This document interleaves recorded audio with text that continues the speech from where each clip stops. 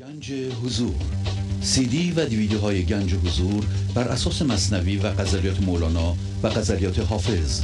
برای برخورداری از زنده بودن زندگی این لحظه و حس فضای پذیرش و آرامش نامحدود این لحظه برای حس شادی آرامش طبیعی درونی و بروز عشق در شما. برای سلامتی تن ذهن و لطیف کردن احساس شما. برای خلاص شدن از مسائل زندگی توهمات ذهنی بی‌حوصلگی دلمردگی بی انرژی بودن و رسیدن به حالت شادی طبیعی. برای شناخت معانی زندگی ساز نوشته های مولانا و حافظ در مدت کوتاه.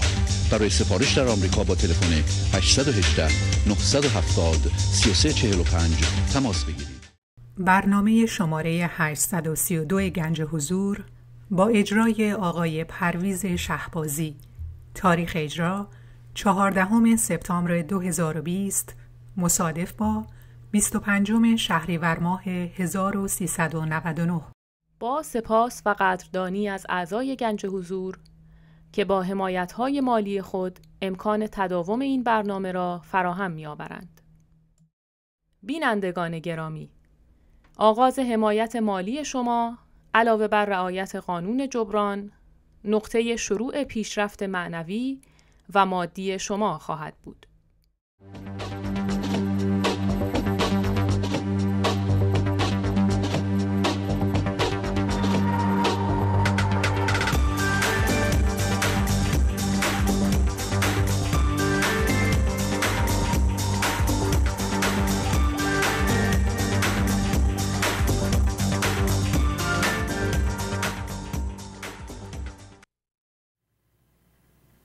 چه گوهری تو چه کس را به کف بهای تو نیست؟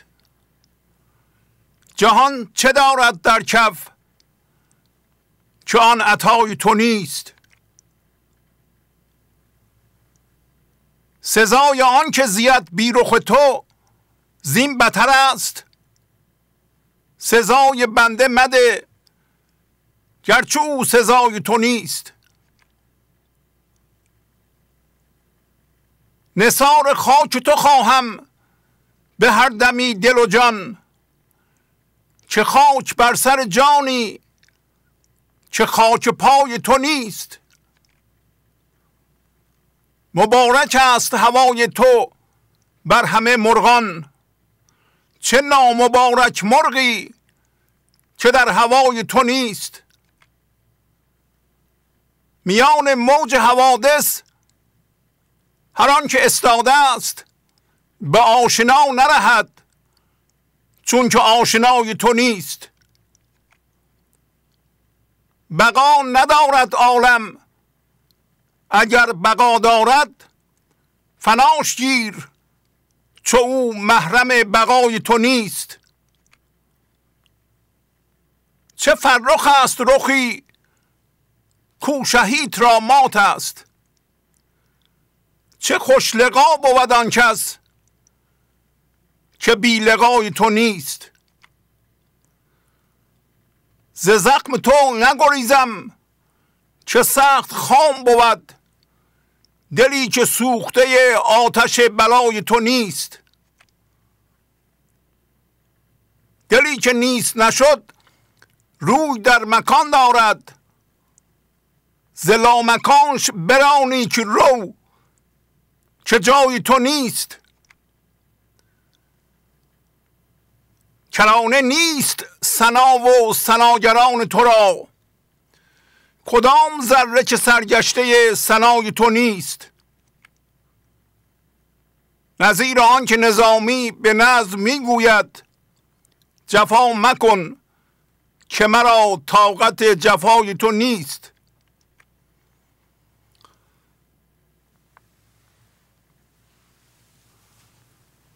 با سلام و احوال پرسی برنامه گنج حضور امروز را با غزل شماره 481 از دیوان شمس مولانا شروع می کنم چه گوهری تو؟ چه کس را به کف بهای تو نیست؟ جهان چه دارد در کف؟ که آن عطای تو نیست؟ پس مولانا از جانب هر انسانی این سوال مطرح می‌کنه و رو به زندگی می‌کنه.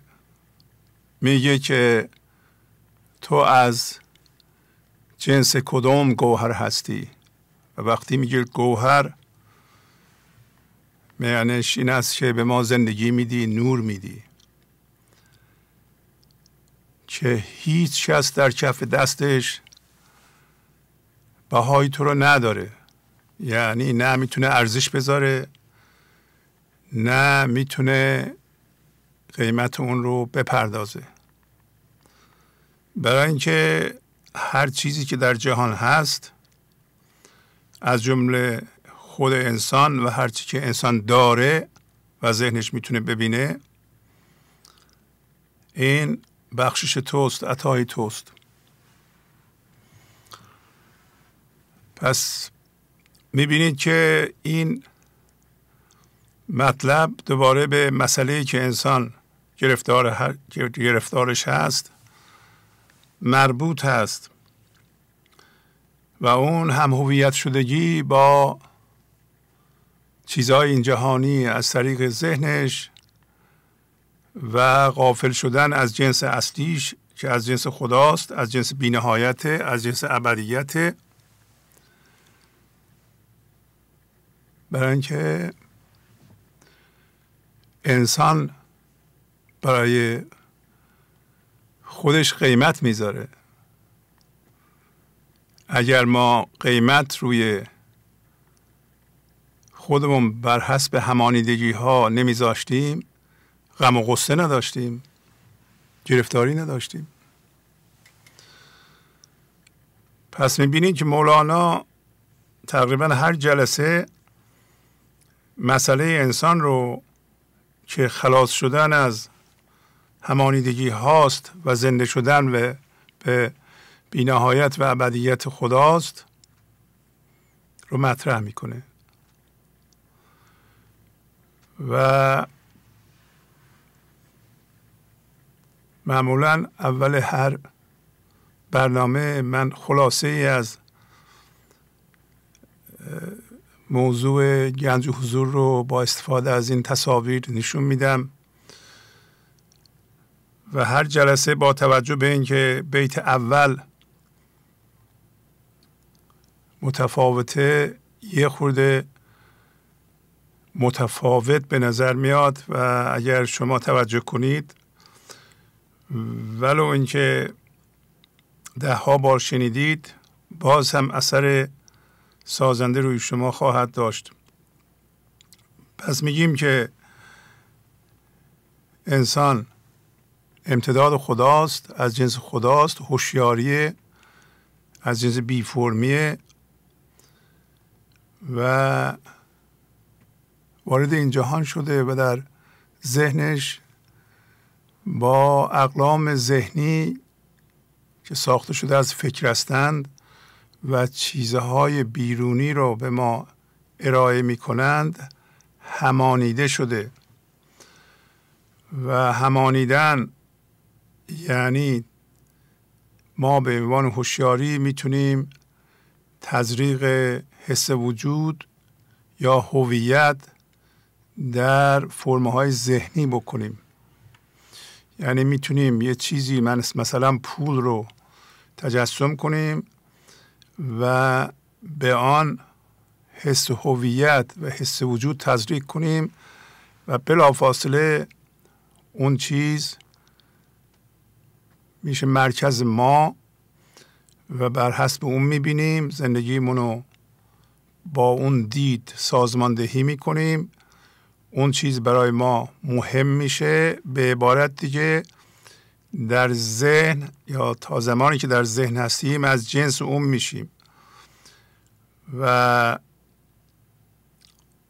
پس وقتی از جنس فکر میشیم و جسم میشیم دوچار زمان میشیم. برای اینکه هر جسمی با زمان تغییر می‌کنه. ما هم می‌بینیم که احوال ما با زمان تغییر می‌کنه. برای اینکه اون همانیدگی ها با زمان تغییر می‌کنه. حال من اصلی ما که از جنس خداست با تغییر فرمها یا همانیدگی ها تغییر نمی‌کنه. پس احوال ذهنی ما احوال ذهنی من ذهنی ماست که تابع زمان هست. برای اینکه همانیدگی های ما با زمان تغییر می کنند و حالا این شکل رو به شما نشون بدم. میگه که این چیزهای داخل دایره رو که عمده ترین اونها اونها هستن مثل همسر من خودم و مشخصات خودم پول مخصوصا درد رو می‌ذارم مرکزم با اینا همانیده میشم بر حسب اونا می‌بینم. اونا میشن عینک دید من و به این ترتیب چون بر حسب چیزها می‌بینم هوشیاری جسمی پیدا می‌کنم. یعنی هوشیاری پیدا می‌کنم که فقط جسم رو می‌تونه ببینه در حالی که در اصل من از جنس هوشیاری بی فرم هستم خدا از جنس هوشیاری بی فرمه و گفتیم هر چیزی که مرکز ما باشه از اون چهار تا خاصیت می‌گیریم. یکیش عقل هست یکیش حس امنیت هست حس هدایت هست و حس قدرت. پس وضعیت انسان رو این شکل مشخص می‌کنه که انسان هوشیاری جسمی داره یک من ذهنی داره. من ذهنیش از جنس جسم ساخته شده از فکر فکرها جسم هستند ولو اینکه ظریف هستند فکرهای ما شبیه آهن یا تخته نیستند ولی جسم هستند ما می‌تونیم فکرهامون رو ببینیم. و وقتی می‌بینیم به وسیله هوشیاریمون می‌بینیم. شما الان می‌تونید تجسم کنید که راجع به چی فکر می‌کنید. پس مولانا برای آگاه کردن انسانی که هوشیاری جسمی داره این بیتو میگه چه گوهری تو که کس را به کف بهای تو نیست. و این هم می‌دونیم که ما اومدیم به این جهان پس از مدتی که از طریق این همانیدگی ها می‌بینیم باید این بینش رو رها کنیم و برگردیم دوباره از اون جنس اولیهمون بشیم. پس به صورت هوشیاری خداگونگی وارد این جهان میشیم. مدتی با این چیزها همانیده هستیم و بیدار میشیم از خواب اینها و دوباره برمیگردیم. همون هوشیاری میشیم که از اول بودیم. پس عارفان ما را هدایت می‌کنند.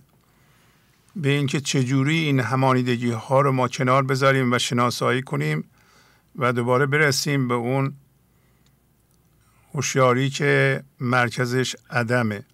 پس سوال اینه گرچه که ما از طریق همانیدگی ها می‌بینیم هوشیاری جسمی داریم داریم به خدا میگیم تو از چه جنسی هستی که ما در کف دستمون قیمت تو رو نداریم و نمی‌تونیم با ذهنمون ارزش تو را تعیین کنیم.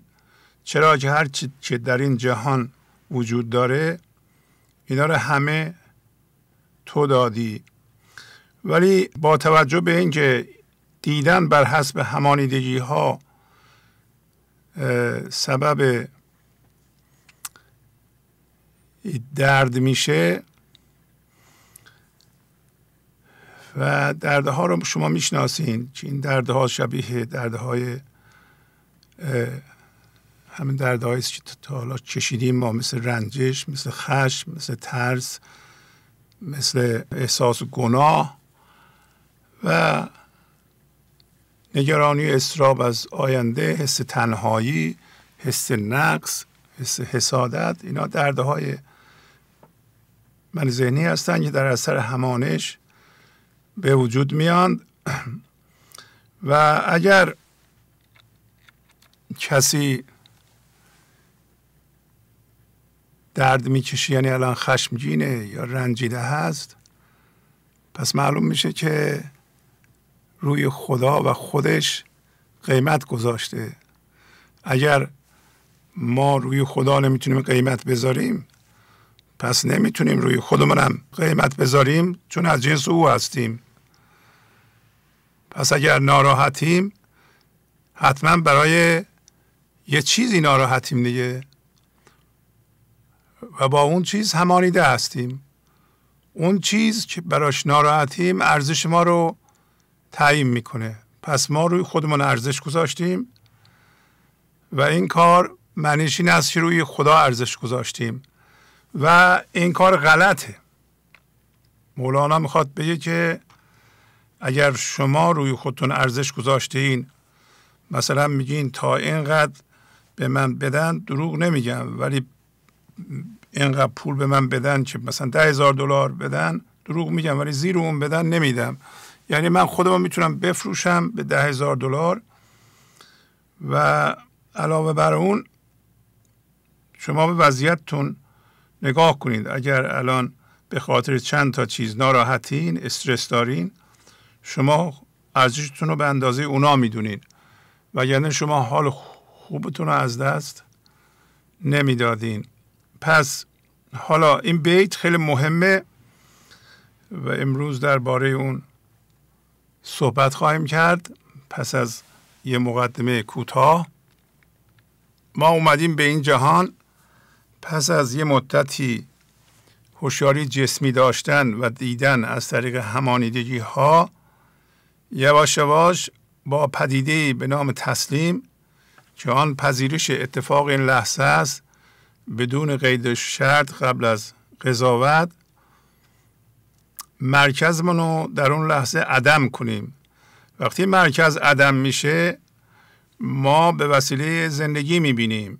عدم همون جنس زندگی هست همون گوهری است که الان ما صحبتش رو می‌کنیم. پس چه گوهری تو ای خدا ای زندگی که این همانیدگی ها به اصطلاح ارزش تو رو تعیین نمی کنند برای اینکه هر چیزی که برای من مهمه اینا رو تو دادی.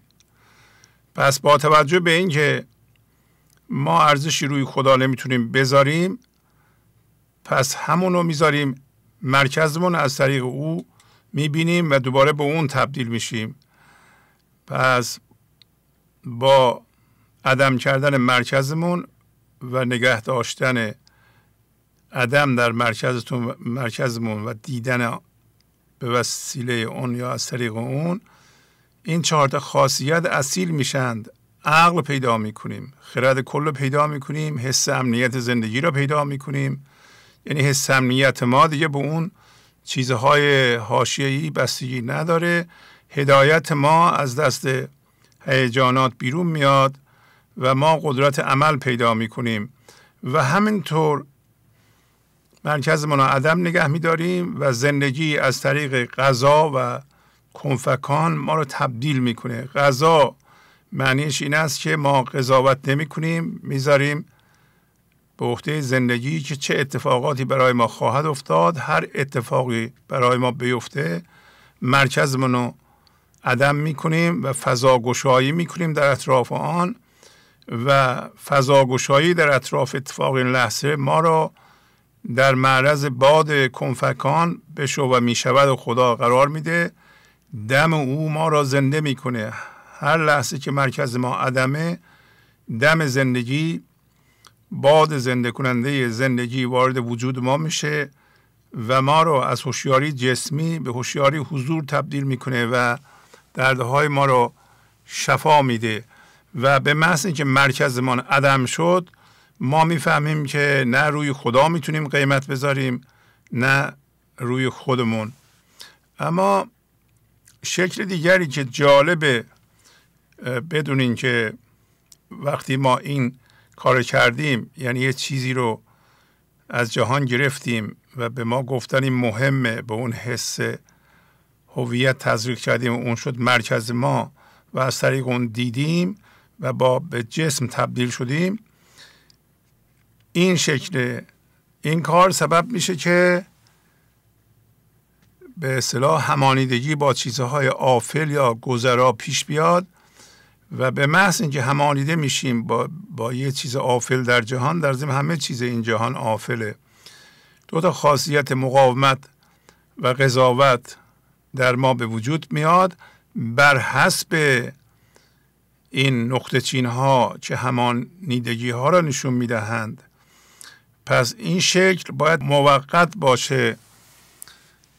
اگر انسانی مقاومت و قضاوت داره معنیش این است که قضاوت خدا رو در این لحظه به اصطلاح رد می‌کنه. برای اینکه خودش قضاوت داره پس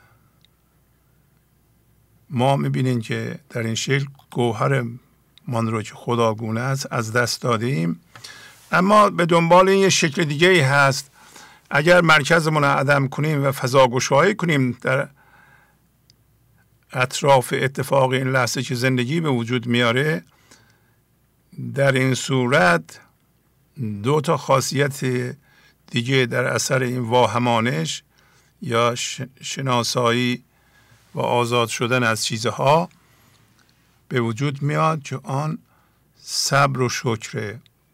صبر و شکر دو تا خاصیت انسانی است که وقتی مرکز انسان عدمه در انسان خودش رو نشون میده و همینطور پرهیز پرهیز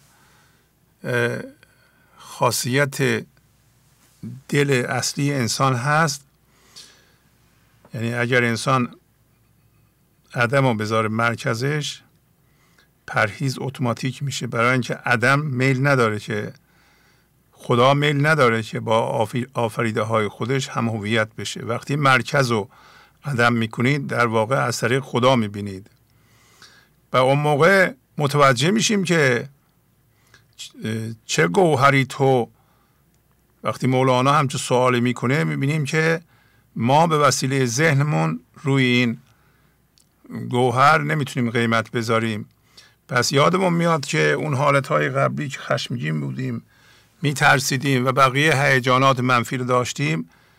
داشتیم روی خودمون و خدا قیمت میذاشتیم. بله.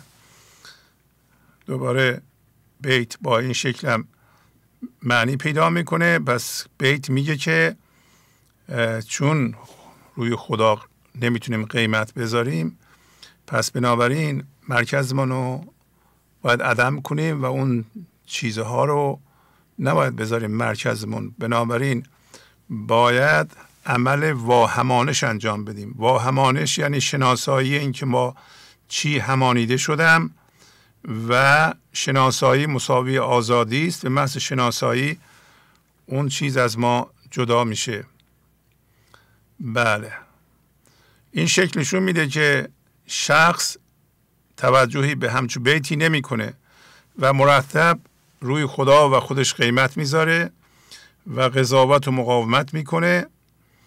و همانیدگی ها رو در مرکزش نگه میداره و اگر این وضعیت ادامه پیدا کنه و مرکزش رو نتونه عدم کنه به تدریج نیروی زندگی به جای اینکه در درونش زندگی بشه تبدیل به مانع مسئله و دشمن میشه و این شخص وارد فضایی میشه که بسیار خطرناکه جهنم همین حالت کسی که عقل حس امنیت و هدایت و قدرت زندگی رو از دست داده مقاومت و قضاوت می‌کنه و دائما برای خودش مانع مسئله و دشمن ایجاد می‌کنه.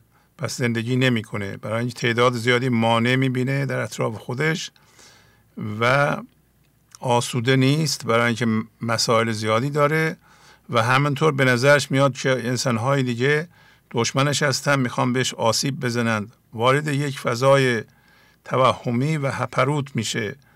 این حالتی است که خیلی از آدم ها که من ذهنی رو ادامه دادن دارند. اگر شما دیدین که با این شکل به اصلاح دارین خودتون رو همانیده می‌بینین یعنی شبیه این شکل هستین باید رو خودتون کار کنین. چجوری؟ با این شکل. یعنی مرتب در اطراف اتفاق این لحظه بدون قید و شد فضا گشایی کنید مرکزتون رو عدم کنید درست ببینید حس امنیت و عقل و هدایت و قدرت رو از زندگی بگیرین صبر و شکر داشته باشین و یواش یواش خواهید دید که وقتی مرکزتون عدمه این لحظه رو با پذیرش و رضا شروع می‌کنین و یواش یواش شادی بی سبب در شما ایجاد میشه. یعنی شادی است که به علتهای زیاد شدن همانیدگی ها نیست نمیگین که پولم داره زیاد میشه من شاد هستم. نمی‌دونم بچم موفق داره میشه من شاد هستم. نه شادی اصیل که جنس اصلی شماست و آرامش اصیل در خودتون هست. پس پس از یه مدتی که همانیدگی ها رو شناختیم و خودمون رو آزاد کردیم همینطور ما ذوق آفرینش پیدا می‌کنیم می‌بینیم که زندگی از طریق ما داره میآفرینه. ما فکرهای جدید می‌کنیم و برای حل مسائلمون فکرهای به اصطلاح مبتکرانه می‌کنیم.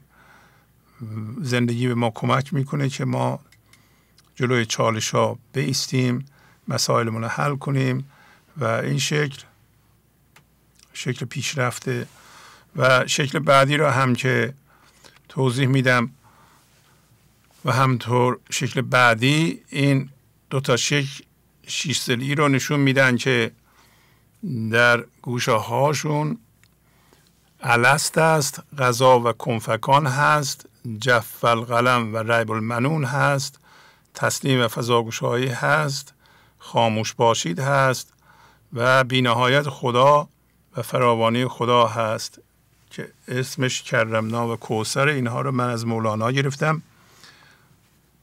این شکل نشون میده که شخص حاضر نیست اجازه بده خدا بهش کمک کنه. برای اینکه دائما از طریق همانیدگی ها می‌بینه و مقاومت و قضاوت داره و به این لحظه هیچ موقع نمیگه بله. به محض اینکه شما در اطراف اتفاق این لحظه فضاگوشایی کنید. به اتفاق این لحظه بله بگید. در واقع این بله همون بله السته شما داریم میگین که من از جنس هوشیاری هستم. من از جنس خدا هستم.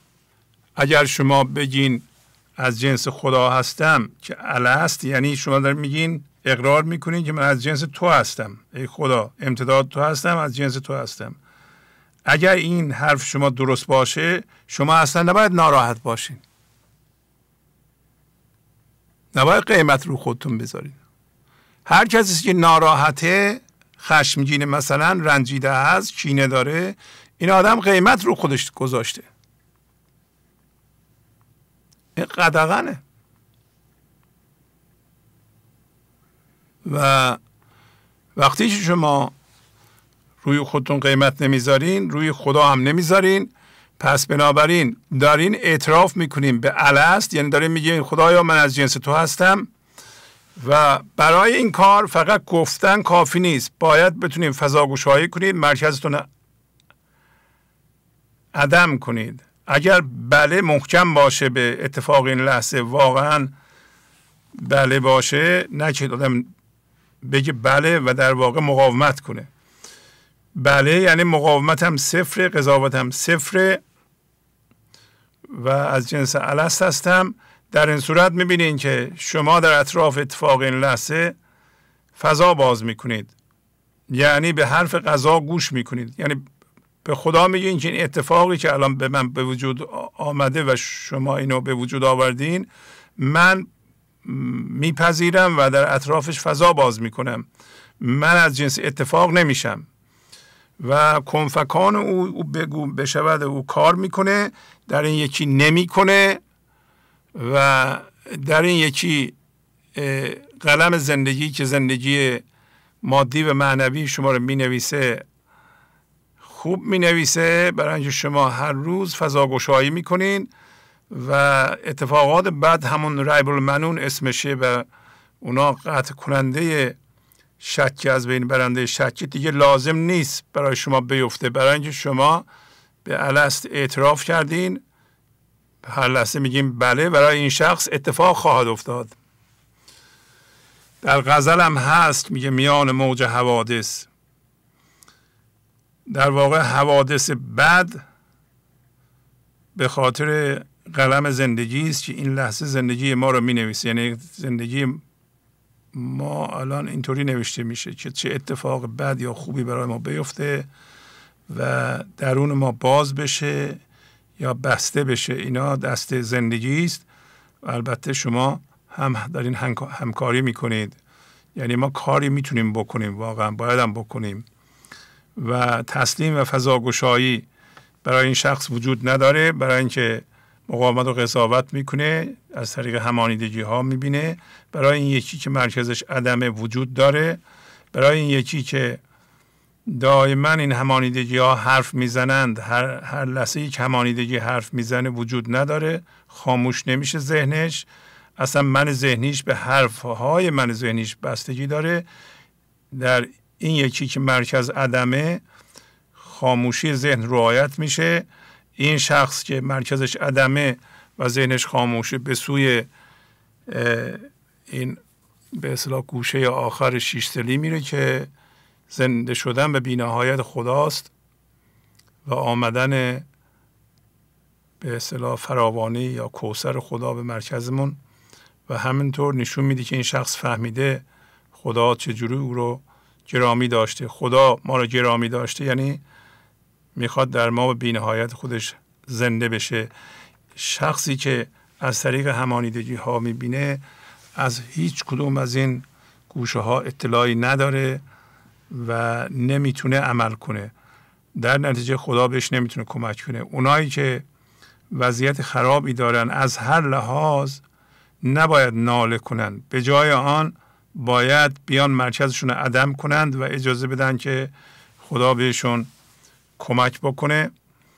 پس این شخص بالمحال نمی‌فهمه وقتی مولانا میگه که چه گوهری تو کسی که از طریق همانیدگی ها می‌بینه. ولی بلافاصله که مرکز ما عدم شد متوجه میشیم که مولانا میگه که ما انسان ها نباید ارزش خودمون رو به وسیله همانیدگی ها تعیین کنیم. چرا که بر حسب اونها می‌بینیم و وقتی بر حسب اونها می‌بینیم به خاطر اونها حالمون خوب میشه بد میشه اونا زیاد بشن حالمون خوب میشه اونا کم بشن حالمون بد میشه این شایسته انسان نیست. این موضوع رو وقتی آدم درک می‌کنه که مرکزش عدم شده می‌فهمه که از جنس زندگیه و حال زندگی رو چیزهای آفر این جهانی نمی‌تونه تعیین کنه. بالمعال شما باید متوجه بشین که حال شما به وسیله چیزهای این جهانی که آفله نباید تعیین بشه. اگر اتفاقی میفته شما ناراحت میشین معنیش این است که اتفاقات و چیزهای آفل حال شما رو قیمت شما رو دارن تعیین می‌کنند. از این خواب باید بیدار بشید. این خواب هوشیاری جسمی است. بله. از اینکه بگذاریم ابیاتی الان براتون در تبیین همین بیت اول خواهم خواند که خیلی از این ابیات یه شکل ندارند. مولانا میگه بر هرچه همی لرزی میدان که همان ارزی زین روی دل عاشق از عرش فوزون باشد. میگه که هر چیزی که تو رو ناراحت بکنه بدان که ارزش تو به اندازه همون چیزه. بنابراین اگر تو عاشق واقعی باشه درون تو به اصطلاح یک آسمان بینهایت باید باشه. یعنی چی؟ یعنی هیچ همانیدگی نباید باشه. وقتی همانیدگی ها را شناسایی می‌کنیم و از مرکزمون میرن کنار فضای درون ما باز میشه باز میشه و میشه یک آسمان بینهایت. اون آسمان بینهایت جنس اصلی ماست. پس دل ما از عرش بیشتره. اگر دل ما تنگه و کوچیکه نشان این است که ما عاشق نیستیم. یعنی از جنس خدا نیستیم از جنس همانیدگی ها هستیم.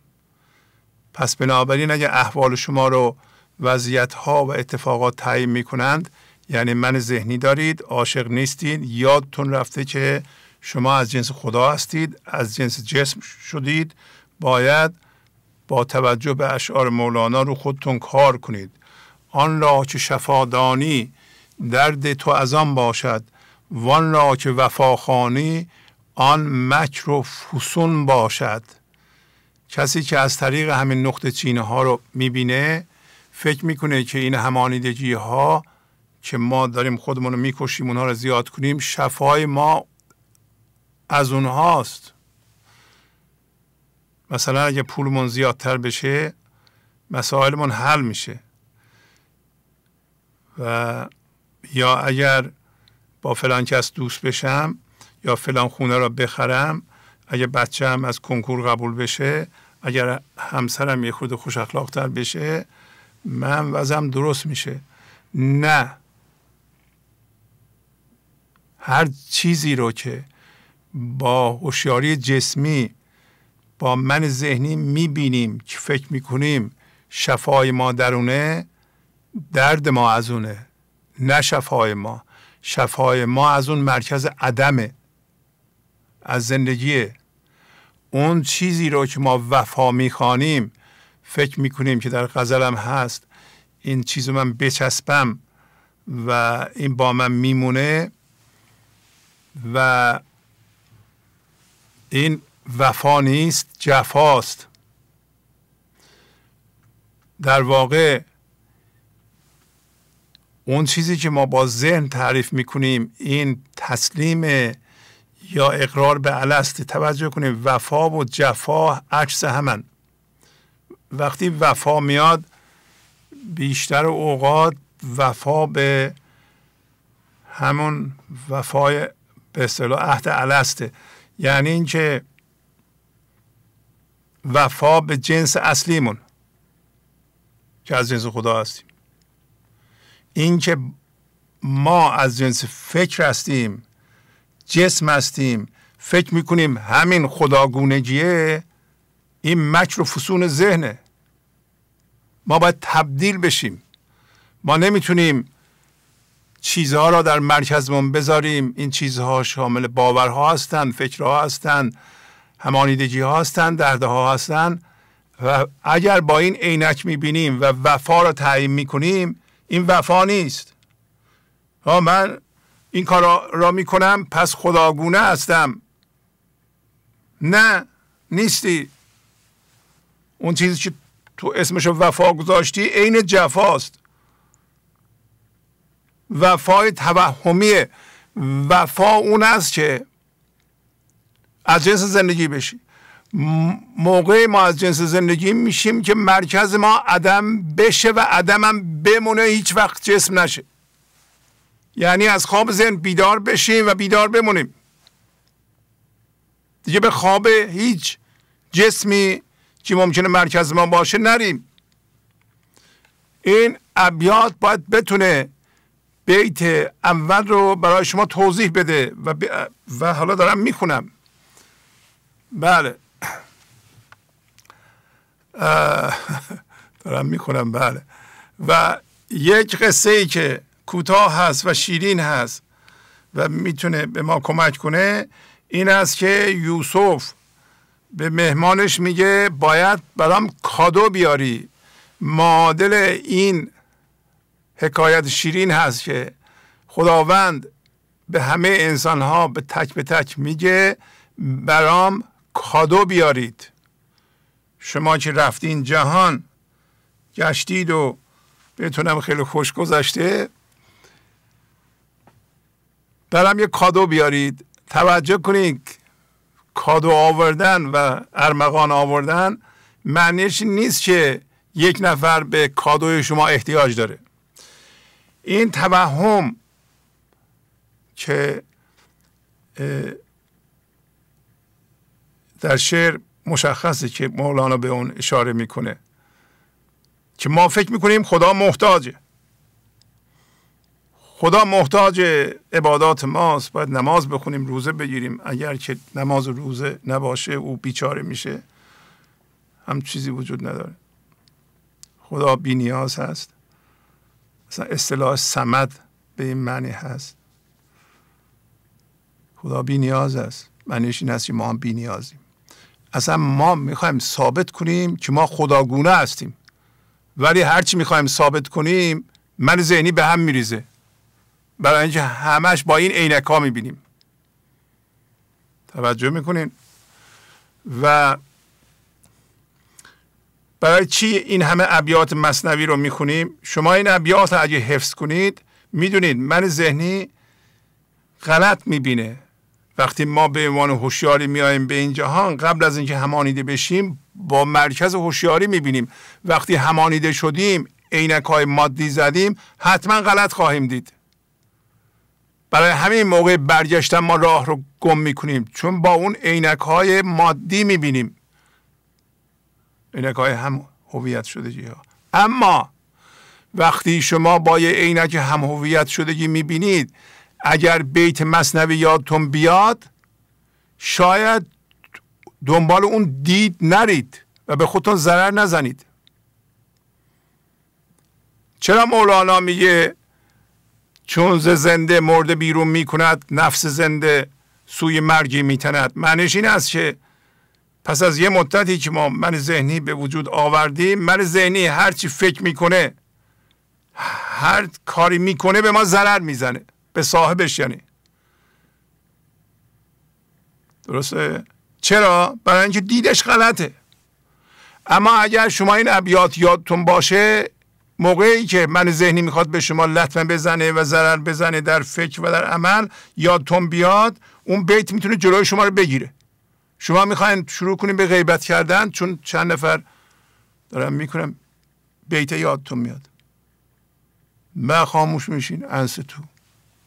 تمام شد رفت چون بیت یادتونه. اگه بیت یادتون نبود شما هم قاطی می‌شدیم به جمع. یا دروغ بگیم بیت یادمون میاد. می‌خوایم دعوا کنیم بیت یادمون میاد. یه کسی به ما حرف زشت زده می‌خوایم حرف زشت بزنیم صدامون رو بلند کنیم بیت یادمون میاد. می‌فهمیم که این خداگونگی نیست. این من ذهنیه.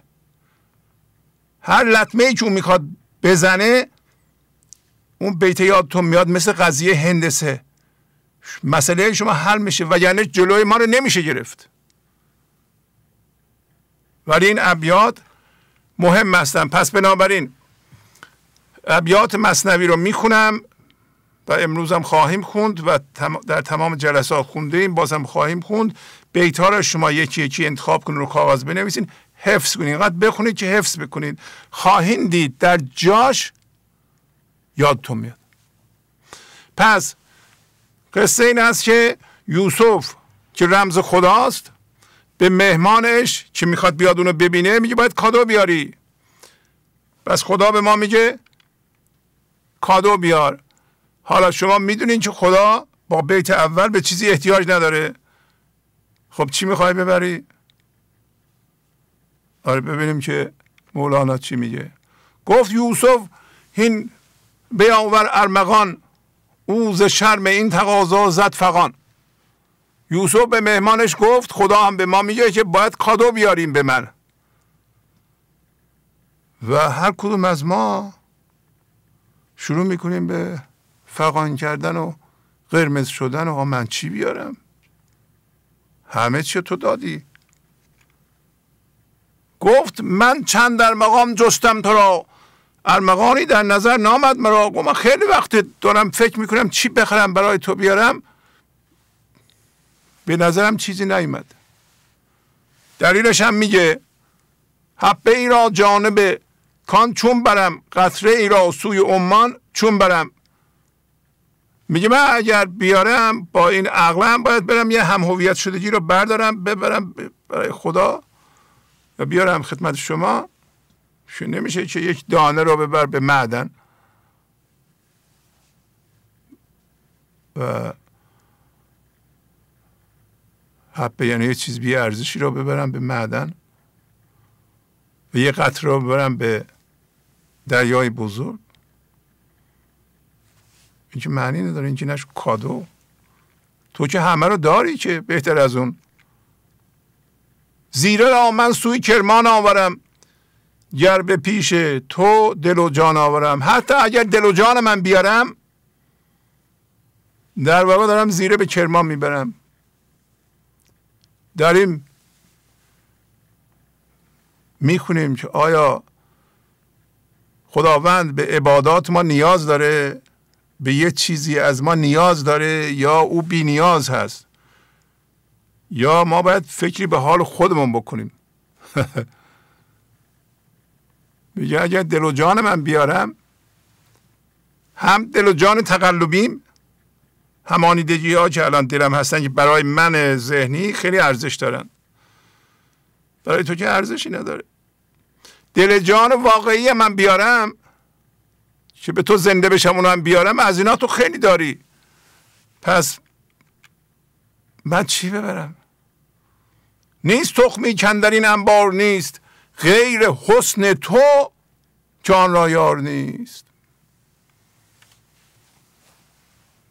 میگه همه چی پیش توست. اما یه چیزی هست به نام زیبایی تو که اون نظیر نداره. این حسن یک چیز واقعا زیبایی صورت و اینا نیست. مثلا مثل فراوانی. جنبه های مختلف رو در بر می‌گیره. کمال تو. ما داریم به خدا میگیم. تو هرچی بیارم تو داری. غیر از زیبایی تو غیر از فراوانی تو غیر از عشق تو. پس لایق آن دیدم. که من آینه ای پیش تو آرم چون نور سینه ای پس من سزاوار دیدم لایق دیدم که برای تو فقط یه آینه بیارم. و این آینه هم نور سینه همه یعنی سینه ای که یا دلی که همانیدگی ها همه شسته شده. تو اینو می‌خوای. اینو به شما کادو کنم. چرا؟ برای اینکه در این آینه تو به زیبایی خودت نگاه کنی. پس معلوم میشه مرکزی که دلی که همانیدگی ها شسته شده رفته به وسیله ما شناسایی شده یکی یکی انداخته شده این آینه است که ما کادو می‌بریم به شاه به شاه جهان. خدا. تا ببینی روی خوب خود در آن ای تو چون خورشید شم آسمان تا روی زیبا تو در اون آینه ببینی که تو شبیه خورشید آسمان هستی. پس بنابراین خورشید آسمان زندگی مادی ما رو تعمین می‌کنه. و الان می‌خواد بگه که اگر سینه من صاف بشه تو خودتو دارم ببینی من به تو وصل میشم. پس وسال من موقعی است که همه همانیدگی ها رو از سینم شسته باشم. پس می‌بینین که ما چیکار باید بکنیم. ما نباید همانیدگی هامون رو تو ذهنمون به خدا تقدیم کنیم که خدا نیازمند پول ماست و یا هر چی که برای ما مهمه برای اونم مهمه دیگه. هم چیزی نیست. یا اگر کار بدی کردیم خدا بیچاره شده. نه. منظور یک دل صاف بدون همانیدگی است برای اومدن ما اینجا. میاییم همانیده میشیم. درسته که با دید همانیدگی ها می‌بینیم موقع برگشتن راه رو گم می‌کنیم. ولی اگه عارفان به ما کمک کنند اون جاهایی که بد می‌بینیم عدم را بذاریم مرکزمون راهمون رو پیدا می‌کنیم. می‌خوایم آینه بشیم. آینه آوردمت ای روشنی! تا چو بینی روی خود یادم کنی. میگه که ای نور ای هوشیاری ای خدا من آینه آوردم یعنی سینه صافم آوردم. با اون سینه صاف من تو خودتو می‌بینی. وقتی تو خودتو در اون دیدی منم یاد می‌کنی. یعنی من به تو وصل میشم. پس معلوم شد ما چجوری به خدا وصل میشیم. ما نمی‌تونیم همانیدگی ها رو نگه داریم ها رو نگه داریم. هرچی که باش همانیده شدیم نگه داریم بگیم به خدا وصل شدیم. گنج حضور. سی دی و دیویدیو های گنج حضور بر اساس مصنوی و قذریات مولانا و قذریات حافظ. برای برخورداری از زنده بودن زندگی این لحظه و حس فضای پذیرش و آرامش نامحدود این لحظه برای حس شادی آرامش طبیعی درونی و بروز عشق در شما. برای سلامتی تن ذهن و لطیف کردن احساس شما.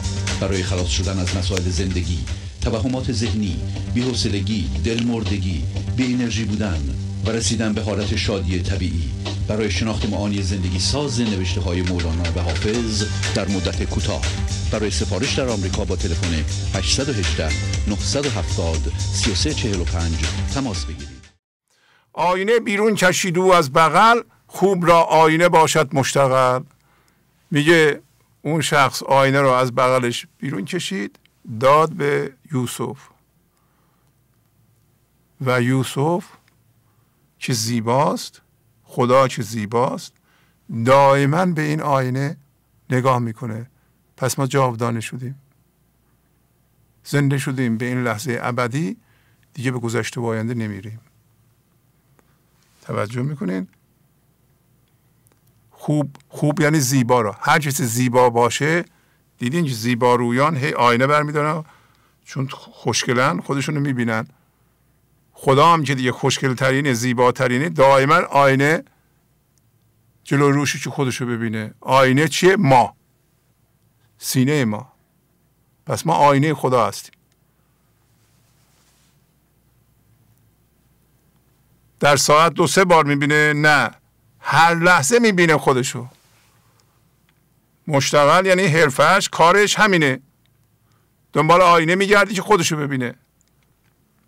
آینه هستی چه باشد؟ نیستی. نیستی بر گر تو ابله نیستی. میگه آینه هستی خداگونه چیه نیستی؟ تو نیستی ببر اگه ابله نیستی. یعنی همانیدگی ها رو نگه ندار. در مرکزت.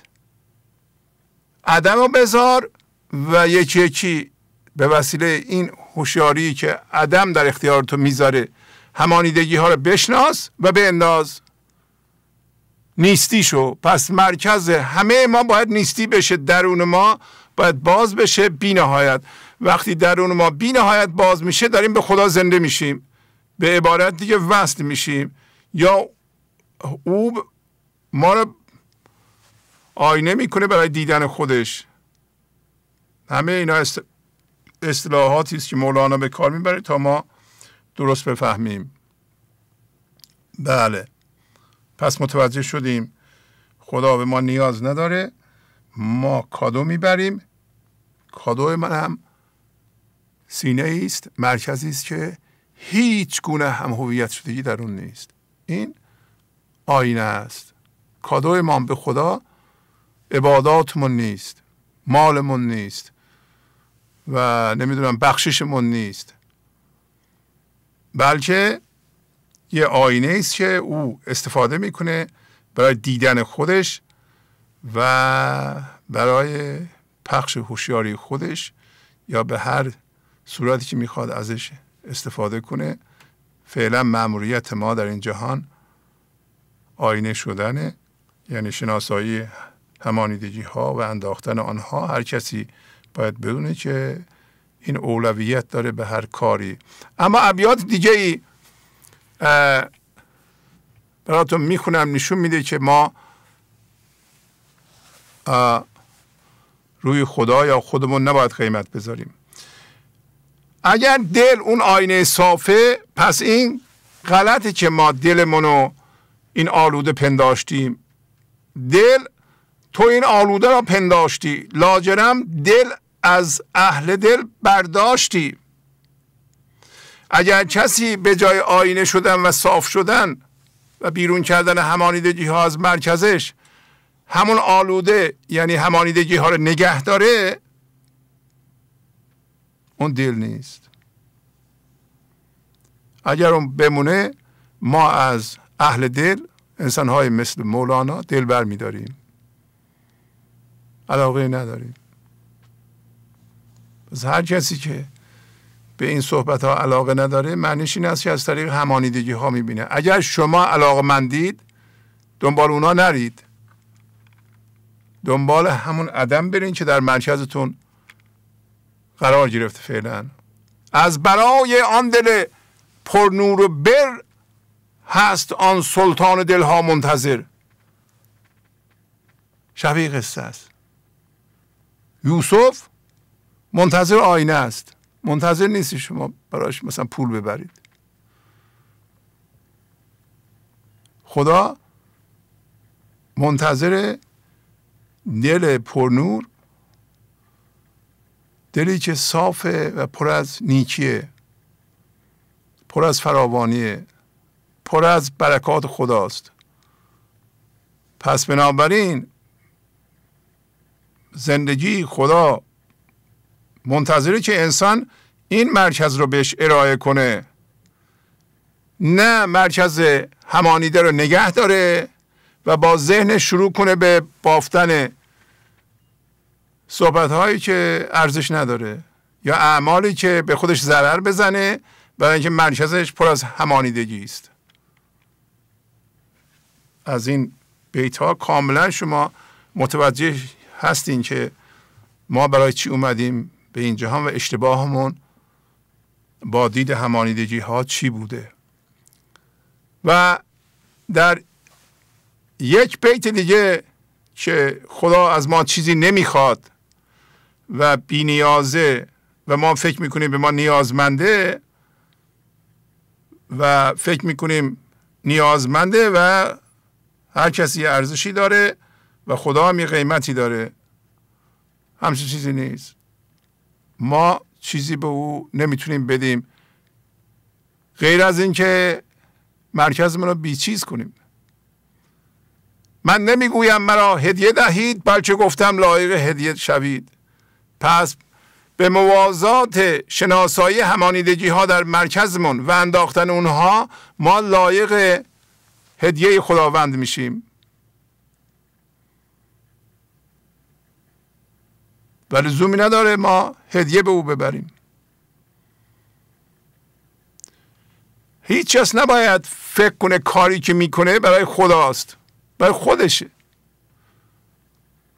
پس اگر برای خودشه باید یه کاری کنه که واقعا سود معنوی داشته باشه باید بسنجه.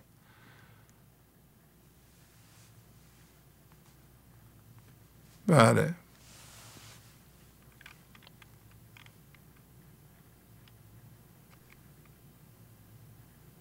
از طرف دیگه ما یه چیزی درست کردیم در این جهان به نام من ذهنی که پر از درد. اکثریت مردمی که به اینجور برنامه ها گوش نمیدند یا زیر تعلیمات آدمای مثل مولانا نبودند من ذهنی پر از درد دارند. و خدا مشتری اینه. میگه اینو بده من. شما نباید فکر کنید که می‌خواد ببره به سود بفروشه. این طرح زندگی است. میگه که بذار من اینو ببرم. این به درد تو نمی‌خوره. یک بافت همانیده شرطی شده و پر از درد به درد تو نمی‌خوره که مرکزته. من می‌خوام مرکز تو صاف کنم آینه خودم کنم. و ما میگیم نه. چرا میگیم نه؟ برای اینکه با دید همانیدگی ها می‌بینیم. با دید همانیدگی ها همانیدگی ها مهمن. با دید عدم همانیدگی هیچ ارزشی نداره. با دید عدم شما متوجه میشین که اگه چیز داشته باشین داشته باشین خوبه. اگه نداشته باشین هم مهم نیست. زندگی شما به اون بستگی نداره. زندگی ما به هیچ چیز در این جهان بستگی نداره. زندگی ما در درون ماست. خداگونگی ماست. از بین نمیره. ما می‌تونیم هر لحظه به طور کامل زندگیش کنیم. و این چند بیت نشون میده که اون بافت ذهنی پر از درد و ما باید بدیم به خدا و به ما بهشت رو بده. و این در طرح زندگیه. تا ده دوازده سالگی داشتن من ذهنی برای زندگی قابل قبوله. بعد از آن مجاز نیست. پس میگه مشتری ماست الله اشترا از غم هر مشتری هیم برترا پس مشتری ما خداست. و یعنی ما این همانیدگی های پر از درد رو باید به او بدیم. بنابراین از فکر مشتری دیگه بیرون بیا. اینا مشتری های این جهانی فاقد اعتبار هستند. توجه می‌کنین که ما این همه زحمت می‌کشیم درد می‌کشیم. برای اینکه بتونیم یه همانیدگی رو که برای ما مهمه برای مردم مهمه مثل پول زیاد کنیم تا اینو بفروشیم به مردم. مردمی که مشتری های فاقد اعتبار هستن. چی بگیریم؟ تایید و توجه بگیریم. به ما بگن که از نظر مقایسه تو بهتر از ما هستی. همه ما هستی. و این حالت خوبیه برای ما. حال ذهنی ما رو دو سه دقیقه خوب می‌کنه. ولی این خوبی مصنوعی است. پس مشتری ما خداست. کسی که فرموده از خداوند می‌خرد یعنی من ذهنی ما رو می‌خرد به هوش باش از غم مشتریان فاقد اعتبار بالاتر بیا. مشتری جو که جویان تو است عالم آغاز و پایان تو است. پس ما مشتری می‌خواهیم که ما رو داره جستجو می‌کنه. پس خداوند دائما دنبال هر انسانی است که بهش بگه و دائما هم پیغام میفرسته که این من ذهنی پر از درد و که تو رو بیچاره کرده بده من. عوضش فضای درون خالی بشه بینهایت بشه اون بهشت توست. و خداوند فقط می‌دونه که اول ما چی بوده و آخر ما چیه. یعنی قبل از اومدن به ذهن چی بودیم؟ چی بودیم؟ از جنس او بودیم. حالا که با دید ذهن می‌بینیم خدای ذهنی می‌بینیم حالا اگر دیدهای ذهنی رو بندازیم بدیم بره پایان همچو اوست او رو خواهیم دید. یعنی اگر درون در درون ما هیچ همانیدگی نمونه او رو می‌بینیم. چون از جنس او هستیم. او می‌دونه آغاز و پایان ما چیه. با من ذهنی و با دیده هاش پایان ما یه آدم ثروتمندی است که در چشم مردم مهم باشه. دید زندگی هم همینه نه. این مکش هر مشتری را تو به دست عشق بازی با دو معشوقه بد است. هر مشتری فاقد اعتبار این جهانی رو به طرف خودت مکش. عشق بازی با خدا و مشتری های این جهانی در آن واحد بده. پس ما می‌دونیم که چیکار باید بکنیم. باید همانیدگی همون رو بشناسیم و بدیم بره این کار هوشیارانه صورت می‌گیره. زندگی با قانون غذا یه اتفاقی پیش میاره. اون اتفاق سبب میشه شما فضا گشایی کنید. فضا رو که باز می‌کنید اون دید اون فضای باز شده نشون میده اون چیه که باش هم همانیده هستید. اونو میدین زندگی می‌بره. هوشیارانه. که نمیایین هم با خدا عشق بازی کنید هم این کارو بکنید. همینی که الان می‌گفتم این عشق بازی با خداست. اگر جذب چیزها بشید با چیزها عشق بازی کنید و اونو به مردم نشون بدید. یادتون میاد که من در بانک اینقدر پول دارم. چشاتون رو ببندین تجسم کنید. من اینقدر پول دارم کسی دیگه نداره. به به بچه این عشق بازی با پوله. برای یه خوشی لذتی به شما دست میده. بعدش مرکز عدم کنید. الان میگه من, من با خدا بازی می‌کنم. این دو تا کار با تو امان غلطه. ما الان فهمیدیم جریان چیه. باید روی خودمون کار کنیم. بله. آن که زیاد بی رخ تو زین بتر است. سزای بنده مده. گرچه او سزای تو نیست. میگه آیا کیفر و مکافاتی یا تنبیهی بدتر از این وجود داره که انسان رخ تو رو نبینه و از تو جدا باشه؟ به نظر مولانا این حالتی که ما انسان ها اکثرا داریم که در ذهن زندگی می‌کنیم و جدا از خدا هستیم این وضعیت بسیار بدی است که از این وضعیت یه بدتر وجود نداره. برای ما عادیه. و میگه که انسان علال اصول باید به تو زنده می‌شد. و در پایین میگه هرچی در دنیا هست در کائنات هست تو رو ستایش می‌کنند. انسان بلد نیست.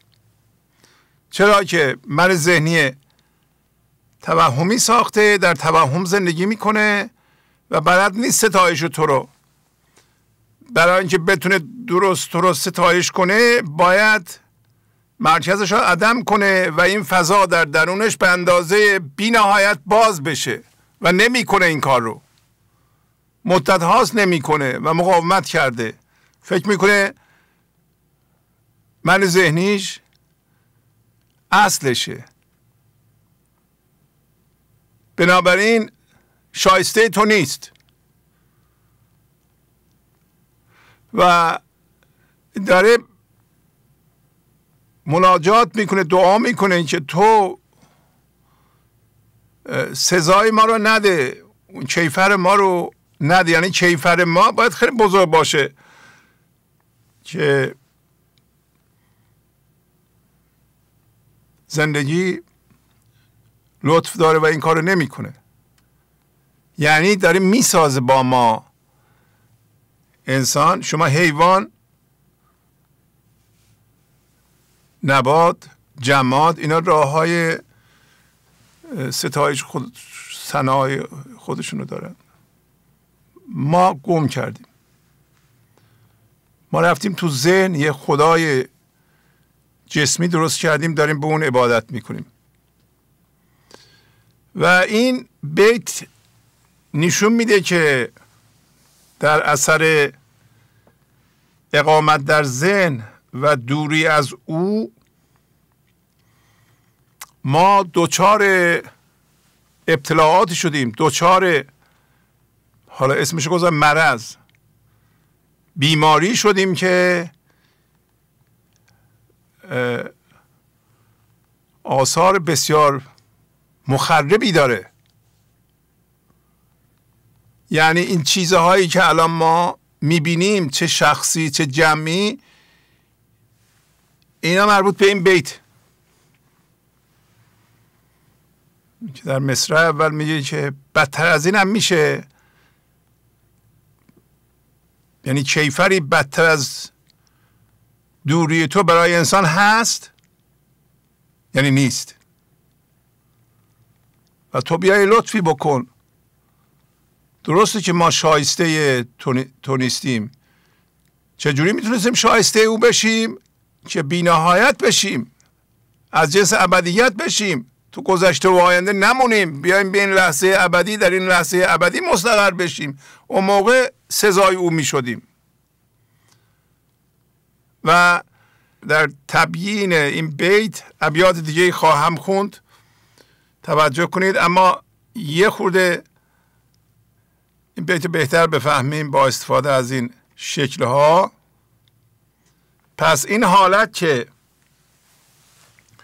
انسان از طریق همانیدگی ها می‌بینه و قضاوت و مقاومت داره. انسان رو از زندگی جدا می‌کنه و جدا نگه میداره. میگه که از این بدتر مکافاتی وجود نداره در جهان و انسان اینو سهل میپنداره. یعنی مشکلاتی که ما الان داریم به خاطر این دیده. شما نگاه کنید که ما چقدر مانع می‌بینیم چقدر مسئله درست می‌کنیم و مسائلمون رو با من ذهنیمون می‌خوایم حل کنیم مسائل غیر لازمه و دشمن می‌بینیم و دشمن می‌سازیم و قضاوت می‌کنیم و مقاومت می‌کنیم و همینطور عقل نداریم عقل چیزها را داریم حس امنیت چیزها را داریم هدایت چیزها را داریم و قدرت حاصل از چشیدن قدرت از همانیدگی ها. این وضعیت بدیه. میگیم به خاطر جدایی از توست. و ما به روی خودمان نمیاریم. و همین بیت نشون میده که یعنی هدایت می‌کنه. ما باید سزای او بشیم شایسته او بشیم. برای این کار باید سریع مرکزمون رو عدم کنیم و اجازه بدیم کنفکان فضای درون رو باز کنه صبر و شکر داشته باشیم پرهیز کنیم از همانش های جدید و حالت عذرخواهی داشته باشیم از خدا دائما که ما اشتباه کرده ایم. و دیدهای من ذهنی را به کار نبریم و متوجه میشیم که زندگی لطفش جاری شد. پس از این بیت می‌فهمیم که مکافاتی بدتر از جدایی از خدا که او را نمی‌بینیم و از او نمی‌تونیم شادی بگیریم و به این خوشی های حاصل از همانیدگی ها قناعت می‌کنیم. این وضعیت بدی است ما خلق نشدیم به این کار که از همانیدگی ها شیره بیرون بکشیم و اونا ما را سیراب نکنند دائما در حال گرسنگی و حس نقص بمونیم و بقیه هیجانات منفی ذهنی رو داشته باشیم. برای انسان معمولی که از طریق همانیدگی ها می‌بینه ترس خشم رنجش چینه چیزهای عادی هن. اینا خاصیت های خانمان سوزی هن. همه چیز ما رو خراب می‌کنند برای انسان من ذهنی که عاشق پوله خیلی معمولی است عادی است که به خاطر پول روابط انسانیشو خراب کنه خیانت کنه دروغ بگه. روابط انسانی و انسانیتش رو بذاره زیر پا. توجه می‌کنین داره سزایی تو نیست؟ یعنی خاصیت تو رو پیدا نکرده. او از جنس تو بوده جنس تو رو از دست داده و به دست نیاورده. و در این راه هیچ کوششی هم نمی‌کنه. خیلی هم خوشه سزاشو نده. سزای بنده مده. میگه اون منتظر اون دل پرنور ما هم نشستیم دل کدرمون بغل کردیم که به به عجب دلی داریم. سزاشو نده. ملاحظه کن و ملاحظه هم می‌کنه. پس ما از این بیت نتیجه گرفتیم که ما مرکزمون عدم می‌کنیم و نگه میداریم و فضا گشایی می‌کنیم تا فضای درون ما بینهایت بشه. اجازه بدین چند بیت دوباره از مصنوی بخونم برای این ابیات بسیار بسیار مهم. ببینین که در اثر جدایی و جدا ماندن و احساس راحتی کردن از این جدایی. ما هزار تا کار می‌کنیم برای ما اصلا اولویتی وجود نداره که ما این عینک های همانیدگی رو برداریم. و توجیه ما اینه که همه اینطوری دیگه. نه همه به سوی تخریب دارن میرن. فقط بزرگان درست می‌بینن. شما از جمع نباید تقلید کنید. شما باید ببینید بزرگان چی میگن. با پخش این برنامه و این ابیات چقدر ما روشنتر شدیم. که اون چیزی که می‌دیدیم با من ذهنی با عینک های ذهنی درست نبوده. برای همه زندگیمون به هم ریخته بود.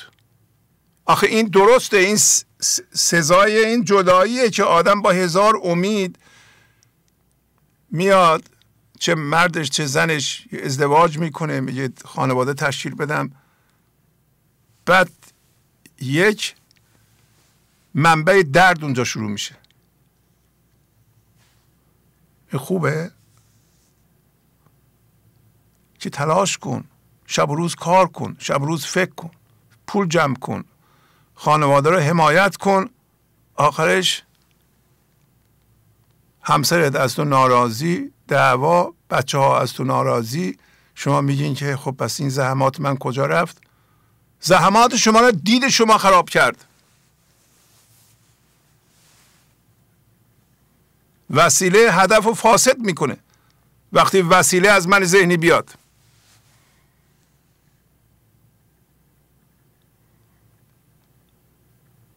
وقتی ما آماده هستیم که به بینهایت او زنده بشیم و اقدامی نمی کنیم اون بلاها سرمون میاد. و این ابیات کاملا وارد هستند. ببینید که ما چی رو از دست میدیم. قبله را چون کرد دست حق ایان پس تحری بعد از این مردود دان. یعنی ما به درجه پیشرفت کرده ایم. ما انسان ها که اگر دقت کنیم و تمرکز کنیم و توجه کنیم به این موضوعی مهم که با باید به او زنده بشیم زنده میشیم و او می‌خواد زنده بشیم. قبله در اینجا جنس خداییت ماست. قبله مکانی نیست منظورش مکه نیست. میگه قبله را وقتی خدا عیان کرده وقتی مرکز عدم حاصل شده و وقتی با مرکز عدم می‌بینید می‌فهمید شما خداگونه این؟ از جنس فرم نیستید پس قبله رو روشن کرده عیان کرده. پس از آن جستجوی قبله در ذهن ممنوع است. قبله را چون کرد دست حق عیان پس تحری تحری یعنی جستجو. بعد از این مردود دان. و ما مردود نمی‌دونیم. خب جدایی افتادیم. سزاش هم دیدیم. عبرت می‌گیریم. آیا دنبال بیت اول رفتیم؟ عبادت می‌کنیم. میگیم که خداوند به این عبادات ما احتیاج داره. یه روزی نمازمو نخونم روزمو نگیرم بیچاره میشه. نه این برای خود توست. شاید در اون کارها متوجه بشی که باید به او زنده بشی. اگه نشی که فایده نداره.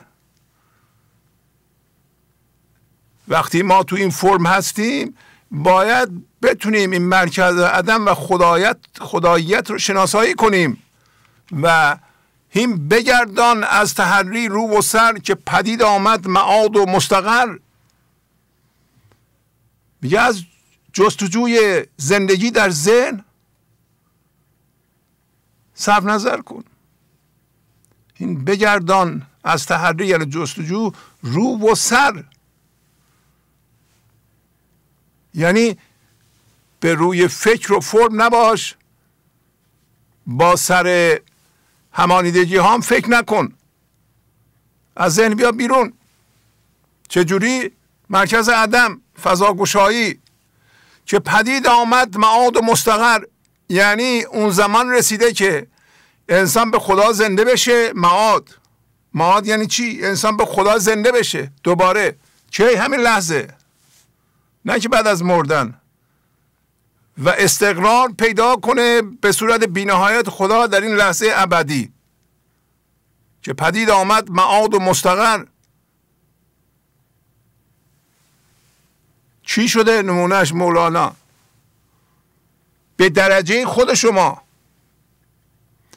اگر از وقتی که به این برنامه گوش می‌کنید زندگی شما بهتر شده می‌بینین که فضای درون وسیعتر میشه انعکاسش در بیرون در روابط شما. حتی در قسمت پول شما مادیات شما کار شما اثرش دیده میشه داریم به سوی معاد و مستقر میرید. یعنی به سوی معاد و مستقر رفتن یعنی اینکه روز به روز می‌بینین که ریشه دارتر میشین عمیقتر میشین سنگینتر میشین به حرف مردم نمیپرید. مردم نمی‌تونن شما رو به واکنش وا بدارند. گیر نمیدیم به هر کسی قضاوت نمی کنید مقاومت نمی کنید قبلا می کردید داره معاد مستقر خودشو به شما نشون میده. یک زمان زین قبله گر زاهل شوی سخره هر قبله باطل شوی. پس اولا که شما متوجه میشین که چرا اینها رو می‌خونم. به اینکه ما قبله رو گم کردیم. قبله رو گم کردن خیلی کار بدیه.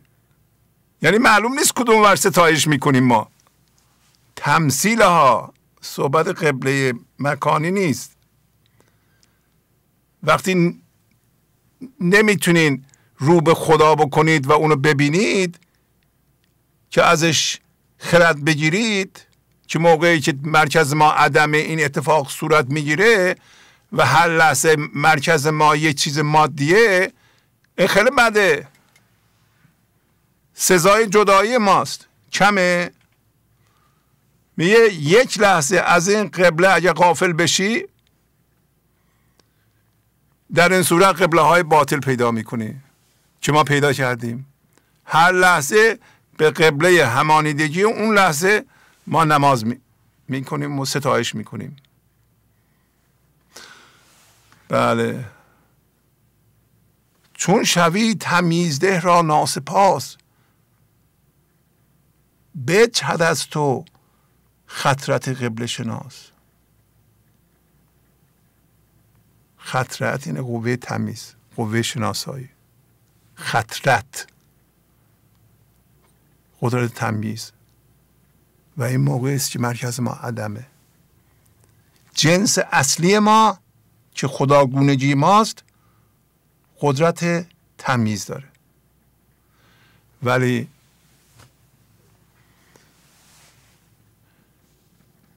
ما رفتیم ذهن. ارزش ما به اندازه همانیدگی های ماست. نمی‌دونیم که چقدر ارزش داریم. بعد نمی‌دونیم که روی خدا نمیشه ارزش گذاشت روی ما هم نمیشه ارزش گذاشت ما روی خودمون ارزش گذاشتیم. مرتب واکنششون میدیم برای اینکه ارزشمون کمه. ارزش ما به همون چیزی که سبب میشه ما واکنش نشون بدیم. حالا در ما یه قوه شناسایی بوده. اون پریده. خب اگه اون قوه شناسایی نباشه که من چی هم دیگه؟ چیکار کنم؟ اون خیردمندی من بوده.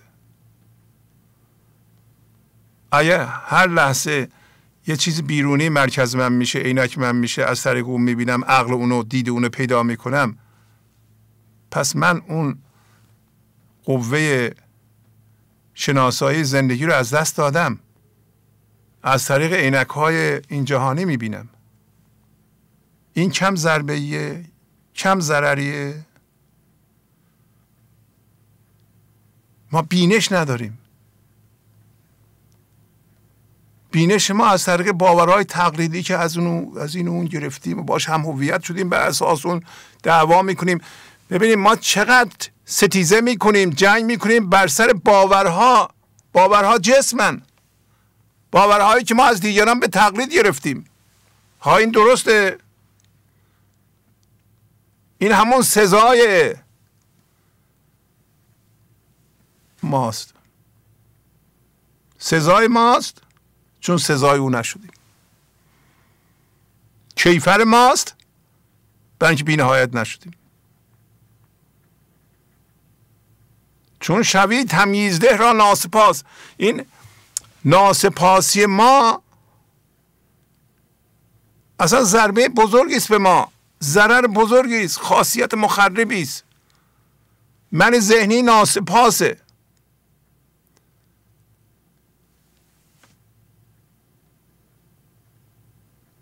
من ذهنی میگه تمیزده چیه؟ تمیزده زندگی چیه؟ عقل کل چیه؟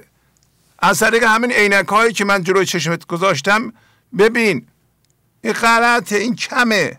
برای انسان کمه. حیوان بهتر از ما زندگی می‌کنه. بیت خیلی مهمه. داره همون بیت رو میگه. اینا رو می‌خونم که بتونیم اون بیت رو معنی کنیم. چون شوی تمیزده را ناسپاس تمیزده خاصیت خداگونگی ماست. که ناسپاسش شدیم. چرا؟ برای اینکه اومدیم من ذهنی درست کردیم. در اونجا هم هستیم و اون ناسپاسه. ناسپاس چی؟ قوه تمیز خدا.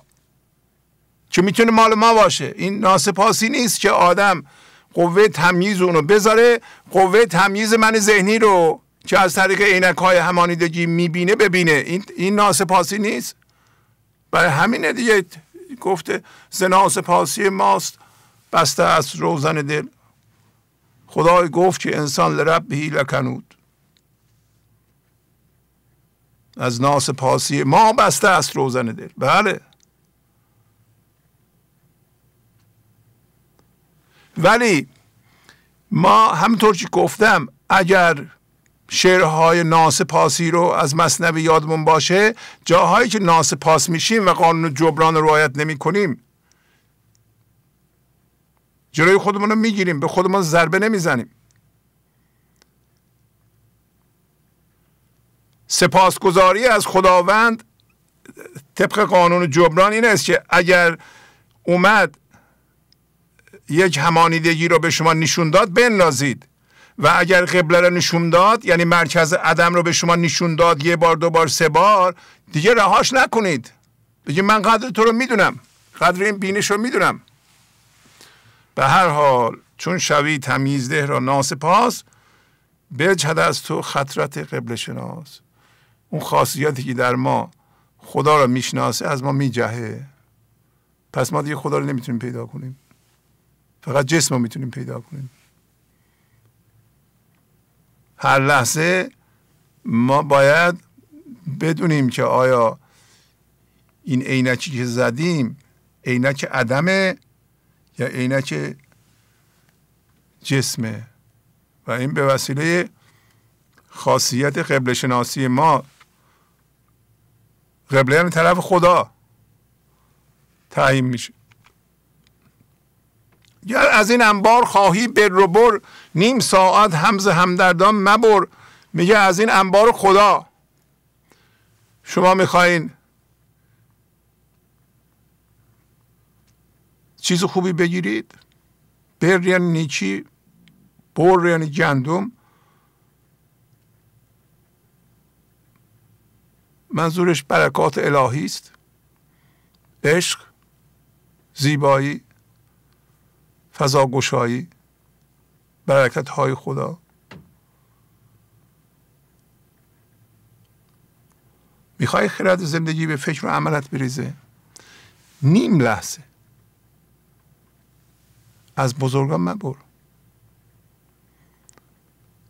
همدردان رو پیدا کن. همدردان کسایی هستن که می‌دونن باید همانیدگی ها رو بشناسند و رها کنند و به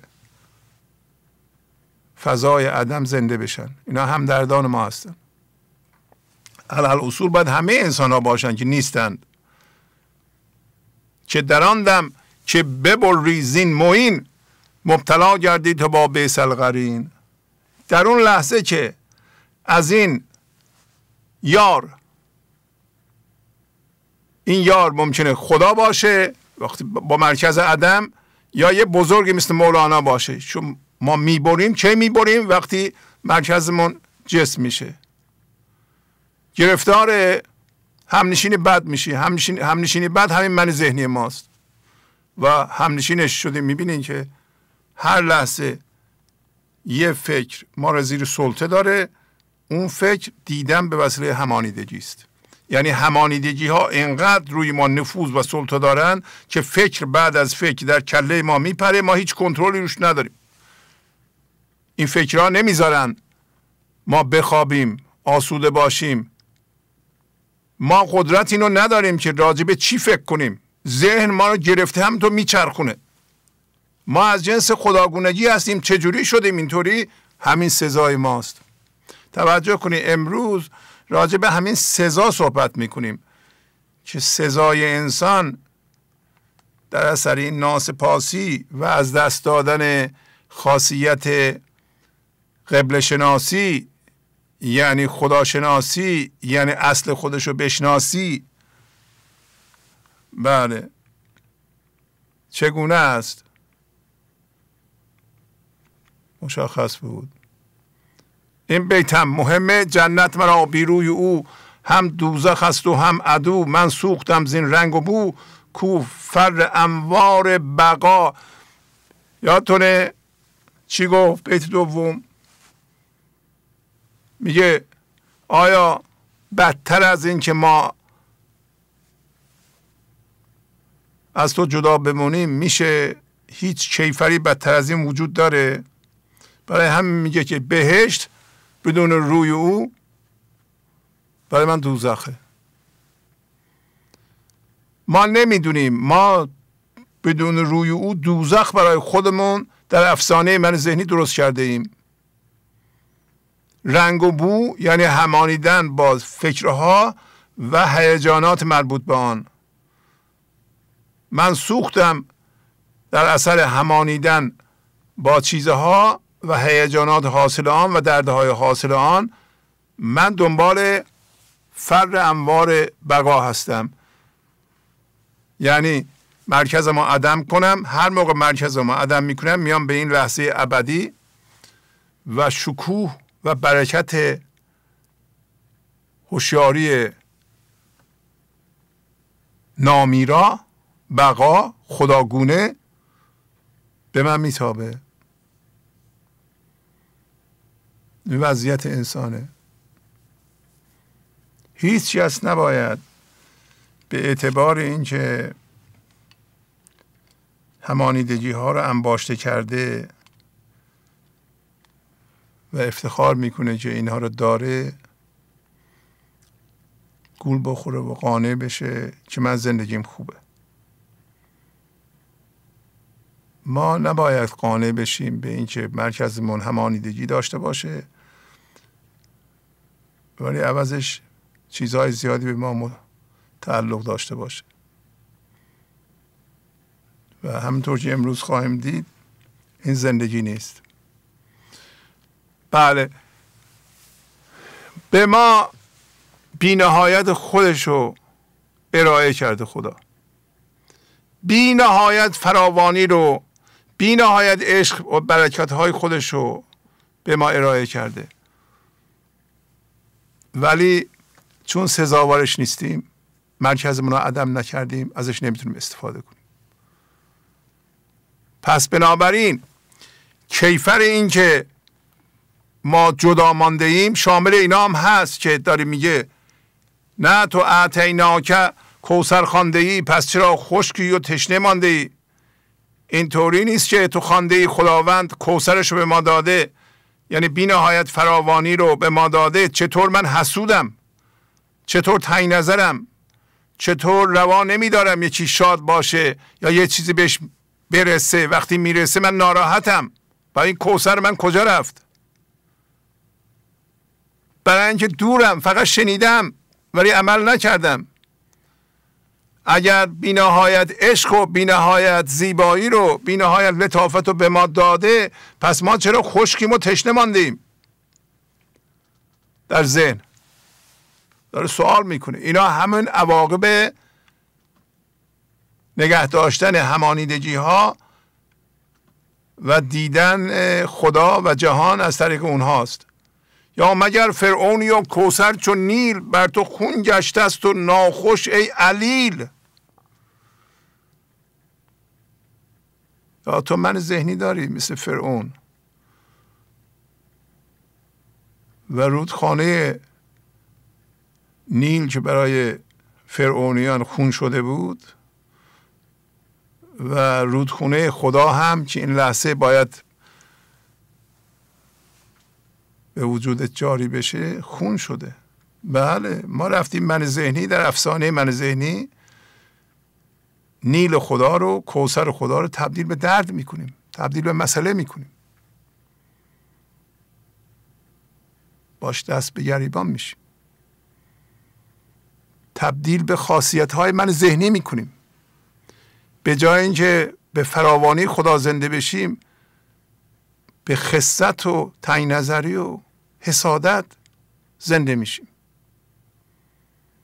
و در نتیجه زندگی خون میشه به ما. و ناخوش میشه و شده. برای اینکه نیومدیم فراوانی او رو بگیریم محدودیتش رو گرفتیم. گرفتن محدودیت برای ما قدغنه.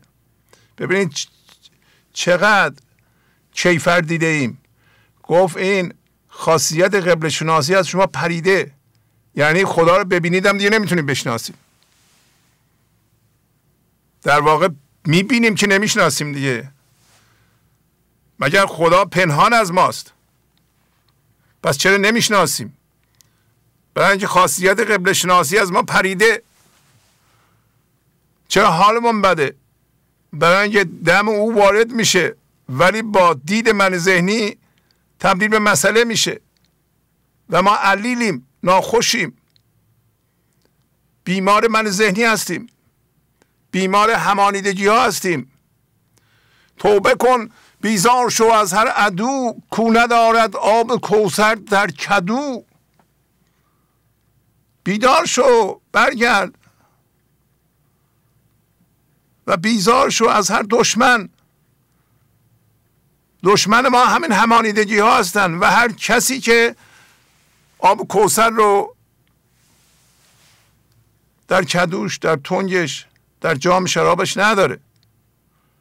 هر کسی که دائما خون می‌خوره زندگی رو تبدیل به مسئله می‌کنه مانع می‌کنه درد می‌کنه. ازش فرار کن.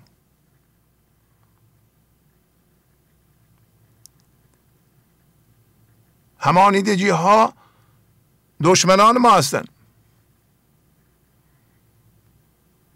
ما نباید اونها رو در مرکزمون نگه داریم بر حسب اونا ببینیم. و همینطور تو کرمنا بنی آدم شهی هم به خشکی هم به دریا پانهی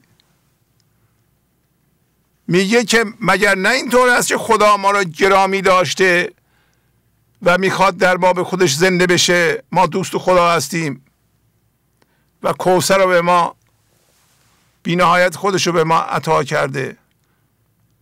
چون او ما رو به خودش زنده می‌کنه ما از اون خاصیت شاه هستیم. ما چرا باید بنده همانیدگی ها بشیم. اگر نیستیم پس چرا ناراحتیم؟ هر کسی ناراحته به خاطر همانیدگی هاشه هر جور ناراحتی. رنجش خشم ترس. هر هیجان منفی که نمی‌ذاره زندگی کنه به علت چیزهای این جهانی گذاشته مرکزش و از طریق اونا می‌بینه. ولی داره میگه ما شاه هستیم ما از جنس خدا هستیم. یعنی مسلط و حاکم همانیدگی ها هستیم. هم در خشکی هستیم هم در دریا هم در فضای یکتایی هستیم با خدا یکی هستیم به بینهایت او زنده هستیم. هم می‌تونیم در ذهن کار کنیم به این جهان نگاه کنیم. هم تن داریم هم فکر داریم اینا فرمن. هم از جنس خدا هستیم به اندازه بینهایت. پس اون بینهایتی که هوشیارانه باید به خدا زنده می شدیم چی شد؟ کیفر ماست. برای اینکه ناسپاس بودیم. برای اینکه از عقل او استفاده نکردیم. اصلا نگاه کنید ما عقلی که از اول استفاده کردیم چی بوده؟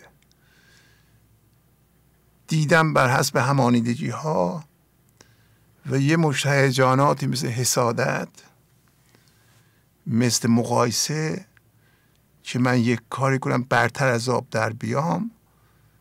اگرم برتر از آب در نمیام در حقیقت در بیرون در واقعیت به طور مصنوعی در خیالم درست کنم دروغ بگم یه من دروغین درست کنم به مردم بفروشم که امروز گفت اینا مشتری های فاقد اعتبار هستند بیرون بیا از اون سودا. خودتو نفروش. آخه این چیه که ما می‌خوایم یه چیز مصنوعی از فکر درست کنیم و یه سری امتیازات و خاصیت ها بهش قائل بشیم به مردم بفروشیم. مر... چرا می‌خوایم این کارو بکنیم؟ که چی بشه؟ نتیجهش چی هست حالا؟ فرض می‌کنیم مردم گفتن شما دانشمندید و پولتون از ما زیادتر چی, ب... چی بشه اون موقع؟ ما برای این بیت اومدیم. پس از یه مدتی اقامت در ذهن شخص به عنوان هوشیاری باید از ذهن بیاد بیرون و به بینهایت خدا زنده بشه. در صورت زندگی روی زندگی زنده میشه بینهایت میشه و این مادر اومدن به این لحظه ابدی است. استقرار در این لحظه ابدی است. یه هیچ قسمتی از ما در گذشته و آینده نیست. جاودانه شدیم. این آینه رو خدا می‌خواد. ارائه نمی کنی کیفر می‌بینی. یعنی این یه قانونه. هر کسی نمیاد در این لحظه ابدی زنده بشه آینه رو به خدا ارائه کنه گفت سزای بنده مده. مواظب باش ما نمی‌فهمیم.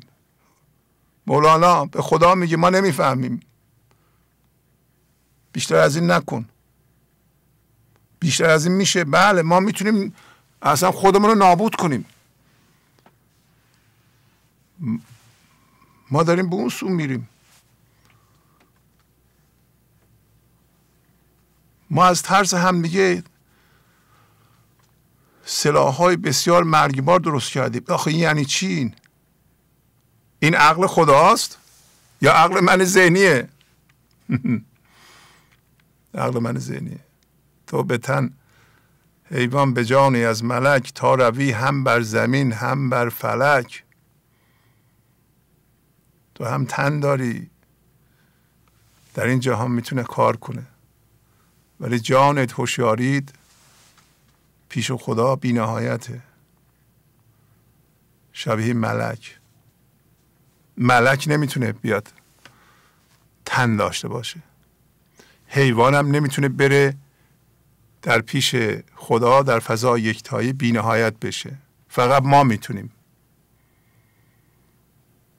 ما هم فلک رو بریدیم در زمین بدون اطلاع اطلاع از فلک و آسمان درون با مرکز همانیده راه میریم. با عقل همین همانیدگی ها خب سزا خواهد داشت مکافات خواهد داشت و می‌بینی که می‌بینیم. گنج حضور. سی دی و دیویدیو های گنج حضور بر اساس مصنوی و قذریات مولانا و قذریات حافظ. برای برخورداری از زنده بودن زندگی این لحظه و حس فضای پذیرش و آرامش نامحدود این لحظه برای حس شادی آرامش طبیعی درونی و بروز عشق در شما. برای سلامتی تن ذهن و لطیف کردن احساس شما. برای خلاص شدن از مسائل زندگی توهمات ذهنی بی‌حوصلگی دلمردگی بی انرژی بودن و رسیدن به حالت شادی طبیعی. برای شناخت معانی زندگی ساز نوشته های مولانا و حافظ در مدت کوتاه. برای سفارش در آمریکا با تلفن 818 970 3345 تماس بگیرید. بله. و چند بیت از هفته قبل براتون می‌خونم که ببینیم در وضعیت جدایی اینکه ما مقاومت داریم و قضاوت داریم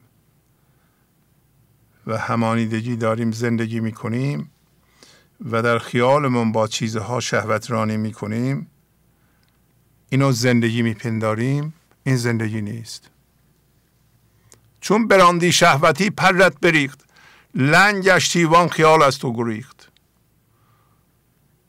میگه هر موقع یه چیزی میاد مرکز تو با اون عشق بازی می‌کنی پر پروازت میریزه.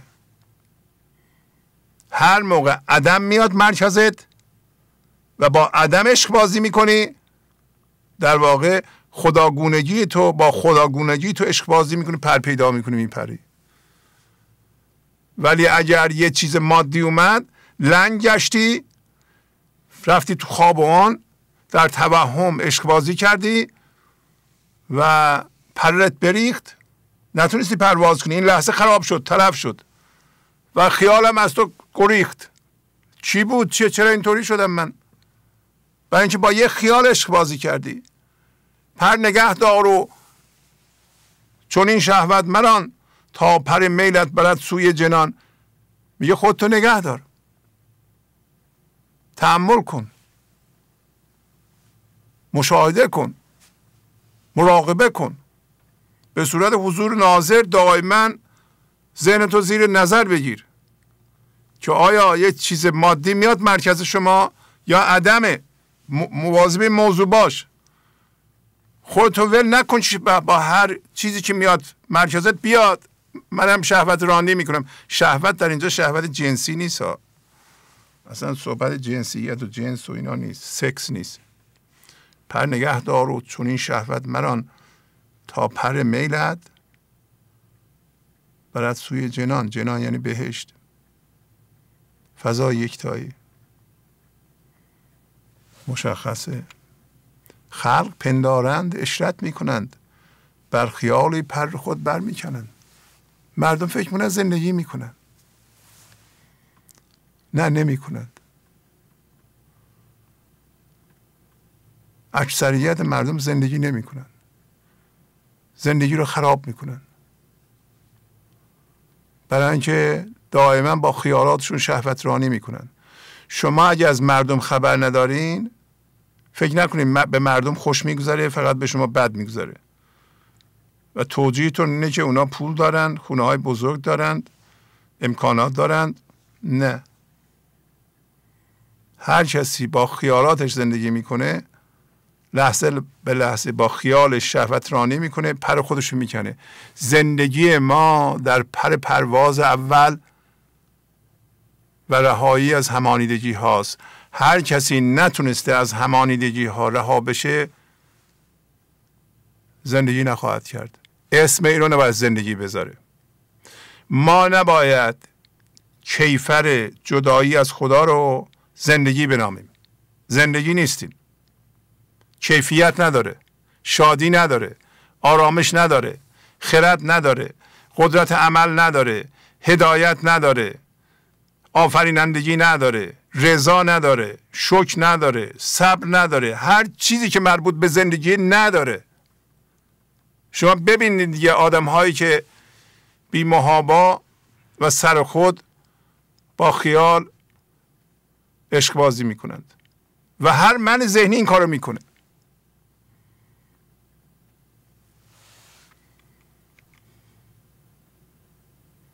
بله. یه مثال دیگه. میگه که خیلی مثال جالبی میگه که روز اون کسایی که می‌بینن دیگه چشم دارن. چشماشون رو ببندن. خواهید دید که نمی‌تونی زیاد چشمتو بسته نگه داری. چون می‌خوای نور روز رو ببینی. امتحان کن. پس از یه مدتی میشه جان کندن. می‌خوای چه شده باز کنی. بعد همینو تعمین میده. میگه که شما وقتی اومدی به این جهان چشم داشتی. و خورشید خدا رو می‌دیدی. از وقتی که همانیده شدی چشات بسته شد. خب وقتی در نور روز نمی‌تونی چشات بسته نگه داری اون یکی چشمو که باید خدا رو ببینه بستی. فکر نمی‌کنی دلت می‌گیره؟ اونم جان کندنه؟ چرا دیگه؟ ما دلمون گرفته. دلمون گرفته برای اینکه چشم هوشیاریمون بسته شده. چشم چون بستی تو را جان کندن نیست. چشم را از نور روزن صبر نیست. اتاق نشستی از روزن نور میاد. از پنجره یا از سوراخ سقف نور میاد. چشمانو بستیم. خیلی نمی‌تونیم چشمانو بسته نگه داریم می‌خوایم باز کنیم. صبر نمی‌تونیم بکنیم. چشم چون بستی تو را تاسه گرفت. نور چشم از نور روزن چه شکفت؟ شکفتن یعنی صبر کردن ماندن. میگه چشم تو بستی؟ دلت گرفت. تاسه گرفت یعنی غم گرفت. این نور چشم می‌خواد نور خورشید رو ببینه. چشم می‌خواد باز بشه و نور خورشید رو ببینه و نمی‌تونه صبر کنه نبینه. بنابراین دلش می‌گیره. بیتاقت میشه بی صبر میشه. نکنه این بی صبری ما به خاطر این است که اون یکی چشمم بسته شده. تاسه تو جذب نور چشم بود تا به پیوندت به نور روز زود. میگه غم ما دلگرفتگی ما به خاطر این از چشم می‌خواد نور رو جذب کنه. می‌خواد به نور روز بپیونده. نور روز رو ببینه این چشم. این چشم دوست داره نور روز رو ببینه. می‌خواد ببینه. چشم باز ارتاسه گیرد مرد را. دانج چشم دل ببستی برگشا. اگه چشات بازه در روز روشن دلت گرفت بدون که اون یکی چشم هوشیاریت اون بسته شده. چرا بسته شده؟ برای اینکه همانیده شدیم با چیزها پس تو بیا اون چشم باز کن. چجوری باز می‌کنه اون چشم با شناسایی همانیدگی ها و انداختن آنها. هر کدوم که میاندازی عینکش میره کنار. یعنی تمام این عینک های همانیدگی رو یکی یکی باید برداری تا چشم دلت باز بشه و غمت از بین بره. پس شما می‌بینین که که میگه سزای دوری از تو خیلی بزرگه؟ از وقتی که اومدیم با این چیزا همانیده شدیم چشم دلمون چشم هوش زندگی امتداد زندگی بسته شده به نور خورشید اصلی به نور خدا. اون دل با اون چشمش می‌خواد نور زندگی رو ببینه. و اگر نبینه دلش خواهد گرفت. اینا چیزهای ظریف و جالبی است مولانا به ما میگه. شما خوب گوش کنید. بدونید اشکال کجاست. این ابیات من می‌خونم اون بیت معنی بده. درست اون بیت معنی کردیم ولی باید گسترش بدیم. شما جنبه های مختلف زندگیتون رو ببینید که چرا کار شما لنگ شده. چرا دل شما گرفته. برای اینکه چشم دل شما که باید نور خدا رو ببینه نمی‌بینه. چرا؟ برای اینکه عینک های همانیدگی جلوشه. دانچه چشم دل ببستی برگشا.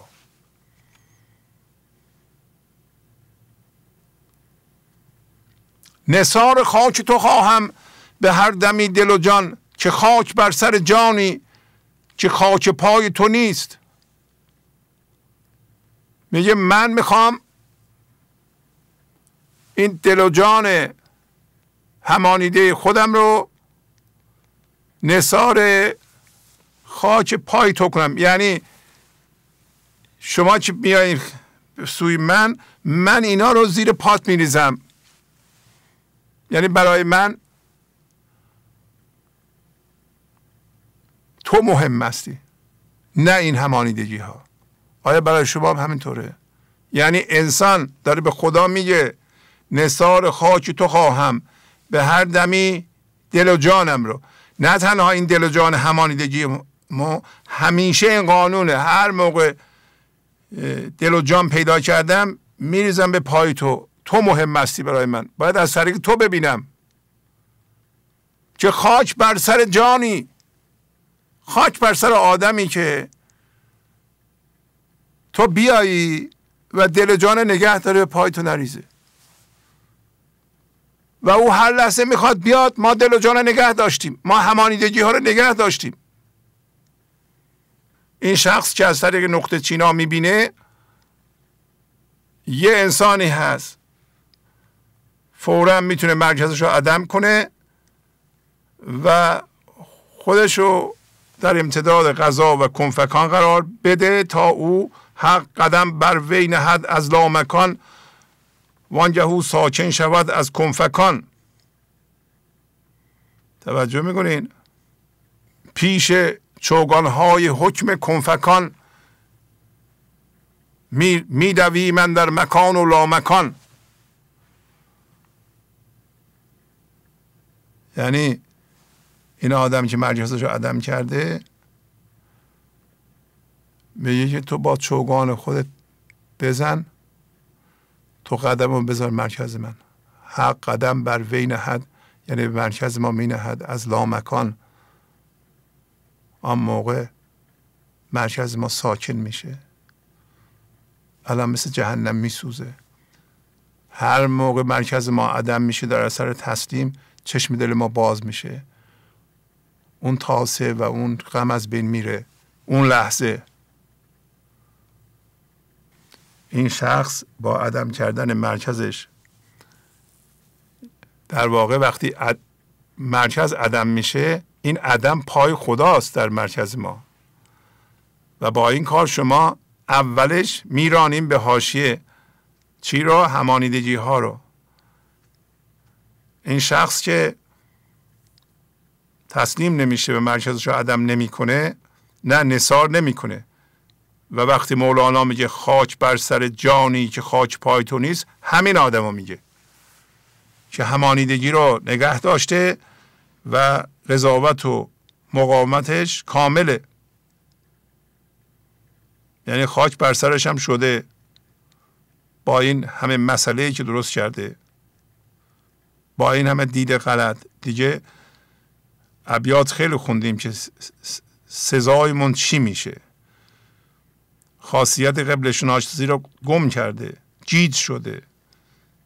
هر فکری می‌کنه هر کاری می‌کنه به خودش ضرر می‌زنه.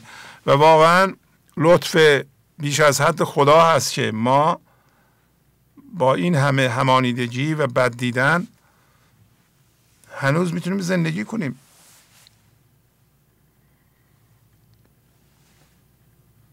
این همه تخریب این همه بد دیدن عوضی دیدن راه بد رفتن گمراه بودن باز هم زندگی ما می‌گذاره خدا رو شکر.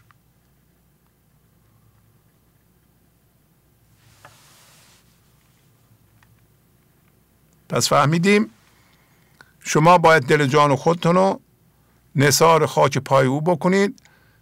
یعنی مرکز عدم کنید. برای شما مهم نباشه که کدوم همانیدگی میره کدوم میمونه. برای شما می‌دونید که همه خواهد رفت. اگر نره زندگی شما زندگی نخواهد شد. بله. و شما این بیت رو از قبل می‌شناسید. جز خضوع و بندگی و استرار اندر این حضرت ندارد اعتبار. بعضی نسخه ها اعتظار هست و هر دو درست است. به یه معنی هست تقریبا. یعنی در درگاه خدا جز اینکه تسلیم بشیم مرکزمون رو عدم کنیم و مقاومت و قضاوتمون رو صفر کنیم خضوع داشته باشیم تواضع داشته باشیم تواضع واقعی و استرار یعنی اینکه من چاره ندارم جز این کار. در پیشگاه خدا در این لحظه هیچ چیزی اعتبار نداره. ما همه چی داریم غیر از خضوع و بندگی و استرار در من ذهنی. بله اینم براتون بخونم که مربوط هست به بیت. نصار خاک تو خواهم به هر دمی دل و جان که چرا ما نصار نمی کنیم؟ برای اینکه معتقد به سبب ها هستیم. ما فکر می‌کنیم این چیزهایی که انباشته کردیم به ما کمک خواهند کرد. سبب ها فقط مال ما نیست وضعیت هم هستن. همه ما منتظر یک تغییر وضعیتی در بیرون هستیم که زندگی ما درست بشه. این توهم بیش نیست. اتفاقا وضعیت های بیرونی منتظر این هستند که تحولی در درون ما به وجود بیاد تا وضعیت ها درست بشن. چون وضعیت های بیرونی انعکاس درون ما هستند. پس اگر کسی منتظر عوض شدن وضعیتی در بیرونه و اونو علت درست شدن کارش می‌دونه اشتباه می‌کنه. گرچه با دید من ذهنی درست دیده میشه. به نظر میاد درسته. توز تفلی چون سبب ها دیده ای در سبب از جهل برچفسیده ای توز تفلی یعنی از طفل بودن یا از زمان طفولیت.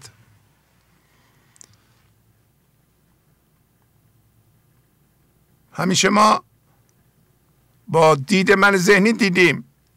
این طفلگونه است. گرچه های امروزی که به مولانا رو آوردن خیلی بهتر می‌بینن. دیگه اونا رو نمیشه مثال زد. توز تفلی چون سبب ها دیده ای در سبب از جهل برچفسیده ای به همین دلیل به سبب ها چسبیده ای با سبب ها از مسبب غافلی سوی این روپوش ها زان مایلی چسبیدی به سبب ها. فکر می‌کنی سبب ها و علل بیرونی مثل وضعیت ها یه این چیزی سبب این میشه که اینها رو به حالت مربوط می‌کنی. اینا ممکن است حال ذهنی شما رو خوب کنند. حال درون شما رو تغییر نخواهند داد. با سبب ها از مسبب غافلی یعنی با سبب های ذهنی از مسبب که خدا باشه غافل هستی برای همین به روپوش ها که وضعیت های این لحظه هستند روپوش یعنی هر چیزی که در این لحظه زندگی رو میپوشونه روپوشه برای همه ما روپوش ها رو دوست داریم. ولی روپوش ها روی زندگی رو میپوشونند. چون سبب ها رفت بر سر می‌زنی. ربنا و ربناها می‌کنی. وقتی سبب ها رفتن منتظری وضعیت هستیم. وضعیت هم اومد وضعیت ما درست نشد.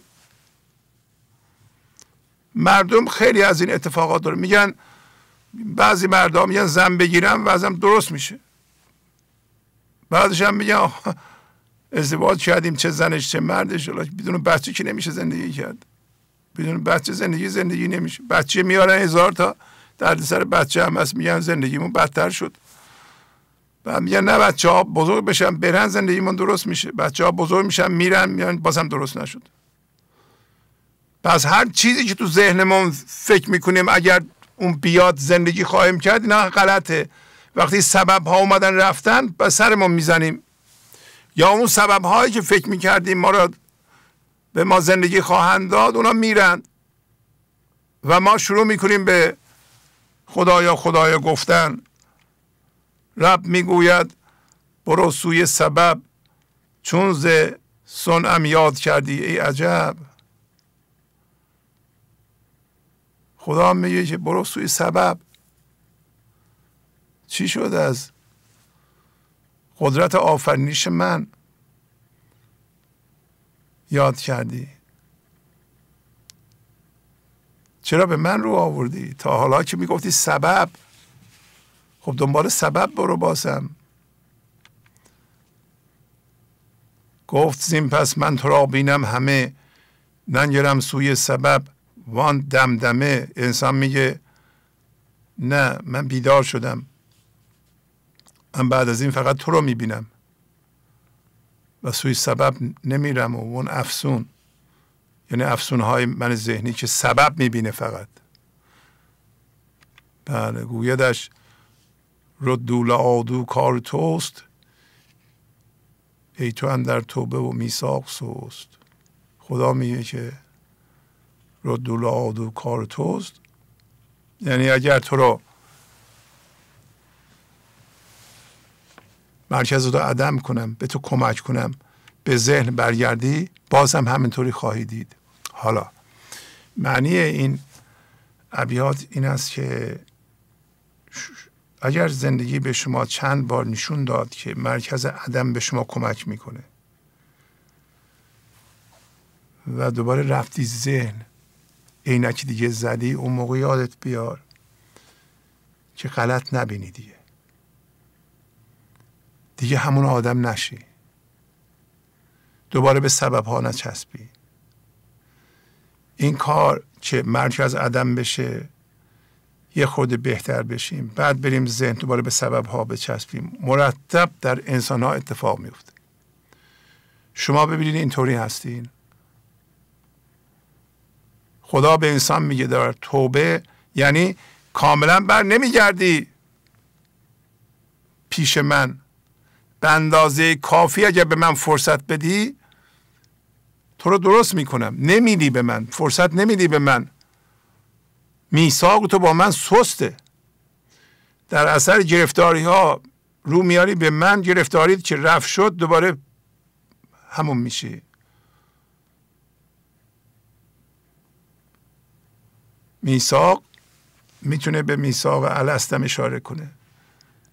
یعنی تو این که به اتفاق این لحظه بله بگی و فضا را باز کنی بله بگی فضا را باز کنی و به الست اعتراف کنی بسیار سست هستی. یادت میره. مرتب میری به زن و مقاومت و قضاوت می‌کنی. و یه موقع میری بر نمیگردی. دیگه پیش من بر نمیگردی. پس می‌بینی که این بیت که میگه به هر دمی من دل جانم و نثار خاک پاش می‌کنم همچون کار آسونی نیست. به محض که ذهنا ما حالمون خوب میشه من ذهنی دور بر میداره ما یادمون میره مرکزمون رو دوباره عدم کنیم. به حال ردولادو میگه اگر آنان به این جهان برگردانده شوند دوباره به آنچه که از آن نه شدند بازگردند.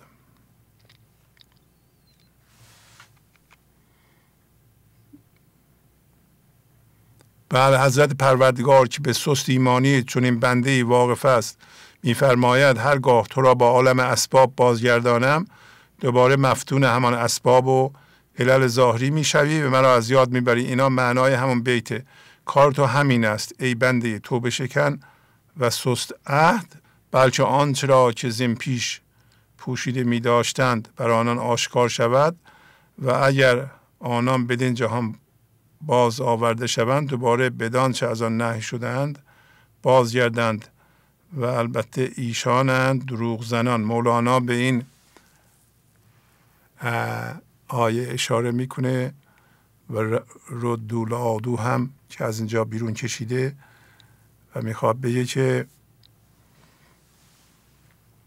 خداوند انسان رو میاره به این لحظه مرکزش رو عدم می‌کنه. دوباره وقتی انسان به ذهن میره یادش میره که مرکزش عدم بوده برای اینکه با دید ذهن می‌بینه دید ذهن عدم رو نمی‌شناسه و دوباره به اون دیدها ادامه میده. دوباره حالش خراب میشه دوباره خدا خدا می‌کنه مرکزش رو عدم می‌کنه درست می‌بینه یه کمی حالش خوب میشه دوباره وقتی برمیگرده دوباره همین کارهای قبلی رو می‌کنه. پس بنابراین ما از بیتها نتیجه می‌گیریم که شما می‌دونید الان که اگر ذهن برید و در ذهن باشین دیدتون غلط. نباید اصرار کنید و تاکید کنید به دیدتون که به وسیله ذهنتون درست میشه. بعد از زبان زندگی به ما میگه لیک من آن ننگرم رحمت کنم. رحمتم پر است. بر رحمت تنم. این بیت مهمه در در بیت دوم هم اشاره به شده که ما ما رو واقعا سزا نمی‌کنه. زندگی لطف داره فضاگشایی می‌کنه صبر می‌کنه. میگه من اونو در نظر نمی‌گیرم. این که تو هی میایی به وسیله من می‌بینی ولی منو فراموش می‌کنه میری ذهن همون دیده های قبلی. من به این کار تو اهمیت نمیدم. من لطف می‌کنم. یعنی هر موقع تو بخوای پیش من برگردی من قبول می‌کنم. برای اون تنبیهت نمی‌کنم.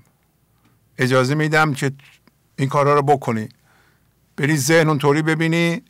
حالت بد بشه بیای منو ببینی. حالت خوب بشه دوباره بری اونطوری ببینی تا بالاخره به من رو بیاری.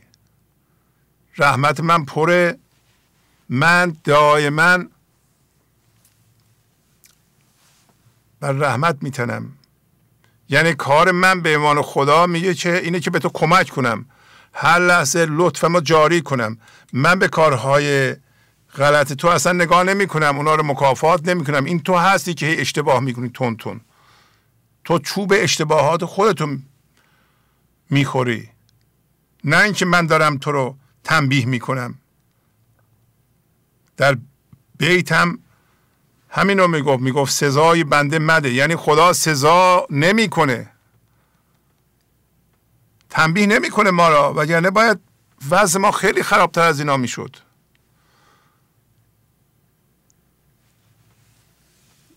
میگه من لطف دارم. می‌گیری اگر گرفتیم که میده؟ اگر نگرفتیم دیگه تنبیه نمی‌کنی چرا نمی‌گیری؟ برو اینقدر اشتباه کن یاد بگیر. دوباره برگرد. یعنی بی نهایت فضا گشاییه بله اینم آیه قرآن میگه و رحمت من یعنی حق تعالی همه اشیا را فرا گرفته است. از جمله انسان انسان هم بدون قید شرط مورد رحمت خداست هر کسی کار بکنه بهش کمک می‌کنه گذشته حساب نمیشه. ننگرم عهد بدت بد هم عطا از کرم این دم چو می‌خوانی مرا.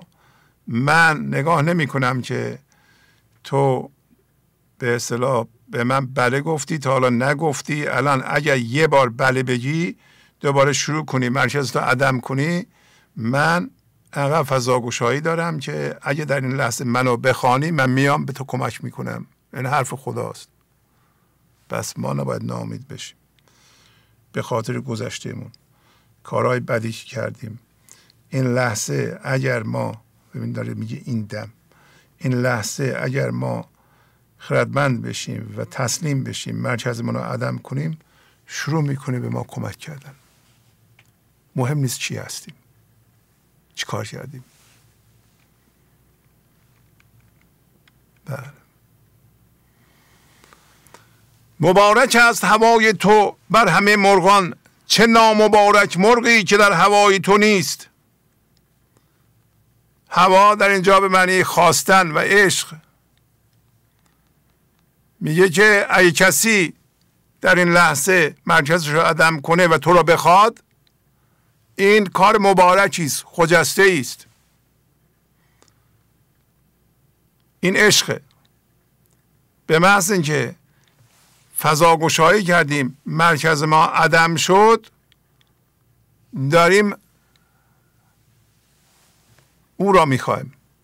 به جای یه چیز مادی. اگر مرکز ما مادیه و عینک مادی زدیم یه چیز مادی می‌خوایم. و اون نامبارکه. مصرع دوم همینو میگه.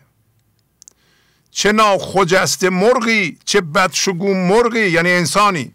مرغ یعنی انسان در اینجا. که به پرنده تشبیه شده. برای روح هوشیاری هوشیاری اومده نشسته روی همانیدگی می‌تونه بلند شه. یادش رفته بلند شدن. و اون هوشیاری و امتدادی تو که یادش رفته که باید بلند بشه از روی همانیدگی ها؟ چه نامبارک مرغی است که او در هوای تو نیست. هوا در اینجا خواستن هست در دو یعنی در در فضای تو نمیپره. به محض اینکه مرکز ما آدم بشه در فضا یکتایی شروع می‌کنیم به پریدن. یا می‌خواهیم. هر دو معنی رو می‌تونه بده و هر دو هم یکیه هیچ فرقی نداره. پس شما ببینین که مبارک هستین در این لحظه یا نامبارک؟ بله. این مرغ نامبارکه. برای اینکه در هوای چیزهای بیرونی است.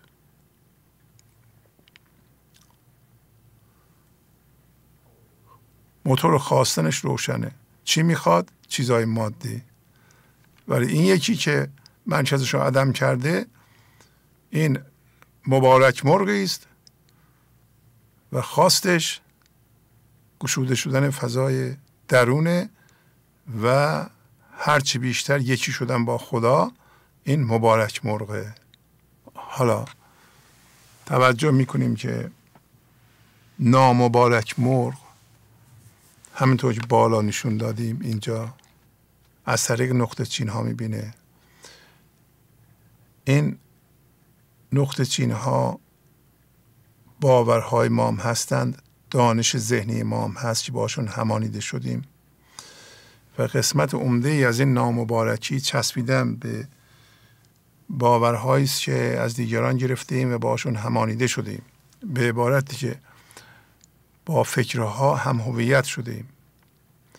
دو تا نامبارکی است در ما که خیلی مهمه یکی همانیدگی با درد هاست دومی همانیدگی با باورها به این دوتا خیلی توجه می‌کنیم. درسته؟ و مولانا می‌بینین در دفتر دوم بیت سی و یک هفتاد چهار میگه که چون مبارک نیست بر تو این علوم خیشتن گولی کن و بگذار ز شوم. یعنی این باورها و دانش همانیده شده بر تو مبارک نیست. قسمتی از اون نامبارکی است.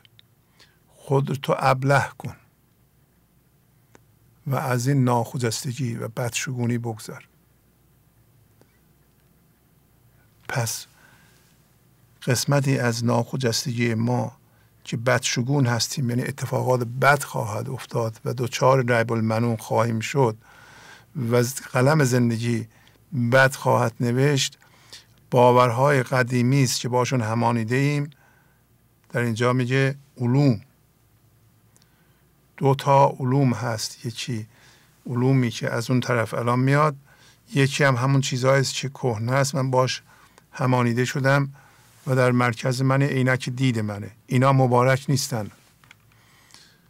بعد نسبت به اینها خودتو ابله کن یعنی مرکز تو عدم کن و از ناخجستگی بگذر چون ملایک گو که لا علم لنا یا الهی غیر ما علمتنا مانند فرشتگان بگو که من خداوندا من دانشی ندارم جز آنچه که خودت در این لحظه به من میآموزی؟ پس مانند فرشتگان بگو که من علمی ندارم.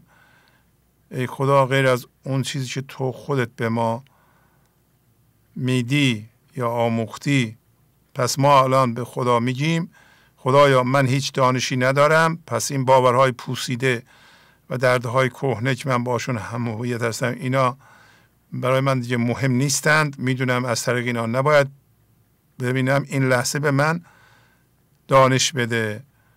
شما مرکزتون رو عدم نگه میداریم به شما دانش میده. بله اینم آیه قرآن. سوره بقره آیه سی و دو میگه گفتند منزهی تو؟ چی گفته؟ فرشتگان ما را جز آنچه خود به ما آموخته ای دانشی نیست. توی دانای حکیم. همین حرف ما هم باید بزنیم. خدایا پاکی تو و این دانش کهنه ما و پوسیده ما که باشون همانیده شدیم دانش نیست و بنابراین این لحظه ما دانش نو بده و ما به عنوان من ذهنی دانا نیستیم. تو دانا هستی.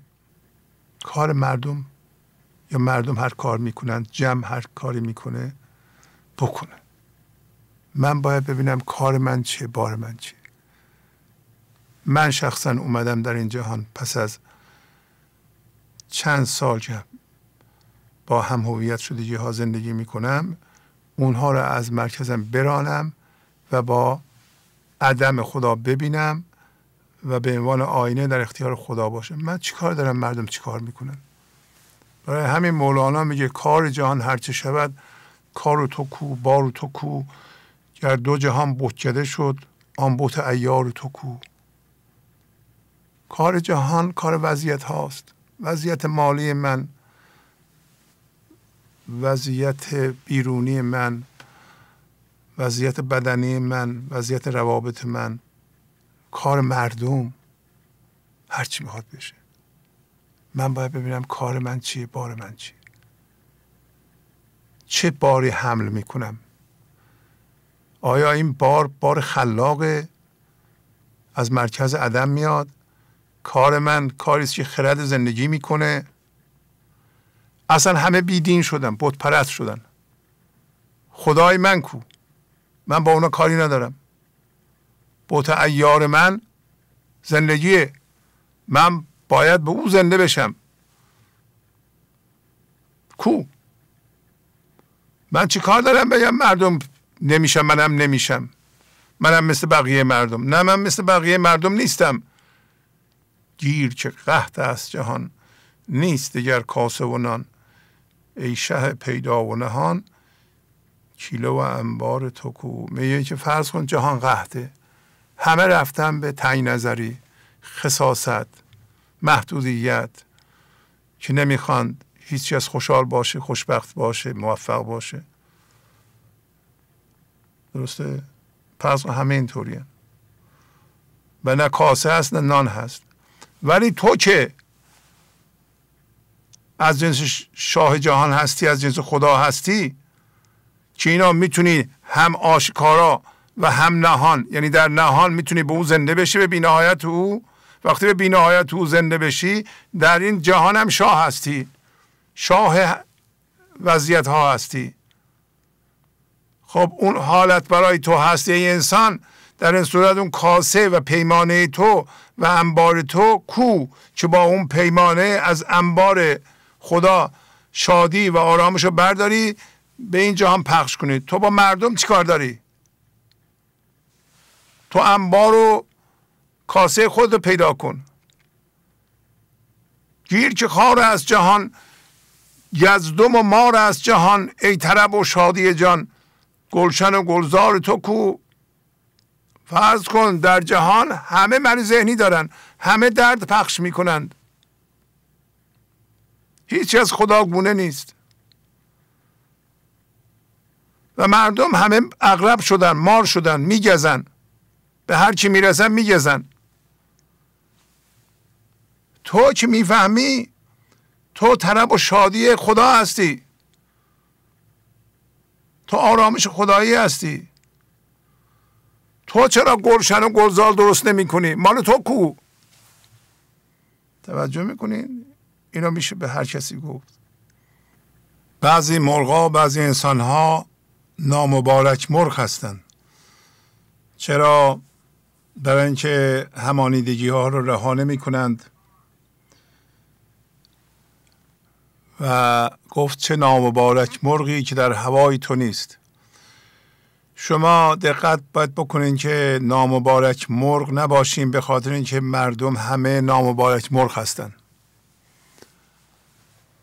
اگر پنجاه نفر آدم دور بر من هستن همه کجرو و مار هستند دلیل نمیشه که منم باشم که نامبارک باشم. من باید گلشن و گلزار خودم پیدا کنم. من طرب و شادی خدا هستم. اگر مردم از طریق عینک های همانیدگی می‌بینند و درد ایجاد می کنند از جنس درد هستند و درد پخش می کنند درد تجربه می کنند این رفتار منو و بودن منو توجیه نمی‌کنه. من نباید از اونا تقلید کنم. پس شما برمیدارین یه قلم و کاغذ اگر نامبارک مرغ هستید در هوای او نمی پرید بگین چرا این کارو می‌کنید؟ چه دلیل موجهی دارید؟ دلیل شما تقلید از جمع؟ تقلید نکنید. تجربه شما نشون میده که همه ما رو اغلبا این تجربه غلطه. برای اینکه شما همش با منهای ذهنی پر از درد زندگی کردید. زندگی بی درد و خدا به ما داده. منظور خدا از آوردن ما این نبوده که درد ایجاد کنیم درد پخش کنیم دائما درد تجربه کنیم. این نبوده. بلکه طرب و شادی او بوده. آرامش او بوده. بله. میان موج حوادث. هر آنکه استاده است به آشنا نرهد چون که آشنای تو نیست. میگه هر کسی که بلند شده به عنوان من ذهنی و میان وضعیت های دردناک که ریب المنون به وجود آورده یا جف القلم به وجود آورده ایستاده است که هر من ذهنی ایستاده است. این شخص به آشنا نرهد یعنی با تلاش های ذهنی نخواهد رهید. آشنا به معنی شنا هست به آشنا نرهد یعنی هر دو معنی رو میده. هم به شنا نرهد هم با آشناهای ذهنی نرهد. آشنا هم منی شنا کردن میده هم منی آشنا مثل دوست. هر دو رو در نظر داره. تا زمانی که آشنایی تو نشده با تو رابطه برقرار نکرده نخواهد رهید. منظورش اینه اگر ما اومدیم به این جهان و من ذهنی درست کردیم من ذهنی مسئله برای ما درست کرده ما از این مسائل نخواهیم رهید مگر دوباره هوشیارانه با او یعنی خدا با عدم کردن مرکز آشنا بشیم و با چیزهایی که قبلا آشنایی پیدا کردیم یعنی همانیدگی ها و شنا در دریای ذهن و تلاش های ذهنی نخواهیم رهید. محصل کلام اینه. ولی مردم گوش نمیدن. مردم تلاش های ذهنی می‌کنند. یعنی با من ذهنی مسئله ایجاد می‌کنند. برای حل مسائلشون از من ذهنی استفاده می‌کنند و نمی‌تونن مسائلشون رو حل کنند. یه مسئله رو حل می‌کنن چهار تا دوباره مسئله ایجاد میشه. شما ممکنه اینطوری باشید. این ابیات نقاط تاریک رو در زندگی شما روشن می‌کنه. اگر تا حالا موفق نشدین زندگیتون رو درست کنید به تک تک این ابیات توجه کنید و ابیاتی که من براتون می‌خونم. شما باید به تسلیم دست بزنید. یعنی بدونید همیشه بدونید که یک نیروی شما رو اداره می‌کنه اسمشو بذارین خدا و اون هست که قضاوت می‌کنه و اراده اوست که یه اتفاقی برای شما ایجاد می‌کنه. این اتفاق بهترین اتفاقه و فضا رو باز کنید امروز خونده ایم که لطف خدا دائما جاریه. برای همه. هفته گذشته بود بگو همه یکسان. و زیاد. بی نهایت لطف. بی نهایت لطف به همه یکسان هر لحظه سعی می‌کنه به شما برسه و ما نمی‌ذاریم. نمی‌ذاریم به ما برسه. عجب. مثل همین شخص میان موج حوادث هر آن که استاده است به آشنا نرهد چون که آشنای تو نیست.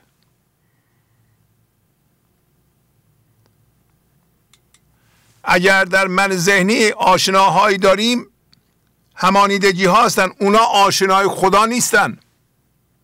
این معنی رو هم میده. یا اینکه تا زمانی که ما آشنای او نشدیم مجددا هوشیارانه از این مسائل نخواهیم رهید. باز هم میایم به اینکه مرکز رو عدم کنیم در اون شیشتلی ها ساکت بشیم. شما مرکز رو باید عدم کنید. در مقابل اتفاقات که زندگی ایجاد می‌کنه فضا باز کنید و ساکت بشین و قضاوت نکنید. صفر کردن قضاوت و مقاومت بهترین کمک به ماست و جذب کننده کمک ایزدی. صبر خاموشی جذوب رحمت است. صبر کردن و خاموش شدن وقتی خاموش میشیم قضاوت و مقاومت نمی کنیم. حرف نمی‌زنیم این حرف زدنه که من ذهنی رو زنده نگه میداره فضا گشایی و عدم کردن مرکز ذهن رو خاموش می‌کنه و خاموشی ذهن جذوب رحمت. جذوب یعنی بسیار جذب کننده. وین نشان جستن نشان رحم... علت هست. نشان همین آشناهاست ما انسان ها با چیزهای همانیده شدیم اونا آشنای ما هستند. شناس هستند به اصلاح. اونا به ما کمک نمی کنند به آشنا نرهد گفتم دو معنی داره. یکی تلاش بیهوده ذهنی یکی هم آشناهای ذهنی که هر دو رو مولانا در نظر داره. و اون آشناهای ما آشنای خدا نیستن. ولی همیشه ما با عینک اونا می‌بینیم. یه لحظه با عینک همانیدگی نبین. اما ابیات دیگه خواهم خوند. میان موج حوادث هر آن که استاده است به آشنا نرهد. چون که آشنای تو نیست این شکل رو دقت کنید. این شکل خاصیت عمدهش اینه که مانع سازی می‌کنه مسئله سازی می‌کنه و دشمن سازی می‌کنه. و مانع می‌بینه مسئله می‌بینه و دشمن می‌بینه. و قضاوت و مقاومت و هنر می‌دونه. و عقل و حس امنیت و هدایت و قدرت مصنوعی رو که از چیزها بیرون می‌کشه حقیقی میپنداره اشتباه می‌کنه. میان موج حوادث استاده این. کدوم حوادث؟ حوادثی که خودش ایجاد کرده. چجوری؟ مرکزش بیرون منعکس شده. جف القلم قلم زندگی اینطوری می نویسه قلم زندگی هر جور که ما می‌بینیم اونطوری می نویسه خدای انسان نیست که بیاد جلوی ما وایسه به ما به ابله این کارو نکن. از روی حوادث و اتفاقات شما باید بتونیم بفهمی که مرکز ما مادی می‌کنم اینطوری میشه بیرون. مرکز ما غیر مادی می‌کنم عدم می‌کنم اینطوری میشه. خب عبرت بگیری یاد بگیری. و یا به بزرگان توجه کن. اگه نمی‌دونی به کسی که می‌دونه توجه کن. الان که اطلاعات پخش میشه. بله؟ پس فهمیدیم این شخص حتما میان موج حوادثه. برعکس این شخص که مرکزش رو عدم کرده اگر به اندازه کافی فضای درون باز کرده حوادث بد تقلیل پیدا کرده. و از دفتر سوم داستان فیل میگه دم مزن تا بشنوی از دم زنان. آنچه نامد در زبان و در بیان. خاموش باش یعنی ذهن خاموش کن. ذهن با فضا گشایی خاموش میشه. هر اتفاق میفته فضا را باز کن. فضا را باز کن ذهن خاموش میشه. تو حرف نمی‌زنی. در نتیجه دم زنان دو تا معنی داره. یکی این کسایی که دم می‌زنن یکی هم یک باشنده به نام خدا دائما با ما حرف می‌زنه. ازش می‌تونیم بشنویم. دمزنان. دمزنان قید حالته. یعنی حالت رو نشون میده. مثل که بگیم گریان آمد خندان رفت. یعنی در حال گریه آمد در حال خنده رفت. این هم دمزنانه. خدا دائما دمزنانه. اگر ما گوش دلمون رو باز کنیم که پنبه این گوش دل ما گوش سره پس گوش سر باید کر بشه تا گوش دلمون باز بشه. تو حرف نزن تا اونی که دم می‌زنه بشنوی. چی رو بشنوی؟ اونی که کتاب ننوشته. زبان یعنی ذهن بلد نیست. بیان نمی‌تونه. همون خاصیت قبل شناسی زندگی شناسی خرد زندگی. این لحظه راه حل من چیه؟ از ذهن نمیاد از همانش همانیدگی ها نمیاد. گنج حضور. سی دی و دیویدیو های گنج حضور بر اساس مصنوی و غزلیات مولانا و غزلیات حافظ. برای برخورداری از زنده بودن زندگی این لحظه و حس فضای پذیرش و آرامش نامحدود این لحظه برای حس شادی آرامش طبیعی درونی و بروز عشق در شما. برای سلامتی تن ذهن و لطیف کردن احساس شما. برای خلاص شدن از مسائل زندگی توهمات ذهنی بی‌حوصلگی دلمردگی بی انرژی بودن و رسیدن به حالت شادی طبیعی. برای شناخت معانی زندگی ساز نوشته های مولانا و حافظ در مدت کوتاه. برای سفارش در آمریکا با تلفن 818 970 3345 تماس بگیرید. برنامه گنج حضور رو ادامه میدم.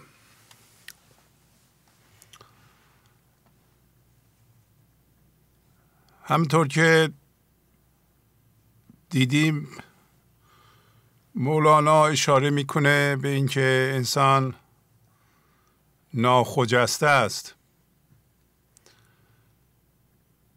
یعنی برای خودش مسئله ایجاد می‌کنه و این ناخجستگیش به این علته که مرکزش از جنس زندگی نیست خدا نیست و همانیدگی است. و امروز مولانا گفت که خدا هر لحظه در حال کمک کردن به ماست. ولی ما این کمک ها رو به خاطر دیدن با عینک همانیدگی ها و مقاومت و قضاوت یعنی بودن در افسانه من ذهنی و علاقه به افسانه من ذهنی دریافت نمی کنیم. و اصطلاح ردول آدو رو به کار برد یعنی زندگی ما رو بین مرکز عدم و مرکز همانیدگی نوسان میده ولی ما مرکز عدم رو ثابت نگه نمیداریم. و وقتی میریم مرکز عدم رو می‌بینیم برمیگردیم دوباره دیدن بر حسب همانیدگی ها عادی میشه. تا اینکه وضع ما خراب بشه شخصا و دوباره ربنا ربنا بکنیم. و به سبب ها دیگه نگاه نکنیم. دوباره مرکز ما عدم بشه دوباره برگردیم ذهن دوباره به سبب ها نگاه کنیم. اینها رو مولانا میگه که ما اشکالاتمون رو متوجه بشیم. در مورد اینکه انسان در میان حوادث ایستاده حوادثی که خودش ایجادش کرده و به وسیله تلاش ذهنی و استفاده از سبب ها و دیدن بر حسب سبب ها و همانیدگی ها می‌خواد مسائلش رو حل کنه. مسائلی که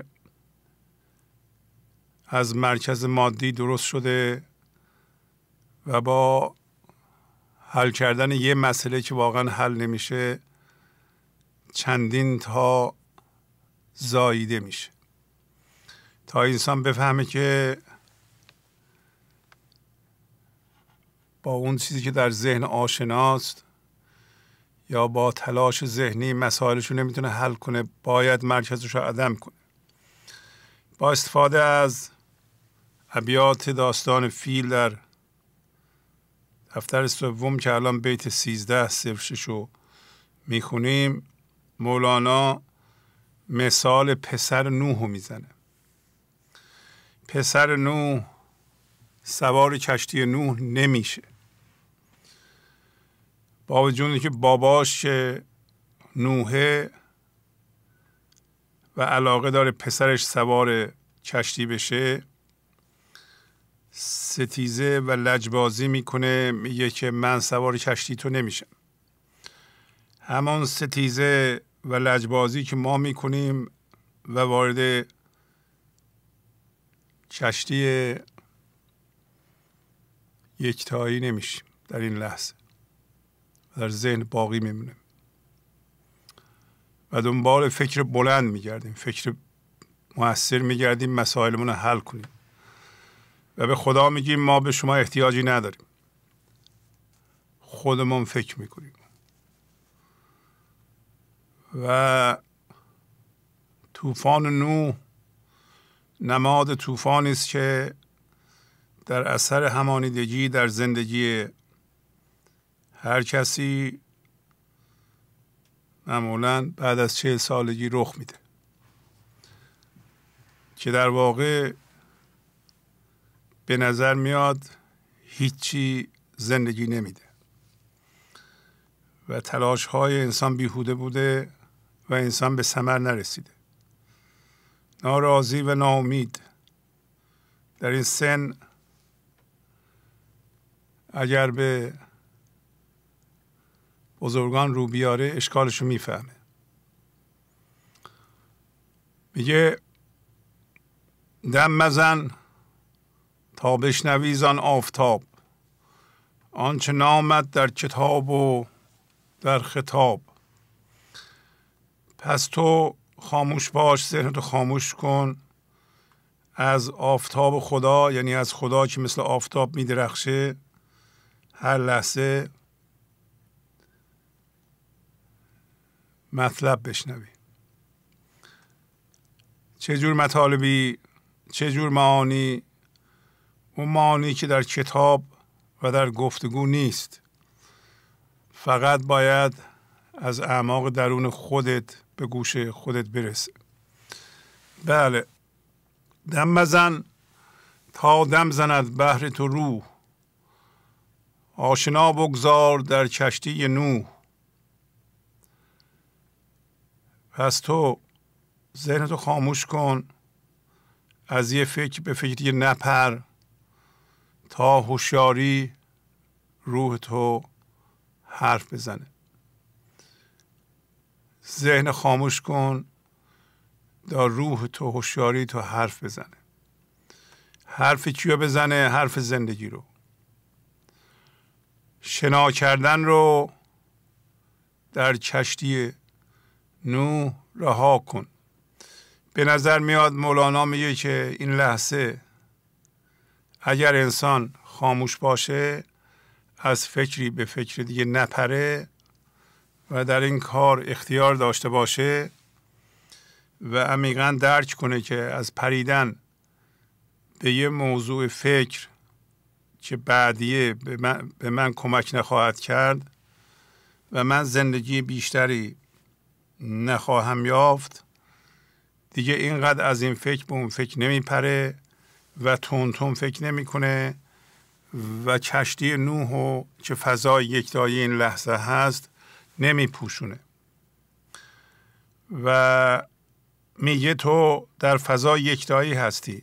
با فکر کردن از اون دور میشی. و با فکر کردن فضایی درست می‌کنی که اونجا با تلاش شنا میخوایی به ساحل نجات برسی که نمی‌تونی. ساحل نجاتی وجود نداره. در ذهن ساحل نجاتی وجود نداره. آشنا بگذار یعنی شنا رو رها کن.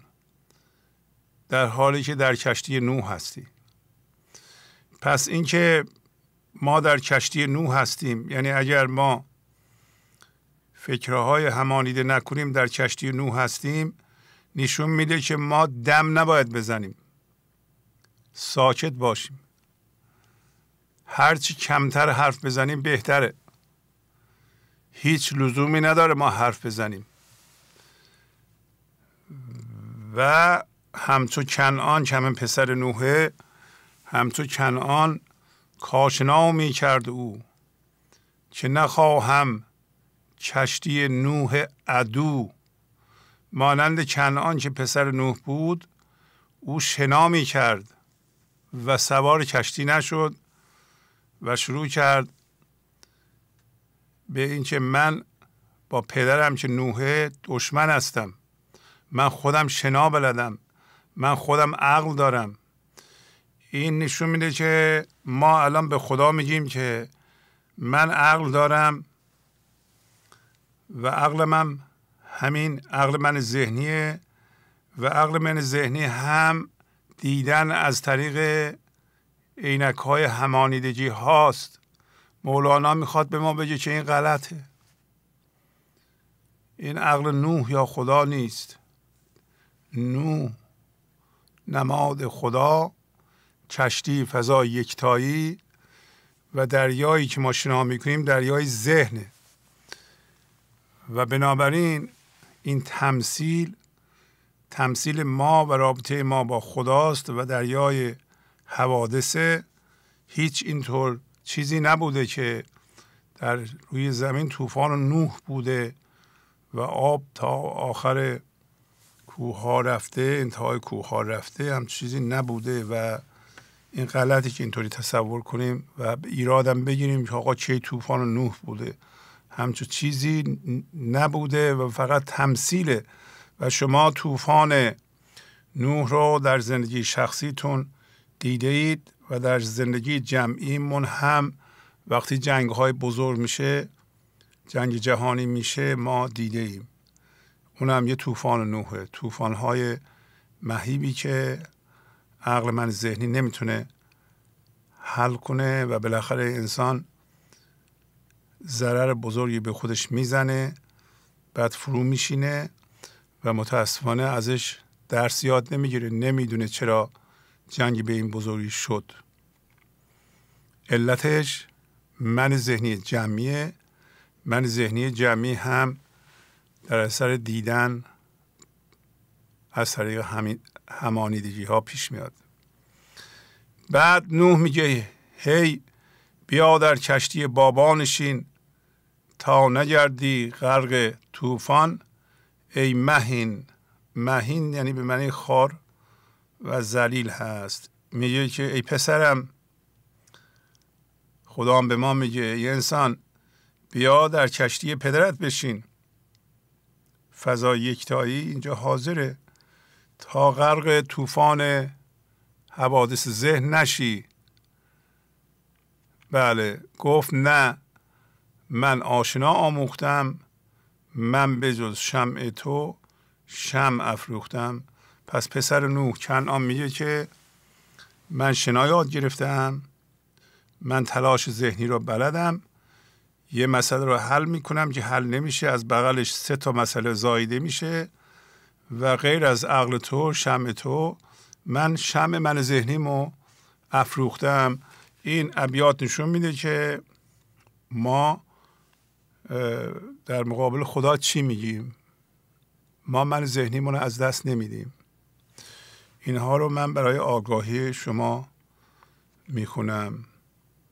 هین مکن چین موج طوفان بلاست دست و پا و آشنا امروز لاست. پدرش میگه نوح میگه که پسرم این کار نکن. نرو به ذهن و تلاش ذهنی نکن. به ذهن نرو. خاموش باش. بیا تو کشتی من. سوال نکن لج نکن ستیزه نکن قهر نکن. که این طوفان طوفان بلاست؟ یعنی طوفانی که در ذهن هر کسی برپا میشه طوفان بلاست و میگه که از ذهن برو بیرون. و دست و پای قوی داشتن دست و پا زدن و شنا کردن امروز به درد نمی‌خوره. لاس یعنی ممنوع است. تلاش ذهنی بر حسب دید ذهن الان برای انسان ممنوع است. بله. و این بیت هم بخونم که صحبت آشنا هست. این عدم برای من ذهنی اصلا آشنا نیست. و برای ما که از طریق عینک همانیدگی ها دیده ایم عدم که می‌خوایم مرکزمون رو عدم کنیم و نیستی هست آشنا نیست. جمله عالم. زین غلط کردند راه که از عدم ترسند و آن آمد پناه. همه عالم یعنی همه انسان ها فقط یه اشتباه می‌کنند. اون اشتباه سبب میشه که راه رو گم کنند. و اون چیه؟ که از عدم میترسند یعنی ما میترسیم. به جای رو در رو در اومدن و مقاومت کردن فضا را باز کنیم و مرکزمون رو عدم کنیم. هر لحظه می‌خوایم مرکزمون یه چیز مادی باشه یه فکری باشه که قبلا دیده ایم و باش همانیده هستیم. روش های قبلی که ما باش همانیده هستیم ما از عدم میترسیم در حالی که فقط عدم پناه هست. یعنی تا مرکز رو عدم نکنی شما نمی‌تونید از طوفان حوادث ذهن نجات پیدا کنید. مرکز رو عدم می‌کنی غذا و کنفکان به تو کمک می‌کنه. و این بیت هم مثل همیشه مربوط به این بیت غزله که میگه غزل یادآوری کنم میگه که کسی که در میان حوادث ذهن ایستاده خب من داره. مرکزش هم عدم نیست. به همین دلیل بلند شده میگه من و حوادث بد محاصرهش کرده. این آدم با تلاش های ذهنی نخواهد رهید. برای اینکه آشنای نجات دهنده مرکز عدمه. این بیت هم که الان می‌خونیم میگه در هر وضعیتی هستید رو به او بکنید. یعنی رو به خدا بکنید. وضعیت بعد خوب مسئله. و میگه حیث ما کنتم فولو وچکم نحوه هذا الذی لم ینهکم. در هر وضعیتی که هستید وضعیت ذهنی در حادثه بعد روی خود را به اون وحدت یا آن سلیمان یا خدا بکنید و این تنها چیزی است که خدا شما را از آن باز نداشته است. یعنی انسان در هر وضعیتی باید رو به او بکنه. برای اینکه رو به او بکنه باید مرکزش رو عدم بکنه. اینا رو من می‌خونم. شما مطمئن باشین که باید در میان حوادث که شاید گیر کرده اید رو باید به او بکنید. و رو به او کردن یعنی چی و با تلاش های ذهنی که باش هم هویتین شما مسائلتون رو نخواهید توانست حل کنید. پس این چند تا بیتم می‌خونم. شما ببینید که مولانا با استفاده از آیه های قرآن داره میگه که اگر حوادث به شما به اصطلاح حمله کردند نشان این است که شما باید رو به او بکنید و معناش این است که به طرف او برید. این کلمه راجون و که الان آیهش هم می‌خونم و شما همهشون می‌دونید. معنیش این است که وقتی حوادث اتفاق میفتند اتفاق حوادث به ما میگن که شما به سوی او برگردید. شما از جنس خدا هستید نمی‌تونید در ذهن بمونید. باید به سوی او برگردید. موقعی که زنده هستیم و در جسمتون زندگی می‌کنیم و هم نمردید. پس عدم گردم. عدم چون ارغنون گویدم انا الیه راجعون. پس من میگه من مرکزم عدم می‌کنم. وقتی مرکزم عدم شد این مرکز عدم مثل یک ساز شروع می‌کنه به نواختن با من حرف زدن و به من میگه که باید به سوی او برگردیم و این انا علیه راجعون رو شما می‌دونید مربوط به این آیه هست. کسانی که چون مصیبتی به آنها رسید گفتند ما از خدا هستیم و به او باز میگردیم. این مصیبت رو در واقع نمی فقط آخرش رو می‌کنن اونم برای مرده ها می‌کنن. این برای زنده هاست در واقع. پس اگر در میان حوادث گرفتار شده اید معنیش این است که از جنس خدا هستین. باید به سوی او برگردید و حوادث زیادتر میشه چون باز نمیگردید. هنوز در ذهن هستید رو به او نمی کنید این خموش کن به اصل راجع شو. دیده راجعون نمی خسبد. میگه که ذهنتو خاموش کن و به سوی خدا برگرد به اصلت برگرد. یعنی اون هوشیاری که از اول بودی هوشیارانه اون بشو. کسانی که فهمیدند که حوادث بد اتفاق میفته که دیگه ما در ذهن اقامت نکنیم. پس بنابراین مراجعه می‌کنند به فضای یکتایی برمیگردند برمیگردند. کسایی که برمیگردند یعنی برگردندگان در ذهن نمیخسبند نمیخوابند. یعنی شما چی؟ شما دارین برمیگردید. موقعی که مرکزتون عدم می‌کنین از جنس راجعون میشین و دیگه در ذهن نمیخوابید. انشالله که همهمون داریم برمیگردیم و نمیخوابیم. صورت از بی صورتی آمد برون. باز شد که نا علیه راجعون. پس بنابراین صورت ما هم از فضا یکتایی از بی صورتی میاد بیرون. فکرها باید از اونجا بیاد و به اونجا بره. چیزی را نمی‌تونیم نگه داریم. صورت از بی صورتی بیرون میاد. دوباره میره به بی صورتی. هر چیزی از بی صورتی از عدم بیرون میاد و عدم اون رو میبلعه. صدا از سکوت زایده میشه و سکوت اون رو میبلعه. پس انسان در ذهنش چیزها رو می‌گیره نگه میداره. پس ذهن برای انسان جای اقامت نیست. نیست. ما هم که از جنس بی صورتی هستیم از جنس خدا هستیم در صورت یعنی در ذهن نباید اقامت کنیم.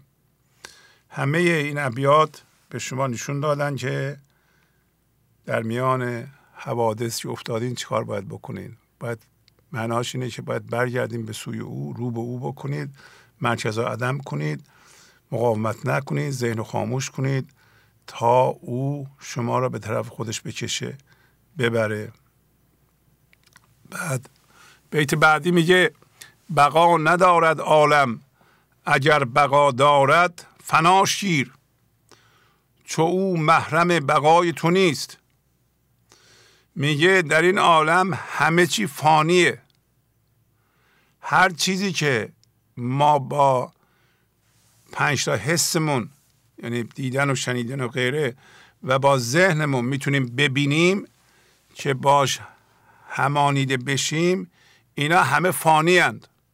یعنی از بین رفتنی هند گذرا هستند آفلند و اگر بقا دارد یعنی اگر برای شما بقا دارد چرا؟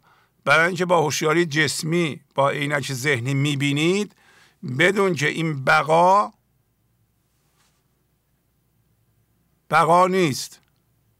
تو اونو از من بشنو فنا بگیر. در ذهن ما حس می‌کنیم که بعضی چیزها برای ما بقا دارند مثلا یه کسی همسر ماست میگه تا لب گور من با تو هستم. میگیم خیلی خوب تو باقی هستی دیگه. یا مثلا اینقدر پول داریم ما که میگیم تمام نمیشه. یا مردم مثلا مستقلات می‌خره زمین می‌خرم. یا زمین که از بین نمیره. با زمین هم هویت میشن. و حس می‌کنن که این زمین باقیه و خودش اونا هم باقی هن. اینا دیده های غلط ذهنیه. هیچی باقی نیست. تنها چیز باقی هوشیاری ماست که از ذهن اومده بیرون. میگه اونو دریاب. بقا ندارد عالم. اگر بقا دارد پس تو بد می‌بینی که بقا دارد. تو حالا فنا شیر. فرض کن اونم فناست. فکر کن فناست. برای اینکه اونجور دیدن اون بقا که بقای ذهنیه محرم بقای اصلی تو که زنده شدن به هوشیاریه و نامیراییه که اصل توست نیست. یعنی اون بقای ذهنی این بقای واقعی رو نمی‌شناسه. درسته؟ پس ما متوجه میشیم که جهان پر از چیزهای فانیه و چیزهای فانی نمی‌تونه ارزش گذاری کنه به یه چیز باقی. ما در اصل از جنس باقی هستیم از جنس خدا هستیم. روی ما نمیشه قیمت گذاشت. فقط قیمت هایی که در ذهن هست برای چیزهای فانیه این زمین متری اینقدره. این اتومبیل قیمتش اینقدره.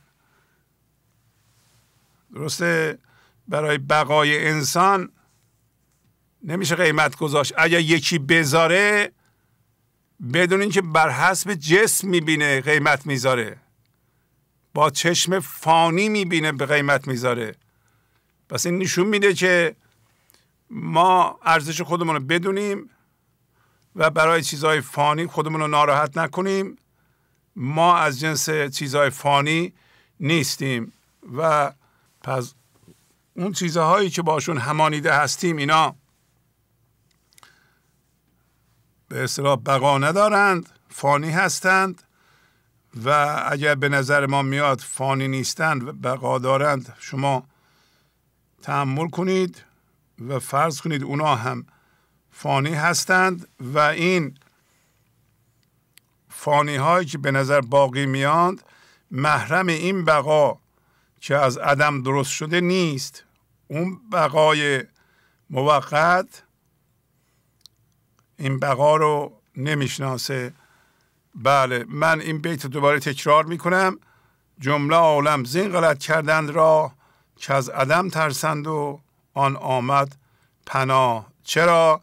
برای اینکه ما در ذهن بر حسب چیزها می‌بینیم. از طریق این چیزهای همانیده شده می‌بینیم اون محرم عدم نیست. عدم رو نمی‌شناسه. همانیدگی و هوشیاری جسمی عدم رو نمی‌شناسه. پس همه انسان ها به این علت اشتباه کردن که از عدم میترسند چرا محرمش نیستن؟ در حالی که عدم پناه ماست.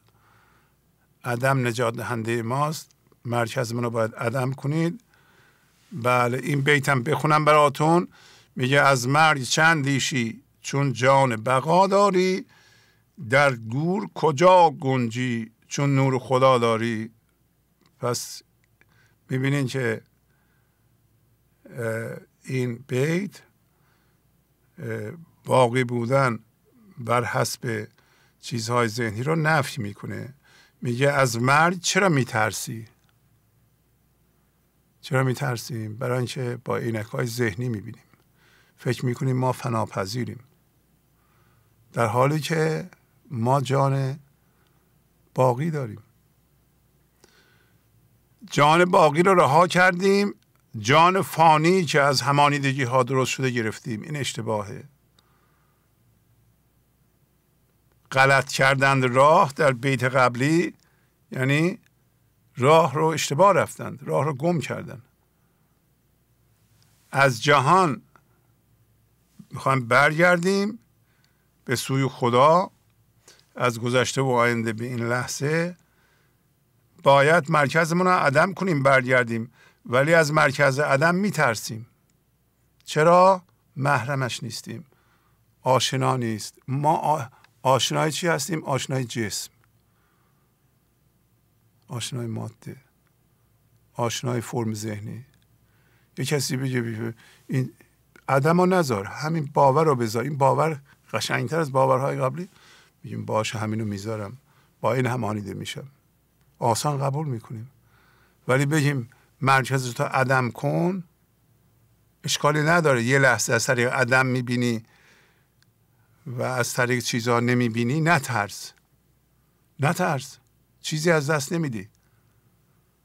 هوشیاری جسمی که می‌خواد زائل بشه من ذهنی ما رو میترسونه. چی شد؟ کنترل از دستم رفت درست نمی‌بینم.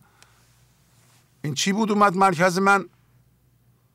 عدم پناهته کمکته خدا اومده. کی اومده؟ آشنا نیست. محرم نیست.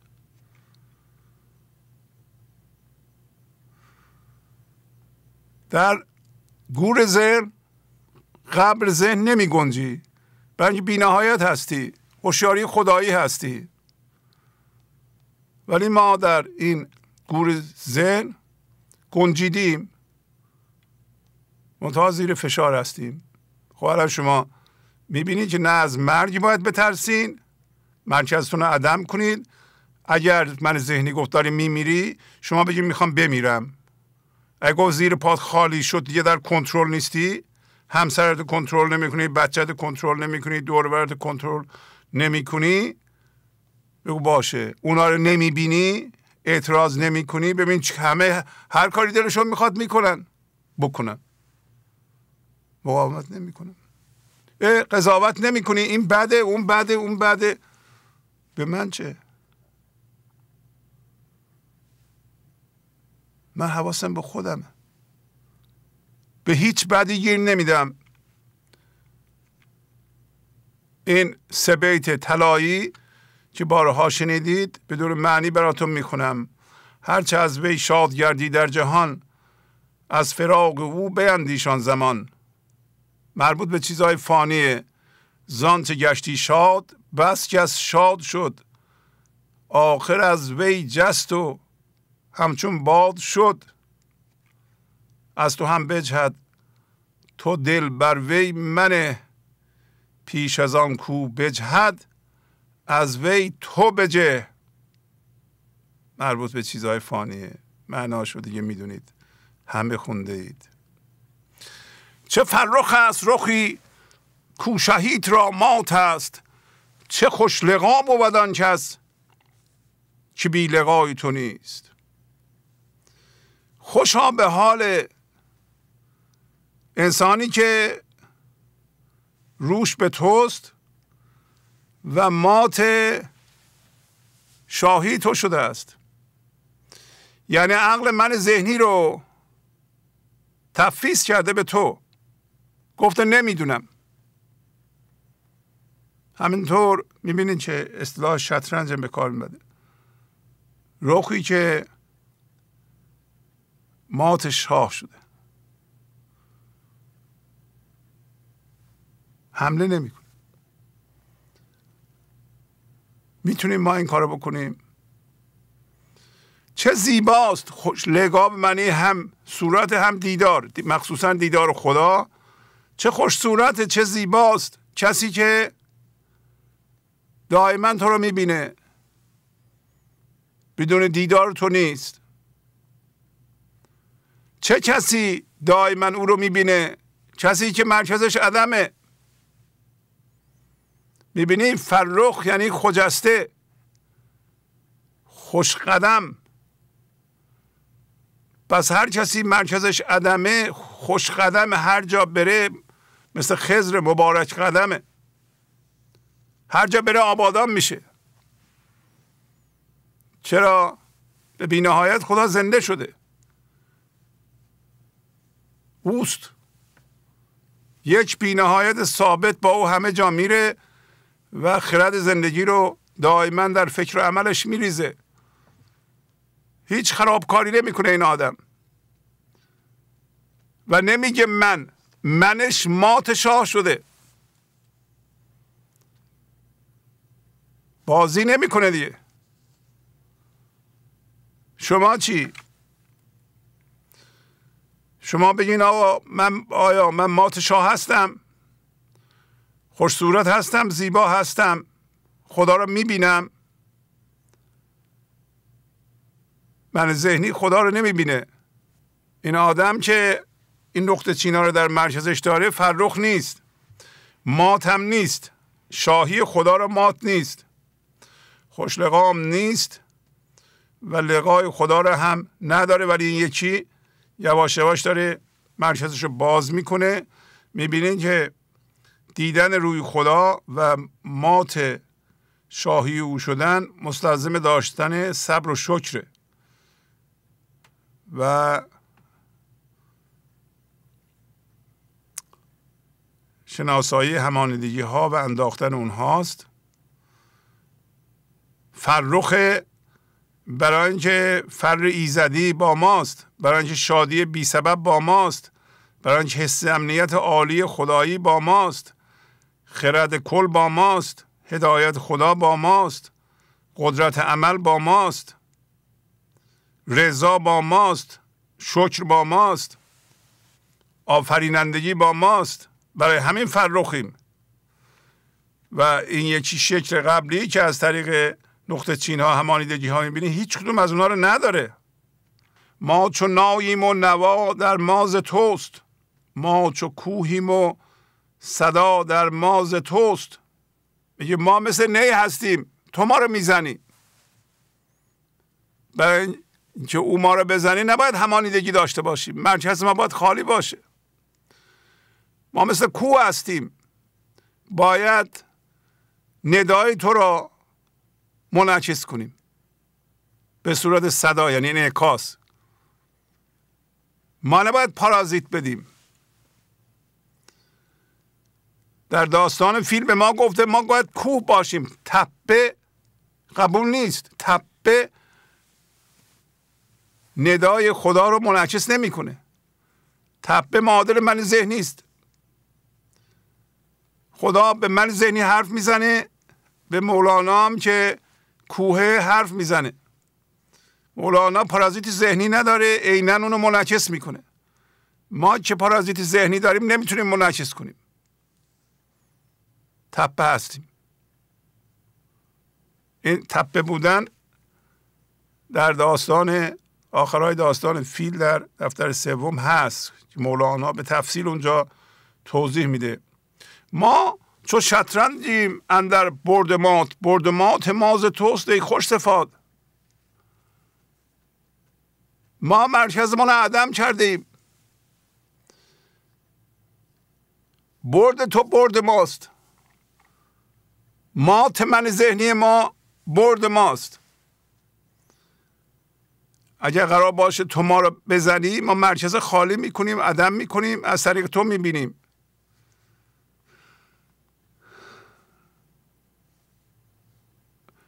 برد من ذهنی ما اونطور که من ذهنی نشون میده برد ما نیست.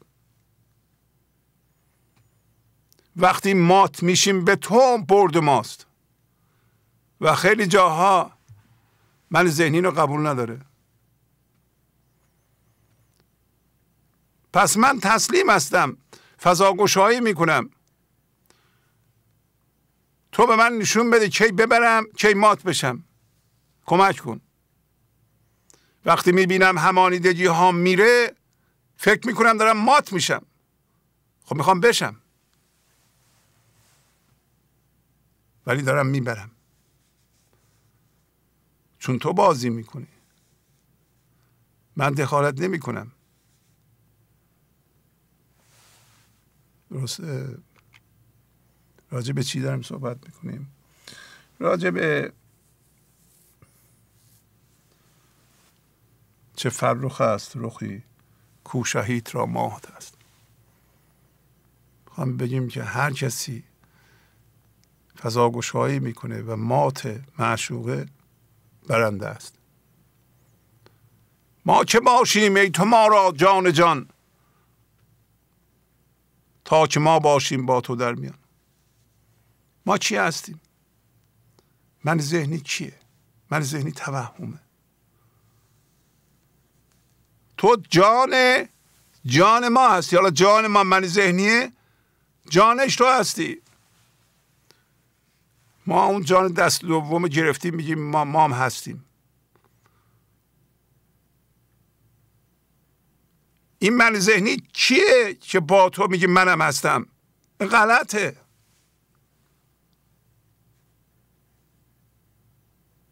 دیگه واضحه. ما آدم هایی ما هستی های ما تو وجود مطلقی فانی ما. این من ذهنی ما عدمه. نیست. توهمه.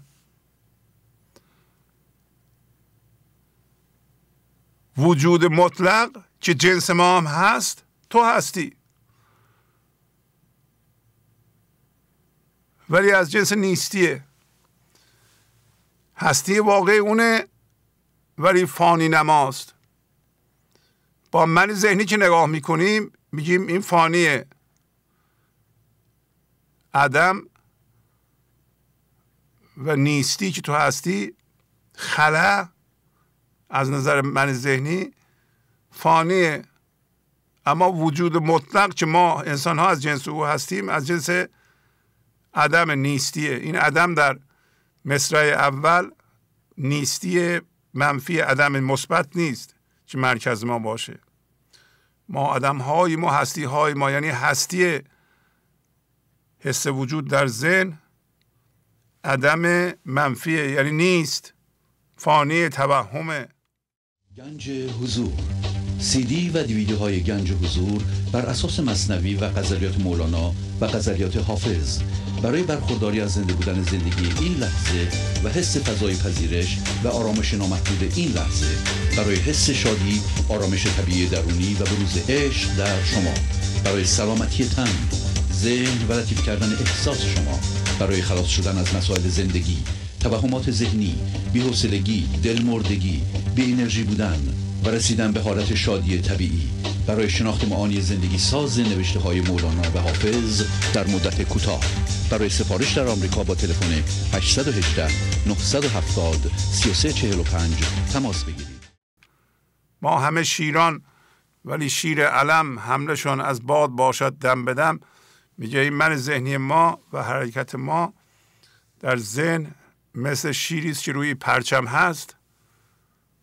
باد می‌زنه پارچه حرکت می‌کنه. به نظر میاد عکس روی پرچم داره حمله می‌کنه ولی حملهش حرکتش به خاطر باده. ولی باد دیده نمیشه. باد همون نیروی خدایی است که ما رو حرکت میده. و ما اون رو رها کردیم. هوشیاری جسمی رو گرفتیم. ما نمی‌دونیم که این هوشیاری جسمی ما رو هم اون حرکت میده. خب چرا با او یکی نشیم؟ چرا بیاییم هوشیاری جسمی بشیم و من ذهنی بشیم؟ پس ما شیر علم هستیم حمله من از باده حملشون پیدا و ناپیداست باد آنچه ناپیداست از ما کم مباد.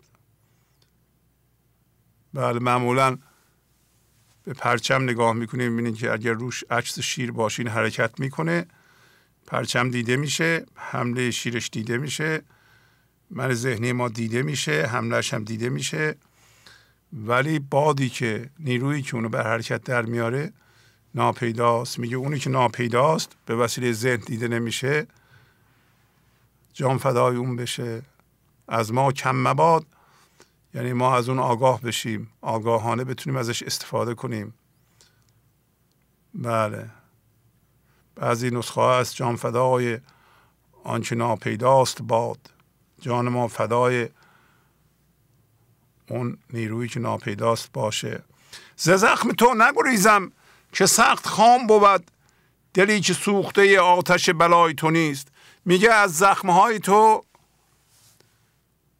از اینکه تو همانیدگی های منو هدف قرار میدی می‌زنی من نمیگریزم.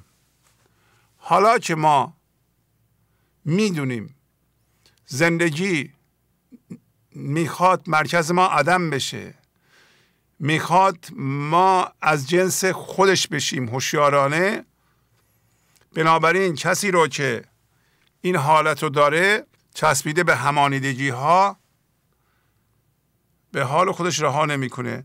همانیدگی هاشو مورد اصابت تیرهای خودش قرار میده. پس غذا همانیدگی های ما رو نشانه گرفته و در این لحظه ما دو تا انتخاب داریم. یکی اینکه هوشیارانه با تمام کوششمون سعی کنیم همانیدگی هامون رو بشناسیم. با شناسایی اونها رو بندازیم. این راحت ترین و بهترین راهه. یکی دیگه اینی که این شکل رو داشته باشیم و بگیم نمی کنم ستیزه می کنم قضاوت می کنم و به هرچی دلم می‌خواد میچسبم. به هیچ کس مربوط نیست. خب اینم یه راهه که خیلی هم میرن در این صورت. قضا قانون الهی چون نمی‌خواد در مرکز ما همانیدگی باشه اونها رو نشانه می‌گیره. یعنی اون از بین میرن. و از ما جدا میشن. تا ریب المنون پیش میاد. امروز در غزل موج حوادث داشتیم. این همه مسئله برای چی پیش میاد برای ما؟ واقعا لازمه؟ نه. لازم نیست. برای اینکه ما راه انتخاب به اصطلاح شناسایی همانیدگی ها رو در پیش نگرفتیم. در واقع به خدا داریم میگیم بزن. همانیدگی ها منو بزن. ما فکر می‌کنیم نمی‌زنند. چرا فکر می‌کنیم نمی‌زنند؟ هزار جور پیغام هست که همانیدگی های ما مورد اصابت تیرهای خداست.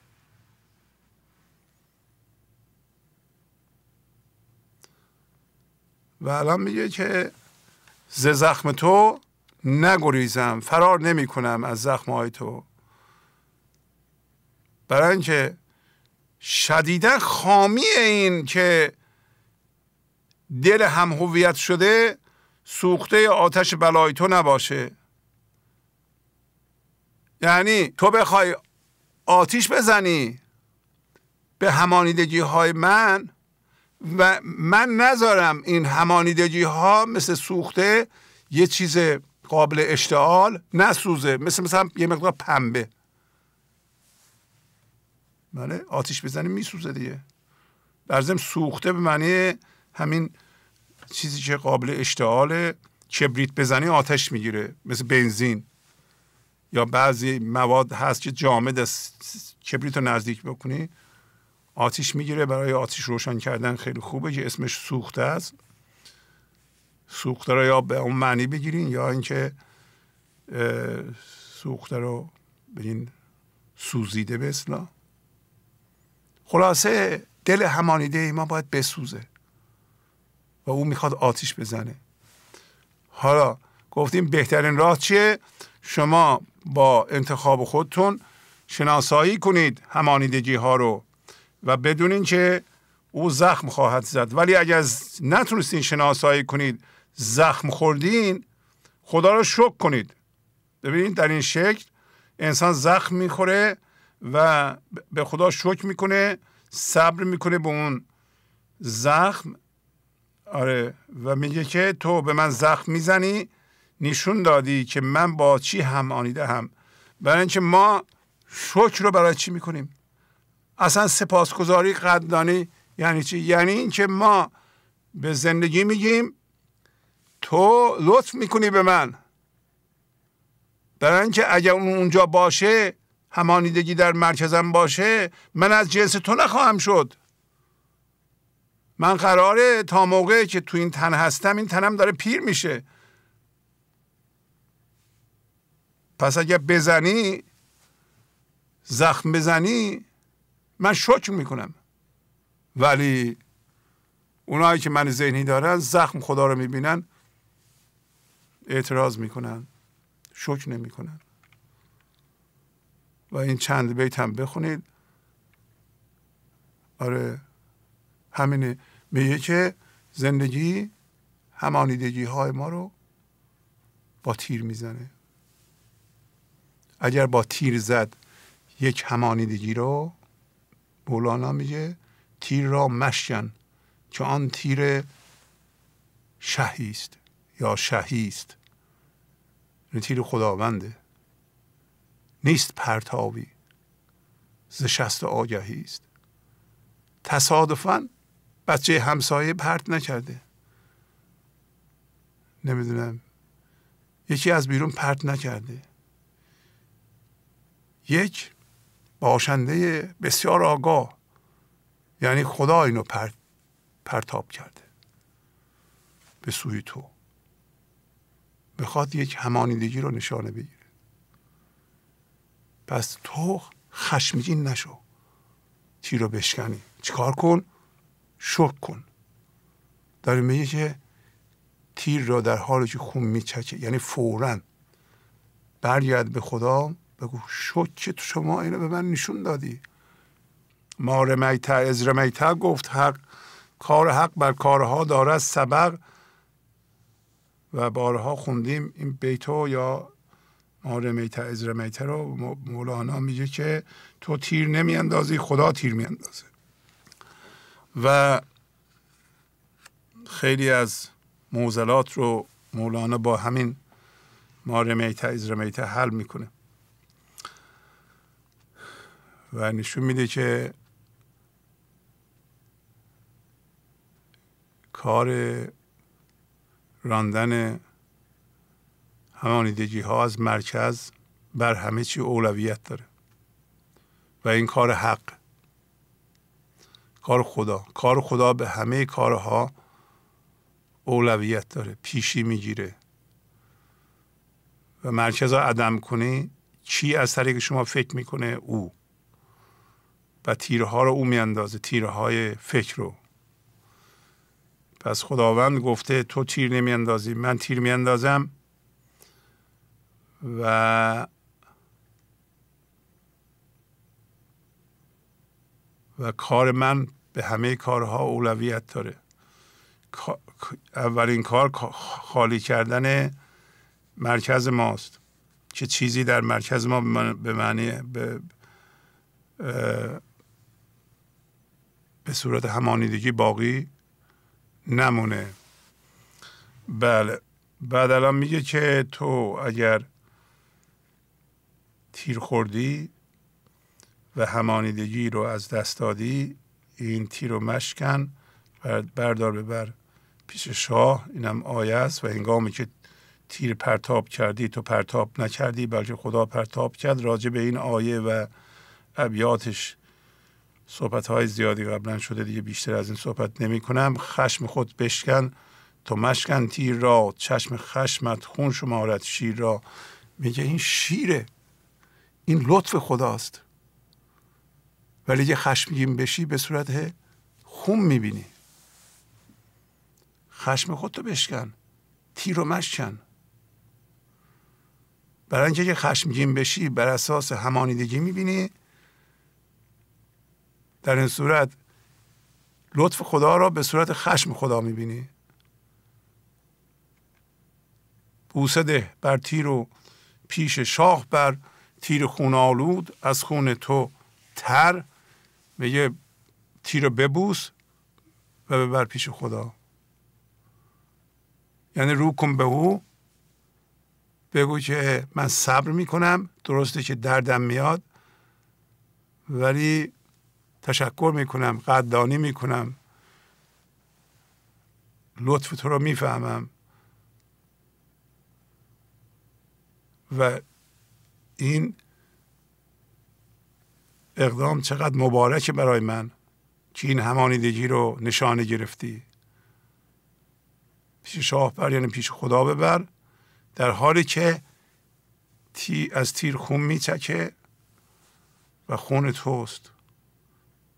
یعنی همانیدگی تو از بین رفته و تو داری درد می‌کشی ولی صبر می‌کنی و تشکر می‌کنی از زندگی خشمگینم نیستی. آنچه پیدا عاجز و بسته و زبون وانچه پیدا چنان تند و هرون یه اون چیزی که پیداست یعنی من ذهنی ما و عقل ما عاجز و دست بسته و زبون خاره یعنی هیچ کاری از دستش بر نمیاد. و اون نیرویی که ناپیداست خدا در برابر من ذهنی اینقدر تند و حرونه سرکشه. پس ما می‌فهمیم ما عاجزیم. زندگی تواناست. ما در مقابل اینکه می‌خواد همانیدگی ها رو از مرکز ما پاک کنه هیچ مقاومتی نمی‌تونیم بکنیم. و و هر تیری که می‌خوریم بیدار میشیم به اینکه بهتر است که ما اقدام کنیم و خودمون دست به کار بشیم. قبل از اینکه تیر بخوریم همانیدگی همان بشناسیم. بندازیم. چقدر زیباست که این موضوعات ما به بچه هامون یاد بدیم که اینا مثل ما مقاومت رو و قضاوت رو دیگه به اوجش نرسونند. بله میگه دلی که نیست نشد روی در مکان دارد. زلا مکانش برانی که رو که جای تو نیست. مرکزی که از جنس عدم نشه حتما به مکان نگاه می‌کنه. یادتونه در این لحظه گفت رو به خدا بکنید. رو به خدا کردن مرکز عدم کردن بود. میگه کسی که نیست نشه دلی که نیست نشه حتما در مرکزش همانیدگی داره. روی در مکان دارد یعنی از طریق همانیدگی ها می‌بینه. روی در خدا دارد یعنی از طریق عدم می‌بینه. اگر مرکزی نیست شده باشه به مکان نگاه می‌کنه به فرم نگاه می‌کنه تو از فضای یکتایی میرانی. برو. که اینجا جای تو نیست؟ باید توجه کنید. همه من رو در مکان داریم.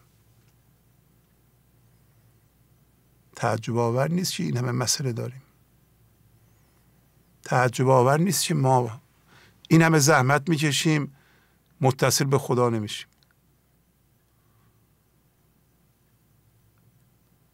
دلی که نیست نشد همین دله که از طریق همانیدگی ها می‌بینه رو در این دنیا داره هوشیاری جسمی داره و این شخص از فضا یکتایی رانده میشه برای اینکه با همانیدگی های مرکز نمیشه وارد فضا یکتایی شد.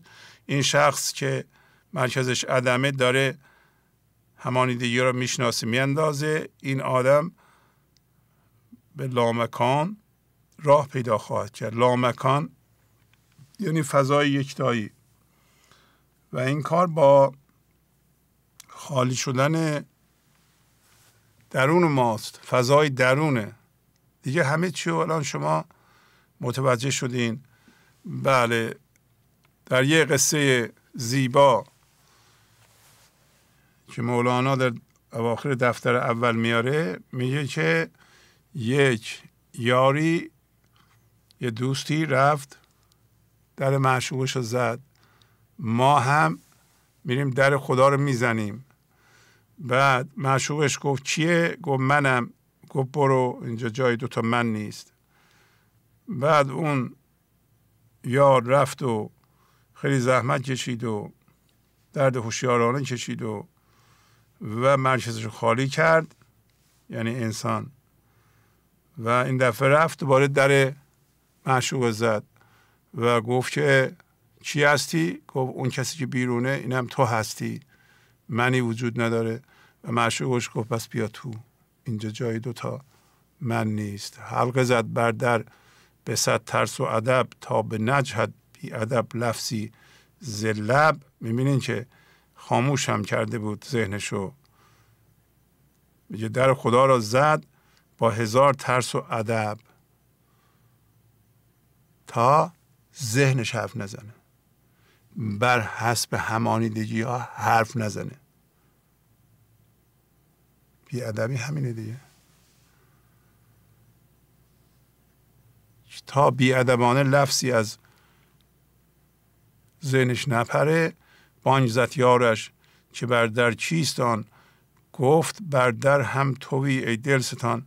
یارش معشوقش از درون گفت چی هست در بر در؟ گفت در بیرونم تو هستی ای دلستان. گفت اکنون چون منی ای من درا نیست گنجایی دو من را در سرا. گفت حالا که من شدی از جنس من شدی بیا تو. با من یکی شو. در اینجا جای دوتا من نیست. کرانه نیست سنا و سناگران تو را. کدام ذره که سرگشته سنای تو نیست؟ میگه حد و حدودی نیست. به ستایش و ستایشگران تو را. همه چی در عالم و در کائنات ستایش تو را می کنند ای خدا هیچ ذره نیست که ذره در جهان نیست که سرگشته سنای تو نباشه. یعنی هیچ چیزی در جهان نیست که به نوعی ستایش خدا را می‌کنه غیر از من ذهنی. من ذهنی بلد نیست ستایش کردن و مولانا اینو به یه آیه مرتبط می‌کنه و اون اینه این شخص با من ذهنی خدا رو ستایش می‌کنه. در واقع خدای ذهنی سنا میگه. من ذهنی از جنس توهمه به یه خدای توهمی که در ذهنش ساخته و انعکاسش ذهنشه سنا میگه. میگه هیچ ذره در جهان نیست که از خودش من داشته باشه. و خدا رو با من ذهنی یا یه من دیگرش ستایش کنه منظورش اینه که ما بلد نیستیم ستایش کردن و باید فضای درون رو باز کنیم و بتونیم ما هم مثل بقیه موجودات ستایش کنیم. میگه مرد جمادی را کند فضلش خبیر عاقلان را کرده قهر او زریر. پس می‌بینید که میگه جمادات حیوانات و نباتات بلدن چجوری ستایش کنند خدا رو. فضل او آنها رو خبیر کرده آگاه کرده دانشمند کرده و کارشون رو می‌دونن. غیر از چی؟ غیر از عاقلان. منهای ذهنی که قهر خدا اونها رو کور کرده. توجه می‌کنید چی میگه؟ میگه ما که اومدیم من ذهنی درست کردیم بلد نیستیم ستایش خدا رو. من ذهنی بلد نیست. مگر اینکه من ذهنی بره کنار همانیدگی ها بریزه و تنها راه عبادت ما این است که همانیدگی ها بیفتند. مر جمادی را کند فضلش خبیر جمادات بلدن. سنگ بلده کوه بلده درخت بلده. آهن بلده. ما بلد نیستیم. من ذهنی رو قهر او کور کرده. حالا همین بیت نشون میده که انسان وقتی از طریق همانیدگی ها می‌بینه مورد قهر خداست.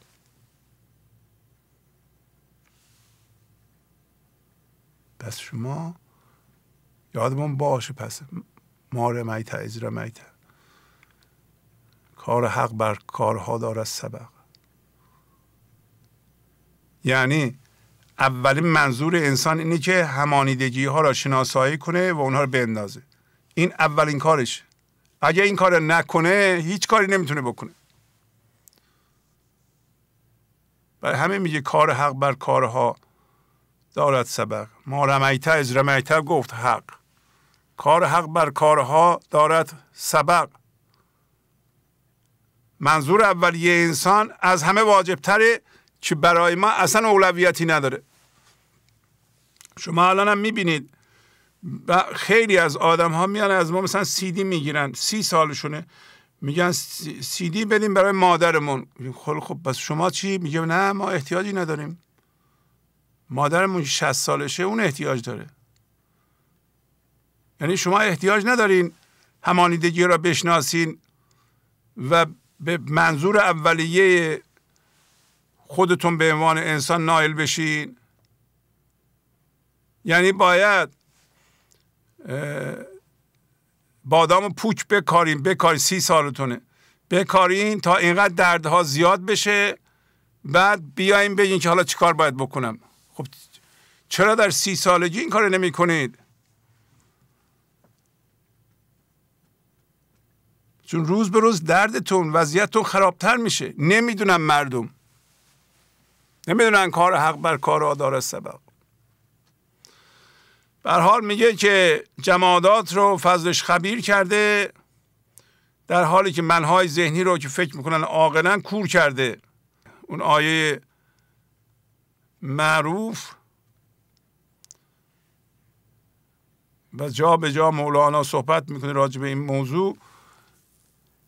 هفت آسمان و زمین هر چه در آنهاست تسبیحش می‌کنند. و هیچ موجودی نیست جز آنکه او را به پاکی می ستاید یعنی همه یاد گرفتند. خدا بهشون یاد داده جمادات و حیوانات از طریق غریزه به او وصلن. ولی شما ذکر تسبیحشان را نمی‌فهمید. او بردبار و آمرزنده هست یعنی ما بلد نیستیم تسبیح خدا رو. عبادت عبادت کردن رو بلد نیستیم خلاصه. جان و دل را طاقت آن جوش نیست با چه گویم در جهان یک گوش نیست؟ جان و دل ما طاقت جوش خدا رو نداره. مولانا میگه به چه بگم؟ هیچ کس گوش نمیده. واقعا شما گوش میدین. که همانیدگی نباید در مرکز باشه. این همه عبادت زحمت همه بر فنا میره. چرا که من ذهنی می‌کنه.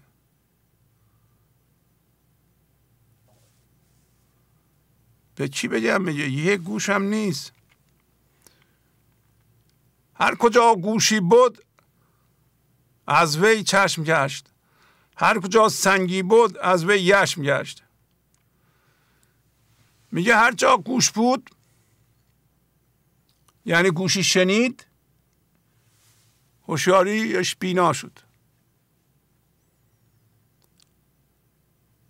هر که فهمید که اولین اولویت ما شناسایی همانیدگی ها و انداختن اونهاست و در این کار احتمام ورزید چشم دلش باز شد. هر کجا دل سنگی بود یه چیز قیمتی شد جواهر شد. اگه دلش هم سنگ بود تبدیل به گوهر حضور شد. درسته؟ کیمیا ساز است چه بود کیمیا؟ معجزه بخش است چه بود سیمیا؟ میگه خدا کیمیا ساز کیمیا چیه؟ این تعریفی که برای کیمیا گفتن با کیمیا سازی خدا جور نیست. یعنی درست بیان نمی‌کنه. معجزه بخش است.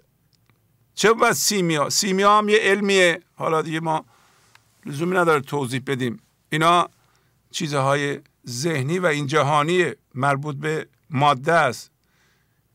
و شما کیمیاسازی و معجزه بخشی زندگی رو وقتی مرکز عدم می‌کنید دیده اید یک دفعه می‌بینید زندگیتون شکوفا میشه عوض میشه. خیلی از شما میایین پیغام میدین. یعنی انسان رو تبدیل به کیمیا می‌کنه. چجوری وقتی همانیدگی ها از مرکزش پاک بشه و درونش بینهایت باز بشه میشه کیمیا. کیمیا چه چیزیه؟ اگر به مس بزنن طلا میشه. پس انسان ها رو تبدیل به کیمیا می‌کنه. بعد این کیمیا ها را میفتن به هر مسی بخورن یعنی من ذهنی بخورن اونا را هم زر می‌کنند و به جمادات هم نبادات هم حیوانات هم کمک می‌کنن. که خودشون رو بشناسن. یعنی وقتی ما مرکزمون رو عدم می‌کنیم معجزات خدا رو با غذا و کنفیکم می‌بینیم. معجزه است. بله. اما ما بلد نیستیم سنا گفتن در من ذهنی. میگه این سنا گفتن ز من ترک سناست. که این دلیل هستی و هستی خطاست. ما بلد نیستیم سنا گفتن همه بلدند. تمام ذرات عالم بلدن غیر از من ذهنی. انسان من ذهنی. میگه بهتره اصلا عبادت نکنم سنام نگم. برای اینکه سنا گفتن من به عنوان من ذهنی در واقع ترک سناست ضد سناست و این نشان من ذهنیه. دلیل هستی در ذهنه حس وجود در ذهنه و هستی داشتن در ذهن خطاست. هزار تا دلیل امروز آوردیم. گفت اگر من داری تو نمی‌تونی بیای. من ندارم این بیرونم تو هستی. یعنی مرکزم خالی شده. و بفرمایید تو.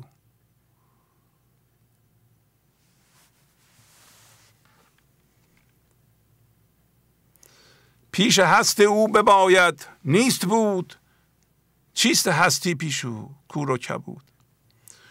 در پیش هستی, هستی خدا که از جنس عدمه باید ما نیست بشیم. یعنی نسبت به من ذهنی بمیریم. پیش هست, هست او با بباید. نیست بود. چیست هستی پیش او؟ یعنی من ذهنی ما حس وجود با در ذهن پیش او عدم او و هست, هست او چیه؟ کور و کبود کور و کبود اصطلاحی است که مولانا برای من ذهنی به کار می‌بره. چون هم کوره هم از بس درد کشیده کبود شده سرده زخم خورده زخم خورده درد کشیده. درست مثل که کسی نابینا باشه خودشو بزنه این ور کبود بشه پس نه می‌بینه و نه سالمه این من ذهنی. خودش میگه گر نبودی کور زو بگداختی. گرمی خورشید را بشناختی. اگر کور نبود پیش خورشید خدا مرکزش رو عدم می‌کرد. و من ذهنیش رو زوب می‌کرد. و گرمی خورشید خدا رو نور ایزدی رو گرمی عشق رو میشناخت. ور نبودی او کبود از تعذیت چه فسردی همچو یخ این ناحیت؟ میگه که اگه کبود نبود از ازاداری و سوگواری و دردی کشیدن؟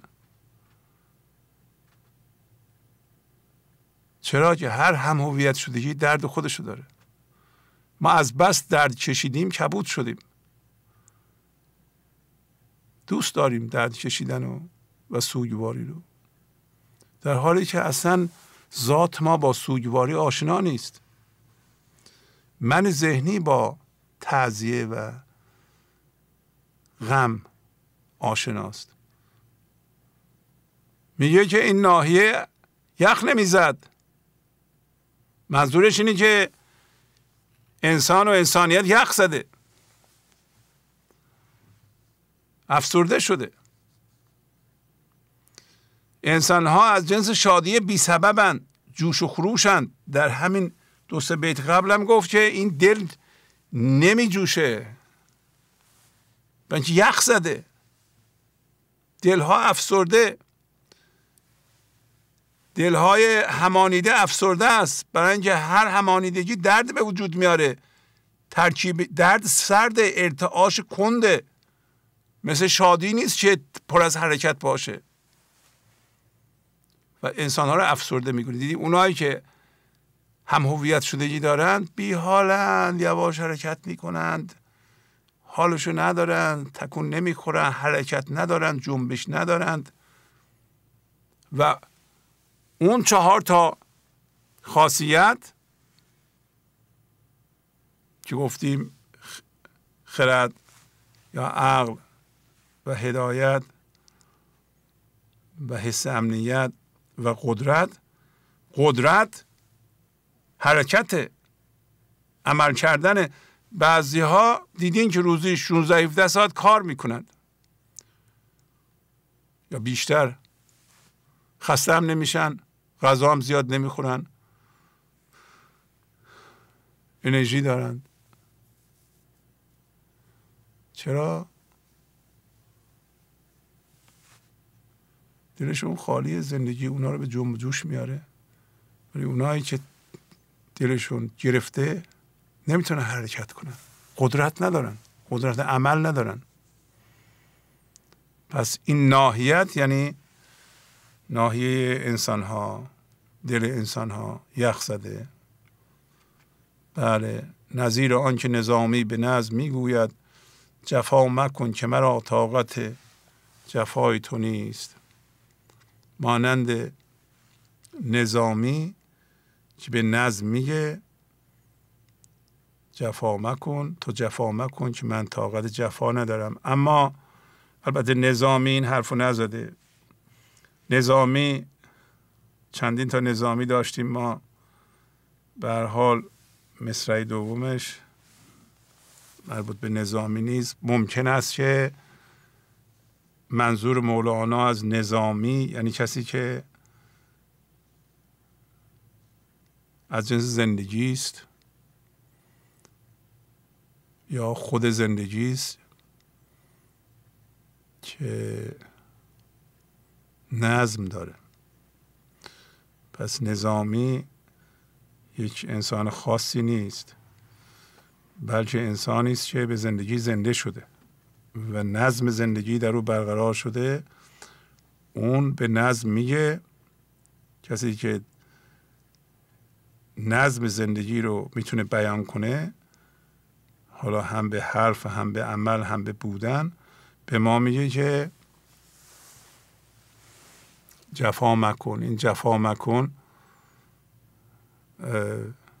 به نظر میاد که از طرف زندگی گفته میشه. این انسان نباید جفا کنه به جاش وفا باید بکنه. یعنی به الست وفا کنه جفا مکن که مرا طاقت وفا و جفای تو نیست. من طاقت جفای تو رو ندارم. من می‌خوام تو وفا کنی. و چه از طرف زندگی باشه چه از ما این مصرع دوم بیدار کننده است. یعنی هیچ انسانی نباید جفا کنه. جفا عکس وفاست جفا در اینجا معنی ظلم نیست. جفا کردن یعنی از طریق همانیدگی دیدن و نگفتن به اتفاق این لحظه. هوشیاری جسمی دائما نمیگه به اتفاق این لحظه و الست رو انکار می‌کنه. جفا مکن یعنی این لحظه اقرار کن از طریق بودن تو از جنس زندگی هستی. هر کسی این لحظه فضا رو باز می‌کنه و عدم رو میاره مرکزش این وفا می‌کنه و از جنس نظامی میشه. و نظامی با نظم زندگی صحبت می‌کنه. هر انسانی که به زندگی زنده شده نظمش رو بیان می‌کنه. پس اون اینطوری میگه که هیچ انسانی نباید جفا بکنه بلکه وفا بکنه که نه ما طاقتشو داریم نه خدا. پس نظام کائنات میگه که انسان باید وفا بکنه. و زندگی بیشتر از این نمی‌خواد صبر کنه طاقت نداره دیگه ما باز هم جفا کنیم. دو ذهن بمونیم. باز هم یه چیزی بیرون می‌بینیم. توجه ما رو ببلعه ما برداریم اون رو بیاریم مرکزمون طریق اون ببینیم. این کار دیگه نباید صورت بگیره. بله این شخص نظامی نیست و نظمم نداره نظم من ذهنی داره ولی این شخص نظام زندگی رو اجرا می‌کنه هم در بودن هم در فکر کردن و عمل کردن و جفا نمی‌کنه می‌دونه که این جفا رو کائنات نمیپذیره. به عبارت دیگه ستیزه و مقاومت ما رو کائنات نمیپذیره خدا نمیپذیره. ما نباید جفا بکنیم. و اجازه بدیم که با بله گفتن به اتفاق این لحظه و فضاگشایی نظم زندگی در ما برقرار بشه و از بینظمی دیدن بر حسب همانیدگی ها بیرون بیاییم. بله. خب اجازه بدیم به همینجا بسنده کنیم. ابیات زیادی از مصنوی داشتیم که متاسفانه فرصت نشد براتون بخونم. انشالله جلسه آینده. یادآوری کنم از هفته آینده این برنامه انشالله روزهای سه شنبه اجرا خواهد شد. سه شنبه به وقت غرب آمریکا و چهارشنبه صبح ایران. یعنی به جای سه شنبه صبح چهارشنبه صبح و در آمریکا هم به جای دوشنبه سه شنبه اجرا خواهد شد پس از این. تا اونجا که ما می‌تونیم برنامه رو اجرا کنیم یعنی یه روز بعد از روز روزهای قبل. دوشنبه نه سه شنبه در ایران هم سه شنبه صبح نه چهارشنبه صبح. پس از چند لحظه برنامه گنج حضور رو ادامه خواهم داد. گنج حضور. سی دی و دیویدیو های گنج حضور بر اساس مصنوی و قذریات مولانا و قذریات حافظ. برای برخورداری از زنده بودن زندگی این لحظه و حس فضای پذیرش و آرامش نامحدود این لحظه برای حس شادی آرامش طبیعی درونی و بروز عشق در شما. برای سلامتی تن ذهن و لطیف کردن احساس شما. برای خلاص شدن از مسائل زندگی توهمات ذهنی بی‌حوصلگی دلمردگی بی انرژی بودن. و رسیدن به حالت شادی طبیعی. برای شناخت معانی زندگی ساز نوشته های مولانا و حافظ در مدت کوتاه. برای سفارش در آمریکا با تلفن 818 970 3345 تماس بگیرید. برنامه گنج حضور رو ادامه میدم. در این قسمت از برنامه به پیغام های معنوی شما گوش خواهیم کرد. دو سفر یک 818 444 صفر هفت هشتاد. تلفن استودیو است بله. بفرمایید. سلام. خسته نباشید خواهش می‌کنم. بفرمایید. من افتادت نصیحه که دوباره با شما تماس بگیرم. دخیل حسین هستم از تهران. خب خوب الحمدلله. بله خوب. بله بله. میشه پیغامتون رو بگین لطفا. اینقدر الو الو و اینا که صحبت می‌کنید؟ وقت تلف میشه. بله. پیغامتون رو بفرمایید.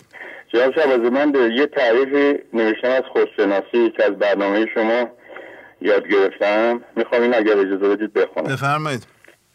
خودشناسی توسط مولانا توسط برنامه گنج حضور. قیمت هر کاله میدانی که چیست. قیمت خود را ندانی ابلهی است. مولانا گنج حضور. تعریف انسان. مکان و لامکان. تعریف مکان. کالبد جسمی و من ذهنی. لامکان. روح یا هوشیاری حضور. تعریف من ذهنی. کلیه همانندگی ها تعریف روح. البته تمام خوبی هایی که در جهان وجود دارد. هرچند که آنچه که در اندیشه ناید خدا یا روح اطلاق می شود نحوه اتصال به روح. زمانی که هماندی به همانندگی ها لبک نمی‌گوییم و با تسلیم و فضاگشایی تسلیم غذا می‌شویم اتصال برقرار می شود وقتی که به همانیدگی ها لبک می‌گوییم اتصال قطع می شوند از خدا غیر خدا را خواستن زن افسونی است و کلی کاستن این یه موضوع بله. راجع برنامه 831 راجع به البته من یه سری مطالب یه بچه رو نوشتم و راجع به خودم در واقع برداشتی که از این بیت کردم بله. اگر امشب برای من باشی و خانه نروی یا علی شیر خدایی یا خود علوی. معنای بید اگر امشب یعنی در این لحظه مرکزت را عدم بکنی در اصل تسلیم و فضاگشایی و مجددا به ذهن نروی در این صورت شیر خدا یعنی هوشیاری یا از خانواده علوی هستی. لغزش های من به توجه به این بله. در حالت عادی من تحت تاثیر افکارم قرار می‌گیرم. چون شناخت ذهنی دارم نظارگر آن خواهم بود. افکار خود را متوقف توسط خندیدن به آن می نمایم و در لحظه قرار می گیرم دو. هر وقت توجه خود را از سوی خودم برمیدارم به خانه ذهن رفته هوشیارانه برمیگردم. سه. همیشه سعی می‌کنم نورافکن را متوجه خود کنم تا زیاد در فضای هوشیاری جسمی قرار نگیرم. چهار. در این بیت مولانا تاکید دارد که همیشه باید حواسمان به خودمان باشد. تا تا شیر خدا یا خود خدا باشیم که همون در واقع اصل ما روح پنج. یکی از ضعفهای من در موقع در بعض مواقع که خود را, خود را نشان دادن است که تحت تاثیر من ذهنی قرار می‌گیرم. میکوشم آنها را شناسایی کنم و از خود دور نمایم. مثل برنامه این استاگرام که البته من در هفته پیشم خدمت شما بود در پخش اشعار مولانا که دوست دارم بینندگان زیادی آن را ببینن. که البته میگم چون یه مقدار تحت تاثیر ذهن فکر می‌کنم درست شد شیش. از این بیت آموختم. اگر خواسته باشم شیر خدا یا خدا خدا باشم باید همیشه تسلیم قضا و قدر که بهترین اتفاق اتفاقات برای من در این لحظه به وجود می آورند باشم. تا بفهمم چه کاری باید انجام بدهم. بله. بقیهشون. هفت از این بفهمیدم که نباید قضاوت و مقاومت در برابر منهای ذهنی دیگران بکنم. بیت بعدش میگه اندک اندک به جنون راه برم از دم من از دم من برهی از خرد و ناگه دیوانه شوی.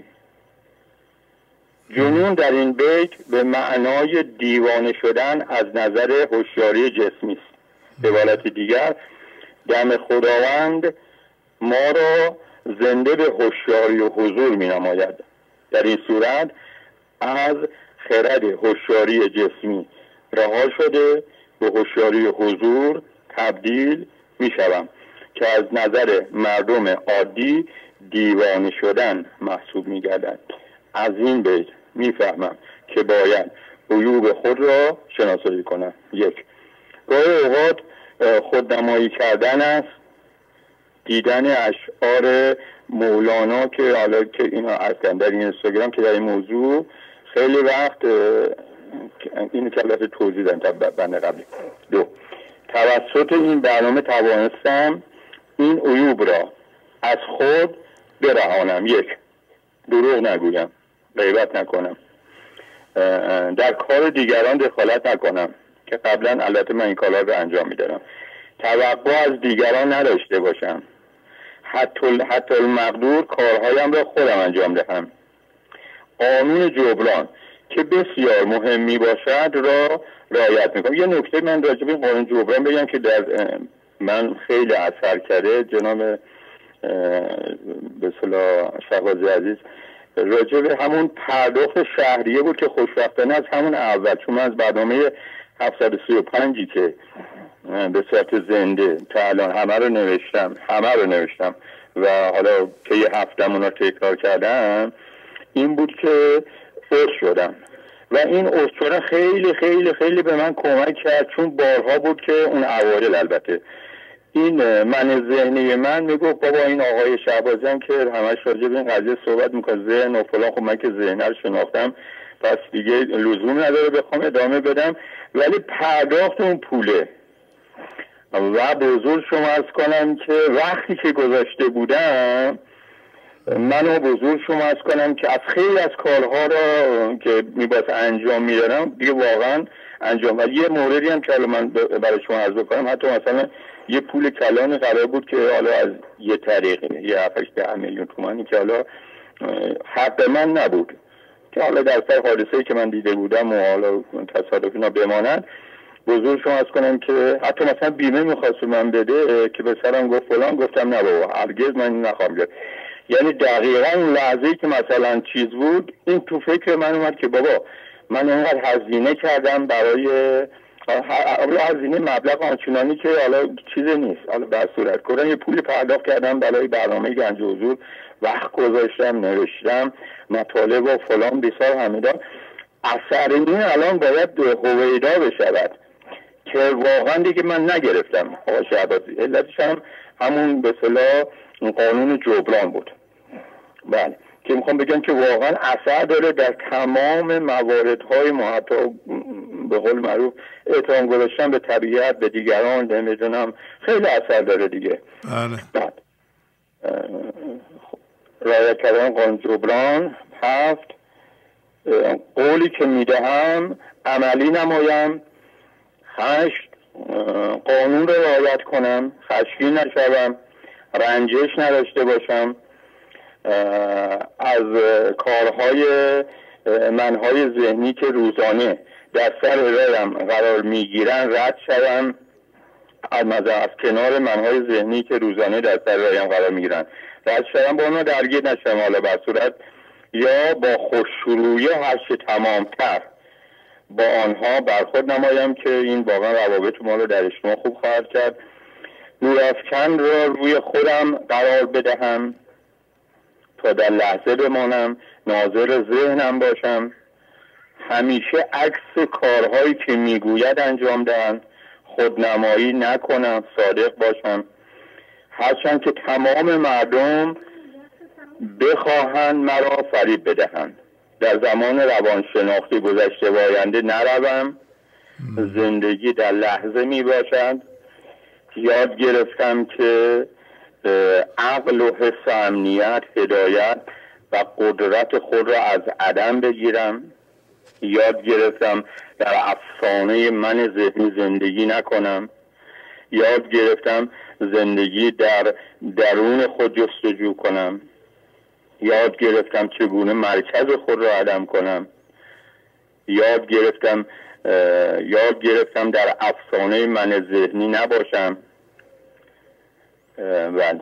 خیلی زیبا. دچار مان بینی و مان سازی مسئله بینی و مسئله سازی و دشمن بینی و دشمن سازی بشوم. خب یه یا... ببخشید. یادآوری کنم وقتتون خیلی گذشته ها. شما الان نزدیک بله. من ممنونم از شما آقای شعبازی من واقعا لذت بودم و خیلی یاد گرفتم در سن حدود 70 سالگی. و واقعا از شما تشکر می‌کنم. چون برنامهتون بی نظیره بی ممنونم. زنده باشید خدا. خداحافظی می‌کنم با خدا خیلی خوب. بله بفرمایید. الو سلام جناب شهبازی. بله بله سلام علیکم. خوبین؟ خسته نباشی ممنون. زنده باشین لطف دارین شما. خیلی ممنون. بفرمایید در خدمتتونیم هر شود در رابطه با مبحث جسم و جان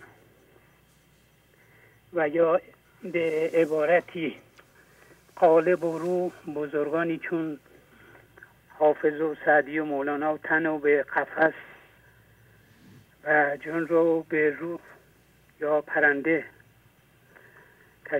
و جان و روح رو به پرنده تشبیه کردن. بله بله. حافظ دارن که هجاب چهره جان می شود غبار تنم خوش آدمی که از آن چهره پرده بر فکنم. چون این قفس نه سزای چون من خوشالهانی است. روم به گلشن رزوان که مرغ اون چمنم. بله.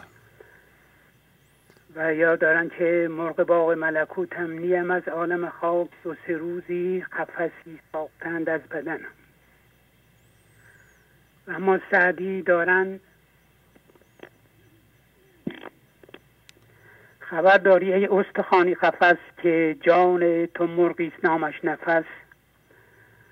چو مرغ از قفس رفت و بکس از قید دیگر ره نگردد به سعی تو سید نگهدار فرصت که عالم دمی است دمی پیش دانا به از عالمی است.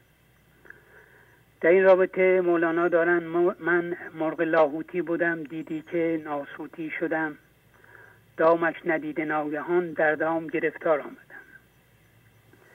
در دفتر اول بیت چارده چلو شیش در این رابطه دارند مردی که از امیر المومنین سوال می‌کرد. مرد گفتش ای امیر المومنین جان زبالا چون بیامد در زمین. مرغ بی اندازه چون شد در قفس گفت حق بر جان فسون خوند و قصص. بر عدم ها کن ندارد چشم و گوش چون فسون خواند همی آید به جوش. مولانا علاوه بر قفس تن را چون کنده بر پای جان می‌دونه که در این صورت تن رو باید ریاضت داد. و یا به قولی لاغر کرد تا روح قدرت پرواز داشته باشه. و ریاضت و لاغر کردن تن رها شدن از وابستگی هایی که انسان در طول عمر خود با اونها همانیده شده. تا تو تن را چرب و شیرین می‌دهی دفتر دو دویست و شست و پنج. تا تو تن را چرب و شیرین می‌دهی گوهر جان را نیابی فربهی. برگ تن بی برگی جان از زود این بباید کاستن آن را فزود. در دفتر چهارم بیت 1545 داره جان گشاید سوی بالا بالها در زده تن در زمین چنگال ها دفتر سوم 1948 کنده تن را ز جان بکن تا کند جولان به گرد انجمن. قل و بخ از دست و گردن دور کن بخت نو دریاب در چرخ کهون ور نمیتانی به کعبه لطف بر عرضه کن بیچارگی بر چارگر. زاری و گریه قوی سرمایه است رحمت کلی قوی تردایه است. در دفتر پنجم بیت 2280 داره جان چوباز و تن مرو کنده ای. پای بسته پر شکسته بنده ای مولانا میفرماد باید این تن رو خراب کرد و دوباره امارتی نو بر اون خرابه ها ساخت. بیت 306 دفتر اول. راه جان مرجس را ویران کند بعد ویرانیش آبادان کند. و در دفتر پنجم داره کرد ویران خانه بهر گنج و زر و از همان گنجش کند معمورتر در دفتر ششم بیت سی و پنج هشتاد یک اندرون گاوتن شهزاده ای گنج در ویرانه ای بنهاده ای بازم دفتر ششم سی و پنج نود دو دارند ای کشیده ز آسمان و از زمین مایه ها تا گشته جسم تو سمین. کاری هستیم.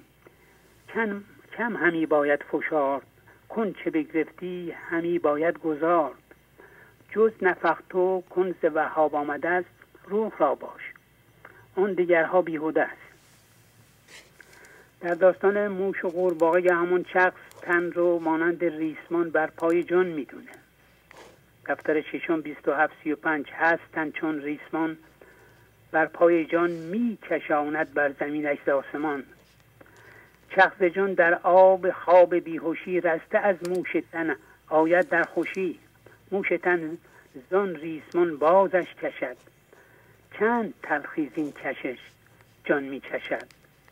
گر نبودی جذب موش گند مغز عیش ها کردی درون آب چخز در دفتر دوم بیت 18 50 جان را به عیسی و تن رو به خر تشویق کرده در که عیسی کرده خر پرورده ایلاجرم چون خر برون پرده ای. طالع ایساس علم و معرفت. طالع خر نیست ای تو خر صفت. ناله خر بشنوی رحم آیدد پس ندانی خر خری فرمایدد ره بر عیسی کن و بر خر مکن. تب را بر عقل خود سرور مکن. تب را هل تا بگرید زار زار تو از او بستان و وام جان گذار. سالها خربنده بودی بس بود زن که خربنده ز خر واپس بود. هم مزاج خر شده است این عقل پست. فکرش این که چون علف آرد به دست و در دفتر دوم بیت 450 عیسی روح تو با تو حاضر است. نصرت از وی خواه کو خوش ناصر است. لیک بیگار تن پر استخون بر دل عیسی منه تو هر زمان. زندگی تن مجو از عیسی‌ات. کام فرعونی مخواه از موسیت. بر دل خود کم نه اندیشه معاش. عیش کم ناید. تو بر درگاه باش. این بدن خرگاه آمد روح را. یا مثال کشتی مر نوح در دفتر اول اشاره دارند که تن هر چه داره از روحه. چرا که وقتی روح از تن جدا میشه همه چیزهایی که تن به آنها میبالید نابود میشه. بیت سی دو شست و هفت تن همین نازد به خوبی و جمال روح پنهون کرده فر و پر و بال. گویدش ای مزبله تو چیستی؟ یک دو روز از پرتو من زیستی. رنج و می نگنجد در جان باش تا که من شوم از تو جهان. گرمدارانت تو را گوری کنند تعمه موران و مارانت کنند. اینی از گند تو گیرد آن کسی کو به پیش تو همی مردی بسی. پرتو روح است نطق و چشم و گوش.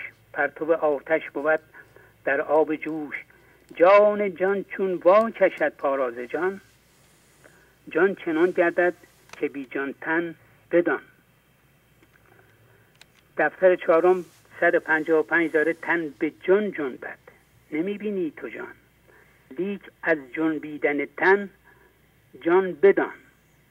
و همین دفتر 1886 جان ز ریش و سبلت تن فارغ است. لیک تن بی جان بود مردار و پست. دفتر در غزل 454 داره جان سوی جسم آمد و تن سوی جان نرفت. وان سو که تیر رفت حقیقت کمان نرفت. جان چوز شد تا بپرد این تن گران هم بر زمین شد و بر آسمان نرفت. جان میزبان تن شد در خانه گلین تن خانه دوست بود که با میزبان نرفت. دفتر ششم دارند که همه جسم ها مثل همدیگه نیستن. چون بعضیاشون قابل تبدیل هستن. بیت 650 جسم ها چون کوزه ها بسته سر تا که هر تا که در هر کوزه چه بود؟ کوزه آن تن پر از آب حیات کوزه این تن پر از زهر ممات. و دفتر دوم سی و یک چل داره که جهان رو به دریا و تن رو به ماهی و روح رو به یونس تشبیه کرده که درون شکم ماهی حبس شده.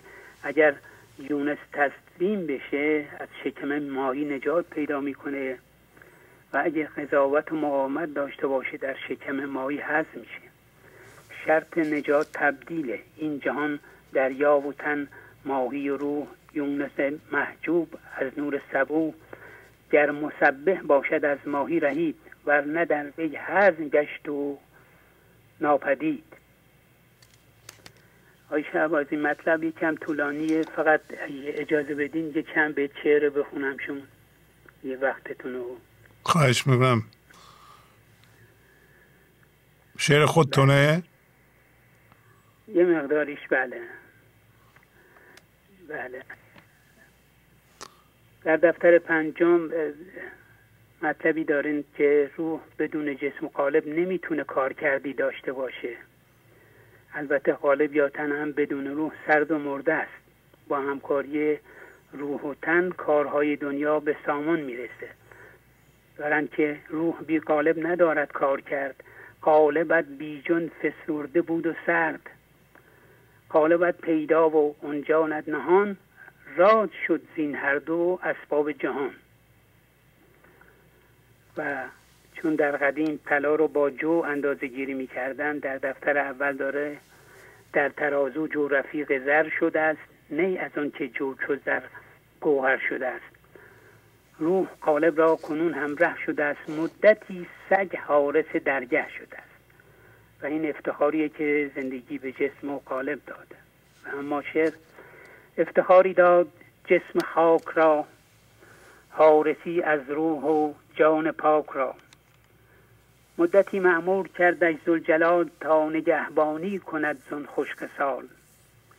گفت سوی اصل خود خواهید رفت.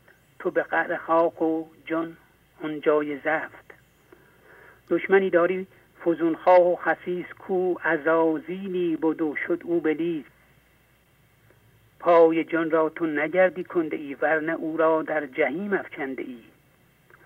او مبارک مرغکی باشد بدان نامبارک نیست.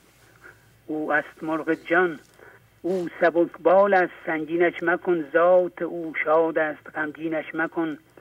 بند و زندان از برای او مباش. قفل و زنجیری به پای او مباش گر خودت را زفت و وابسته کنی پر و بال او, او بسته کنی.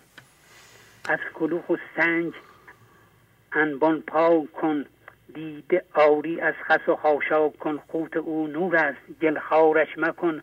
پیش مولایش بد و خارش مکن. مرغ جان گوید که من لاهوتیم. نی چو جسم خاک و تن ناسوتیم. گوید ای ایزا پست فرشیم. غربت من تلختر من ارشیم ببخشید آیه شوازی کم طولانی شد. خیلی هم ازش چقدر جالب بود. شعر خودتون جالب بود. خیلی ممنونم. خیلی زحمت کشیده بودید. با یه مقدار توضیحات اگه به ما بفرستین جزو پیغام ها بکنیم. خیلی زیبا بود خیلی مطلب بود. ممنونم. زحمت کشیده بودید عالی. خدا حافظ شما. بله بفرمایید. سلام استاد نازنین. سلام علیکم. ممنونم. همچنین خدمت همه بینندگان و شنوندگان عزیز. سلام عرض می‌کنم. سلام. امروز باز هم فرمودید که هر کسی درد داره رنجش داره ترس و غم داره حتما به خاطر همانیدگی است. همانیدگی با چیزهای این جهان که در مرکزش گذاشته. بله. و جیبه که انسان راه شناخت و شناسایی همانیدگی ها رو در پیش نمی‌گیره. و ما به این جهان اومدیم که هم هویت شدیم. و استاد نازنین واقعا من حقیقتا راستشو بخواید متوجه شدم که ما تقریبا از هر چیزی یعنی صد درصد از هر چیزی که خوشمون بیاد به سرعت می‌خوایم اونو بذاریم به مرکزمون و وقتی به مرکزمون می‌ذاریم اگر راه شناخت و شناسایی و انداختن اونو نداشته باشیم و یعنی در واقع ما باید در محضر بزرگان باشیم بله. ما به همین سادگی نمی‌تونیم بفهمیم که هم هویت شدگی داریم هم هویت شدگی با چیزهای این جهان داریم. مگر اینکه در معرض آموزش بزرگان چون مولانا قرار بگیریم. و امروز خیلی افتخار داشتم. حالت افتخار در من بود که صدای شما در خونه ما ترین اندازه. و مفتخر بودم که با جناب مولانا آشنا هستیم. مخصوصا ما فارسی زبان ها باید افتخار بکنیم و ببینیم چه کار می‌تونیم بکنیم که این آموزش جناب مولانا همچنان زنده بمونه. آموزش جناب مولانا که از طریق برنامه گنج حضور داره میاد به خانه های ما. شما استاد نازنین زحمات زیادی کشیدی. این آموزش فراتر از زمان و مکانه. و در تمام ابعاد زمانی و مکانی هستی می‌تونه جاری باشه. برای همینه که ابیاتی که من دوباره امروز می‌خوام بخونم احساس می‌کنم همیشه تازه هستن و بله. همیشه می‌تونن نجات بخش باشن که واقعا در پایان هر برنامه گنج حضور من همه برنامه های گنج حضور رو ندیدم و تقریبا از برنامه 500 به این طرف افتخار آشنایی با گنج حضور رو داشتم اما احساس می‌کنم این سه تا بیت کلیدی که از دفتر سوم هستن همیشه به هر برنامه گنج حضور بزنید جواب میده و کار میده. و مخصوصا برنامه امروز. این ابیات واقعا بسیار بیدار کننده هستند که هرچه از وی شاد گردی در جهان از فراغ او بیاندیش آن زمان. زانچه گشتی شاد بس کرد شاد شد. آخر از وی گست و همچون باد شد. از تو هم بجهد تو دل بر وی منه. پیش از آن کو بجهد از وی تو بجه. خیلی زیبا. برای تعظیم فرود میارید. جلو جلو شما استاد نازنین خواهش می‌کنم. همچنین جناب مولانای جان. خیلی زیبا. بله مولانا بی نظیره بله ممنونم که اینو اینقدر شناسی رو از مولانا. من که کاری نمی کنم ولی مولانا قابل ستایش و قابل توصیف و توصیه هست. یعنی باید واقعا ما به همدیگه انگیزه بدیم که از آموزش های او سر در بیاریم و استفاده ببریم. حیفه که انسان فارسی زبان باشه مولانام باشه ولی چیزی ازش ندونه. حیفه واقعا حیفه. این ناسپاسیه. بله. ممنونم. الو. ممنونم استاد نازنین خواهش می‌کنم. ممنونم از شما. خواهش, می... خواهش می‌کنم. خدا نگهدار. خدا خدا نگهدار. بله بفرمایید. سلام عرض کنم جناب آقای شهبازی. بله سلام. مرتضی هستم از اصفهان. بله آقا مرتضی کجا هستین شما؟ الان خیلی کبرا کردیم. کنم قربان. توفیق نداشتیم قربان که البته تماس بگیرم از سعیم همه هفته می‌کردم و تلاشی خودم می‌کردم ولی به نظر می‌رسه که دوستان جوانان این نوع جوانانی که اینقدر با علاقه حقیقتا دارن ابرازی وجود می‌کنن و این این معنا درشون من احساس می‌کنم بهتر از من جا افتاده است و من از اونا چیزی یاد می‌گیرم. اونا سبقت گویی سبقت از ما رو بودند و ما در واقع این وضعیتی چه زندگی می‌خواد و ما هم تسلیم هستیم. همینجور چه تسلیم به همه اتفاقات این هم یه اتفاقیه که خداوند می‌خواسته. از شود که خلاصه ای از برنامه 800 و برنامه 820 بله. اینجا نوشتم که برای دوستان عزیز با عرض سلام و ادب و احترام به همه دوستان عزیز و همچنین شما و کارکنان خدوم این برنامه بسیار مهم و عالی و انسانساز ادامه بدم. مقدمتا باید این نکته را که فوق العاده مهم هست و با تجربه خودم به آن رسیدم برای شما جناب آقای شهبازی عزیز و همچنین دوستان و مخاطبین این برنامه انسانساز نظر خود را بیان کنم و آن این است چه اشکالی که اخیرا شما با خلاقیت فوقالعاده خود مهندسی کرده اید به مسابه نقشه راهی است که رهروان آن را با چشمان باز به مقصود میرساند و به قول مولانا صد هزاران گوش ها صف زنند جملگی محتاج چشم روشنند. و اما غزل شماره 499 میفرماد عشق جز دولت و عنایت نیست جز گشاد و هدا جز گشاد دل و هدایت نیست. و همانطور که جناباری مکررن برای من من مبتدی این معانی شگرف را باز نموده اید عشق همان اقبال و نیکبختی است که فضای درون را برای ما باز می کند و درون ما را به بینهایت خداوند زنده می کند و سبب عنایت معشوق و و سبب عنایت معشوق و اقبال دولت او می شود و در همین برنامه درباره مسبب الاسباب ها به طور مبسوط برای ما روشن نمودید و چشم مرا به عنوان من ذهنی که بر همانیدگی های توجه دارد و از ذوق و معرفت خدایی خبر ندارد باز نمودید. چشم او مانده است در جوی روان بیخبر از ذوق آب آسمان. دفتر دوم بیت 27 85 یعنی این چشم من ظاهر اشیا و,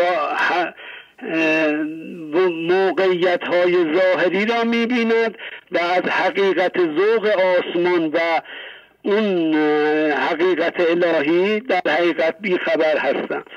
و این هم بیت بعدی که میفرماد آنچه او آنچه بیند او مسبب را عیان چه نهد دل بر سبب های جهان؟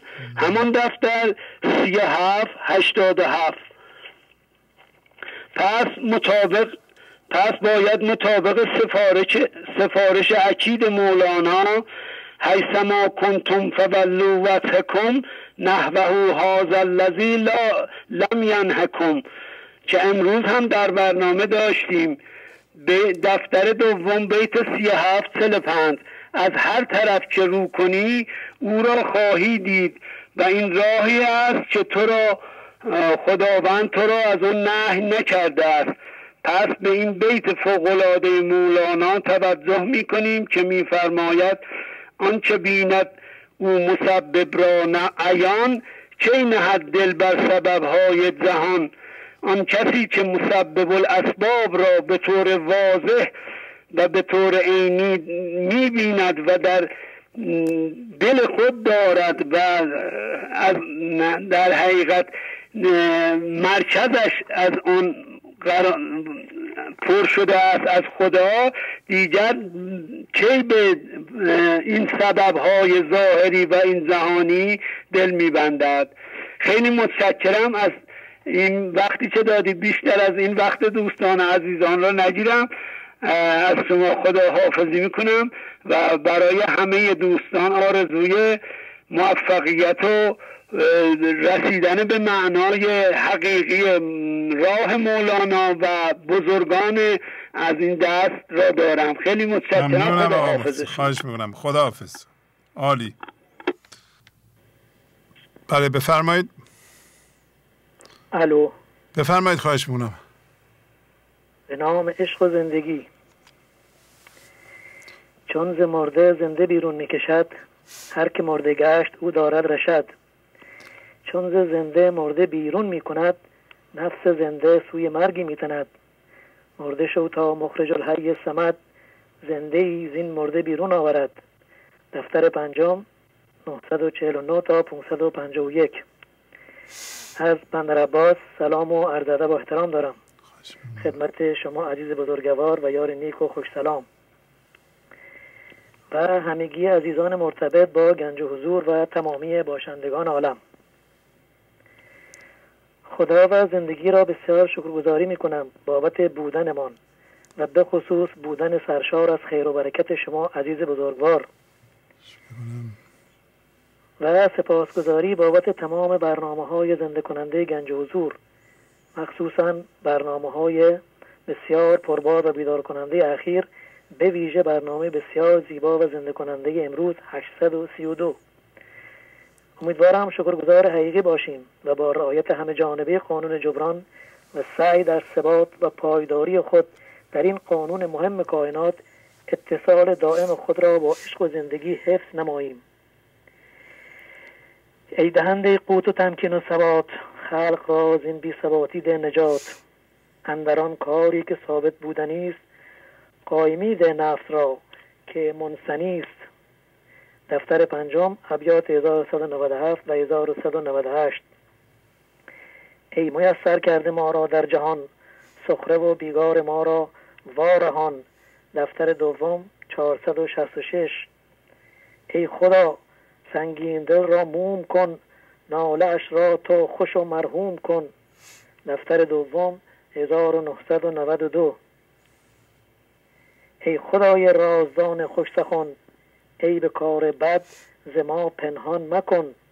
دفتر چهارم 1353 ای خدایی که ما را به عنوان امتداد خود در جهان به آسانی و بر اساس کنفکانت زنده و روان و جاودانه میگردانی. ما را از سختی ها و بیگار اقامت در ذهن و من ذهنی رهایی بخش و ما را آگاهی و شناسایی عطا کن تا بزرگترین عیب خود که جدایی از تو و ماندن در ذهن و همانیدگی مرکزمان با چیزهای آفل است بشناسیم و به اصل خود و یکتایی برگردیم. بی من و تو هر دو تویی هر دو من جان منی آن منی یا منی؟ دیوان شمس غزل 3178 من تو هم بر تو نیم یار شب و روز تو هم پدر و مادر و خیش تو به منهاج سوی. چه شود گر من و تو بی من و تو جمع شویم؟ فرد باشیم و یکی کوری چشم سنوی. دیوان شمس غزل 2886 خنک آن که نشینیم در ایوان من و تو. به دو نقش و به دو صورت به یکی جان من و تو. من و تو بی من و تو جمع شویم از سر ذوق. خوش و فارغ ز خرافات پریشان من و تو. دیوان شمس غزل 2214 با اجازتون چند بیت از غزل بسیار مهم و زیبای 2831 که موضوع برنامه 609 گنج حضورم بود به اشتراک می‌گذارم و رفع زحمت می‌کنم خواهش می‌کنم. چون نماز شام هر کس بنهد چراغ خانی منم و خیال را خیال یاری غم و نوحه و فغانی.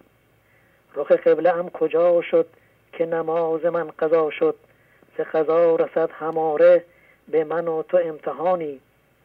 در حق چگونه کوبم که نه دست ماند و نه دل؟ دل و دست چون تو بردی بده ای خدا. امانی. شاد و پاینده باشی جناب شوازه خیلی زیبا. آفرین. خدا حافظ. خدا نگهدار شما ایزم خدا حافظتان بله بفرمایید. الو. بفرمایید خواهش می‌کنم. بله موقع شهرزادی خسته نباشید. خیلی ممنون. بفرمایید. خیلی ممنون. بابت برنامه بینظیر امروز من آتنا هستم از مشهد تماس می‌گیرم. بله با غزل امروز یک متن کوچیکی رو نوشتم که چیزی رو در خودم متوجه شدم. بفرمایید. اینو به اشتراک بذارم. ممنونم. من در خودم با این غزل افتان و خیزان بودنم را دیدم. به این رسیدم زمانی که خداوند لطفش را شامل حال من می کند پذیرا هستم. و شکر و صبر را به جای می آورم اما زمانی که امتحان الهی می رسد با دست گذاشتن زندگی روی یکی از همانیدگی هایم دادم بلند می شود و حالم خراب می شود و دوباره من ذهنیم بالا می آید و قدرت کنترل افکارم از دستم خارج می شود و گریان و درمانده به او پناه می برم و چقدر بارها و بارها مرا بخشیده. به خطای من نگاه نکرده و رحمت دیگرانش را شامل حالم قرار داده و من دوباره فریب ذهن خوردم و با خیالات همانیدگی ها شهوت رانی کردم. قافل از اینکه پر پروازم را خودم با دستان خودم میکندم. همچو قوم موسیان در حرتی مانده ای بر جای چل سال ایستفی می‌روی هر روز تا شب وله خیش میدینی که اول مرحل یک زمان کار است. بگذار و بتاز. کار کوته را مکن بر خود را خدایا شکر تو را که باز هم مرا رها نمی کنی و کشان کشان مرا به دنبال خودت می کشانی. من آگاه شدم که از جنس همانیدگی های درونم نیستم. خدایا تو به من کمک کن. خدایا من آگاه شدم که هیچ چیز مهمی هیچ کار مهمی به جز دیدار تو در زندگیم برایم وجود ندارد. زیرا که تو به من نشان دادی که همه چیز همه چیز آخر و اگر بهش را داشته باشم و از تو دور باشم بهش برایم مثل دوزخ و آرام و قرار ندارم. تا دوباره تو مرا مورد رحمت و لطف خود قرار دهی و من به آرامش برسم. جنت مرا بی روی او هم دوزخ است و هم عدو. من سوختم این و بود فر انوار بکن. ممنونم ازتون آقای شهبازی. خیلی زیبا. می‌خوام بله، ممنونم. می‌خواستم اگه وقت هست تشکر کنم از دوستان و مخصوصا از آقای شاعر احوازی و خانم فریبا. شعرشون فوق العاده است و بیداد می‌کنه در آدم بله ممنون از شما اینقدر زحمت کشید خیلی ممنون. ممنونم. و وقتی شما رو بیشتر از این نمی‌گیرم. خواهش می‌کنم. خدا حافظ شما. خدا می‌کنم. خدا نگهدار. خب دوستان بازم اعلام کنم که از هفته آینده این برنامه روز سهشنبه اجرا خواهد شد. سهشنبه ساعت شیش و نیم به وقت غرب آمریکا و روز چهارشنبه صبح که میشه حوالی شیش شیش صبح صبح زود از هفته آینده. بله انشالله در خدمتون خواهیم بود. پس دوشنبه نخواهد بود سه شنبه خواهد بود. در خارج از ایران در آمریکا ساعت شیش و نیم بعد از ظهر روز سه شنبه در ایران. به جای سه شنبه صبح چهارشنبه صبح خواهد بود. در همون ساعت. با اجازه تون با توجه به اینکه دیر شده یه تلفن دیگه می‌گیرم از خدمتتون مرخص میشم. حالا این تلفن شانس هر کی باشه. پس این آخرین تلفن می‌گیرم. بله بفرمایید. با سلام و خدا قوت خدمت شما جناب شهرخوزی از برجا تماس میگم خدمتون خواهش می‌کنم. بفرمایید. مثل همیشه بسیار سپاسگزاری می‌کنم بابت تمامی زحمات ارزشمندتون استاد عزیز. و مدت ها بود در برنامه زنده تماس نگرفته بودم. خیلی خوشحالم که تماس برقرار شد. و تشکر می‌کنم بابت برنامه زیبای امروز و همینطور برنامه بسیار زیبای هفته پیش. اگه اجازه بده یه نفسی بکشم استاد بله نفس بکشید. بله البته. ببخشید. بعد متنی آماده نکردم. به اون صورت استاد عزیز سعی می‌کنم مطالب خیلی پراکنده نشه. سزای آنکه زیاد بی رخ تو زین بتر است. سزای بنده مده گرچه او سزای تو نیست. آیا بدتر از این که ما انسان ها بدون رخ یعنی در دوری از حضور خدا زندگی کنیم سزا و کیفری هست؟ این بزرگترین ظلم به خودمونه اگر واقعا متوجه باشیم. چرا که قبله را چون کرد دست حق ایان دست حریب بعد از این مردود دان. خدا قبله که همان از جنس خودش شدن هست رو برای ما آشکار کرده. اون هم به وسیله مولانا و این برنامه و شما استاد عزیز. پس بعد از این ما هیچ عذر و بهانه نباید داشته باشیم و جستجو کردن آن قبله آن راه نما در بیرون و چیزهای بیرونی اشتباه و مردود و رد شده است. استاد عزیز متاسفانه من پیشرفت دوستان رو که می‌دیدم خودم رو ملامت می‌کردم و می‌گفتم خب تو در مقابل این همه پیشرفت این همه پیشرفت بقیه پیام خاص و تاثیرگذاری نمی‌تونی ارائه بدی. و این متاسفانه من رو از برنامه و کار روی خودم دور می‌کرد و فاصله میانداخت. هرچند من تلاش می‌کردم باز با برنامه هر جور شده بمونم ولی این حس ملامت مقایسه و خطکش ذهن من رو دلسرد می‌کرد. لنگ و لوک و خفت شکل و بیادب سوی او میقیج و او را میطلب. دفتر سوم بیت 980 و دوست دارد دیار این آشفتگی. کوشش بیهوده به از خفتگی. دفتر چهارم بیت سی 29 و اینکه پیام من حتما باید پیام خیلی خوبی باشه فکر می‌کنم این باز پندار کمال هستش. علتی به طرز پندار کمال نیستن. در جان تو ای زو دلال و اشکال دیگر من همین بود که چون روی خودم کار می‌کردم از خدا انتظار کمک در امور شخصی خودم رو داشتن. و وقتی نتیجه پاسخی نمی‌دیدم باز این من رو دلسرد می‌کرد و به شکلی متوجه بودم که این خواسته من درست نیست. و بارها در برنامه اشاره کردید که از خدا غیر خدا را خواستن زن افزونی است و کلی کاستن. ولی نمی‌دونم چرا این ذهن ذهن من باز لجبازی می‌کرد و می‌خواست طرف حرف خودش باشه و خودش رو مینداخت وسط.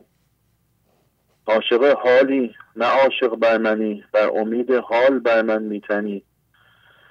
و همین انتظار بیجا باعث نارضایتی از تمام لحظه ها و روزهام شد. و وقتی ناراضی و ناشکری بیاد به گفته شما خدا نمی‌تونه به ما دسترسی داشته باشه و ما رو کمک کنه.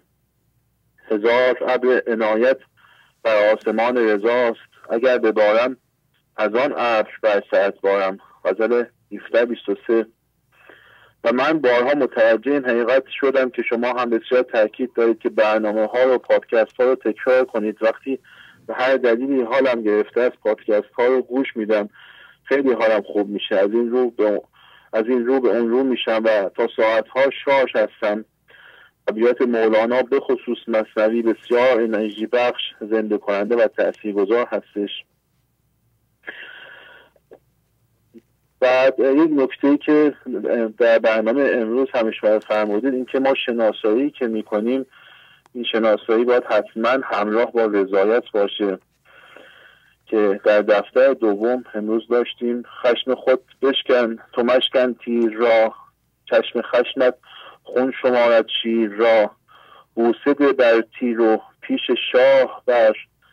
تیر خونالود از خون تو تر. و اینکه زنده شدن و رها شدن از همانیدگی ها باید در اولویت کارهای ما باشه. این هم در دفتر دوم بیت 1306 داشتیم. ما رمیت از رمیتت گفت حق. کار حق بر کارها دارد سبق. انسان در ابتدا در حضور خدا بوده. بعد جدا میشه از خدا به وسیله رفتن به ذهن.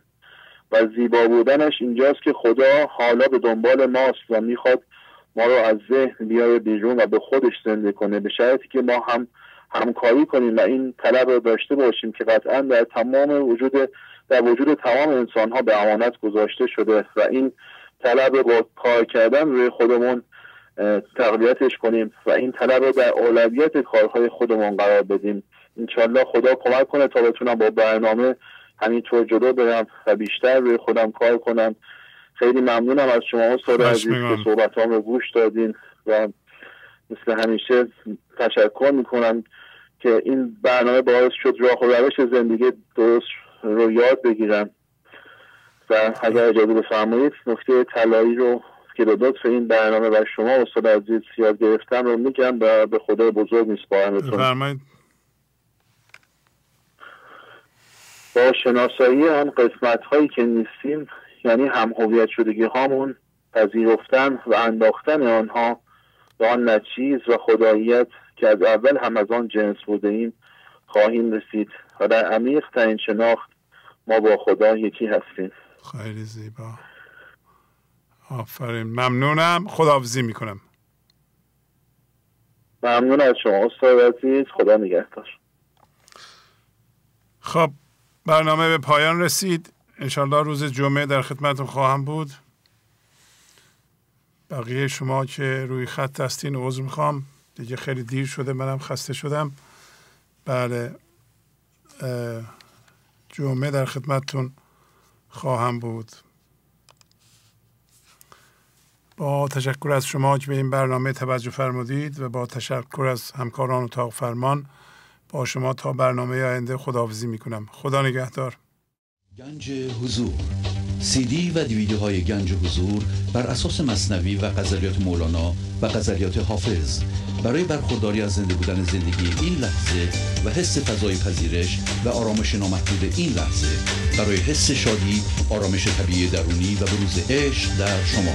برای سلامتی تن ذهن و لطیف کردن احساس شما. برای خلاص شدن از مسائل زندگی توهمات ذهنی بی‌حوصلگی دلمردگی بی انرژی بودن و رسیدن به حالت شادی طبیعی. برای شناخت معانی زندگی ساز نوشته های مولانا و حافظ در مدت کوتاه. برای سفارش در آمریکا با تلفن 818 970 3345 تماس بگیرید.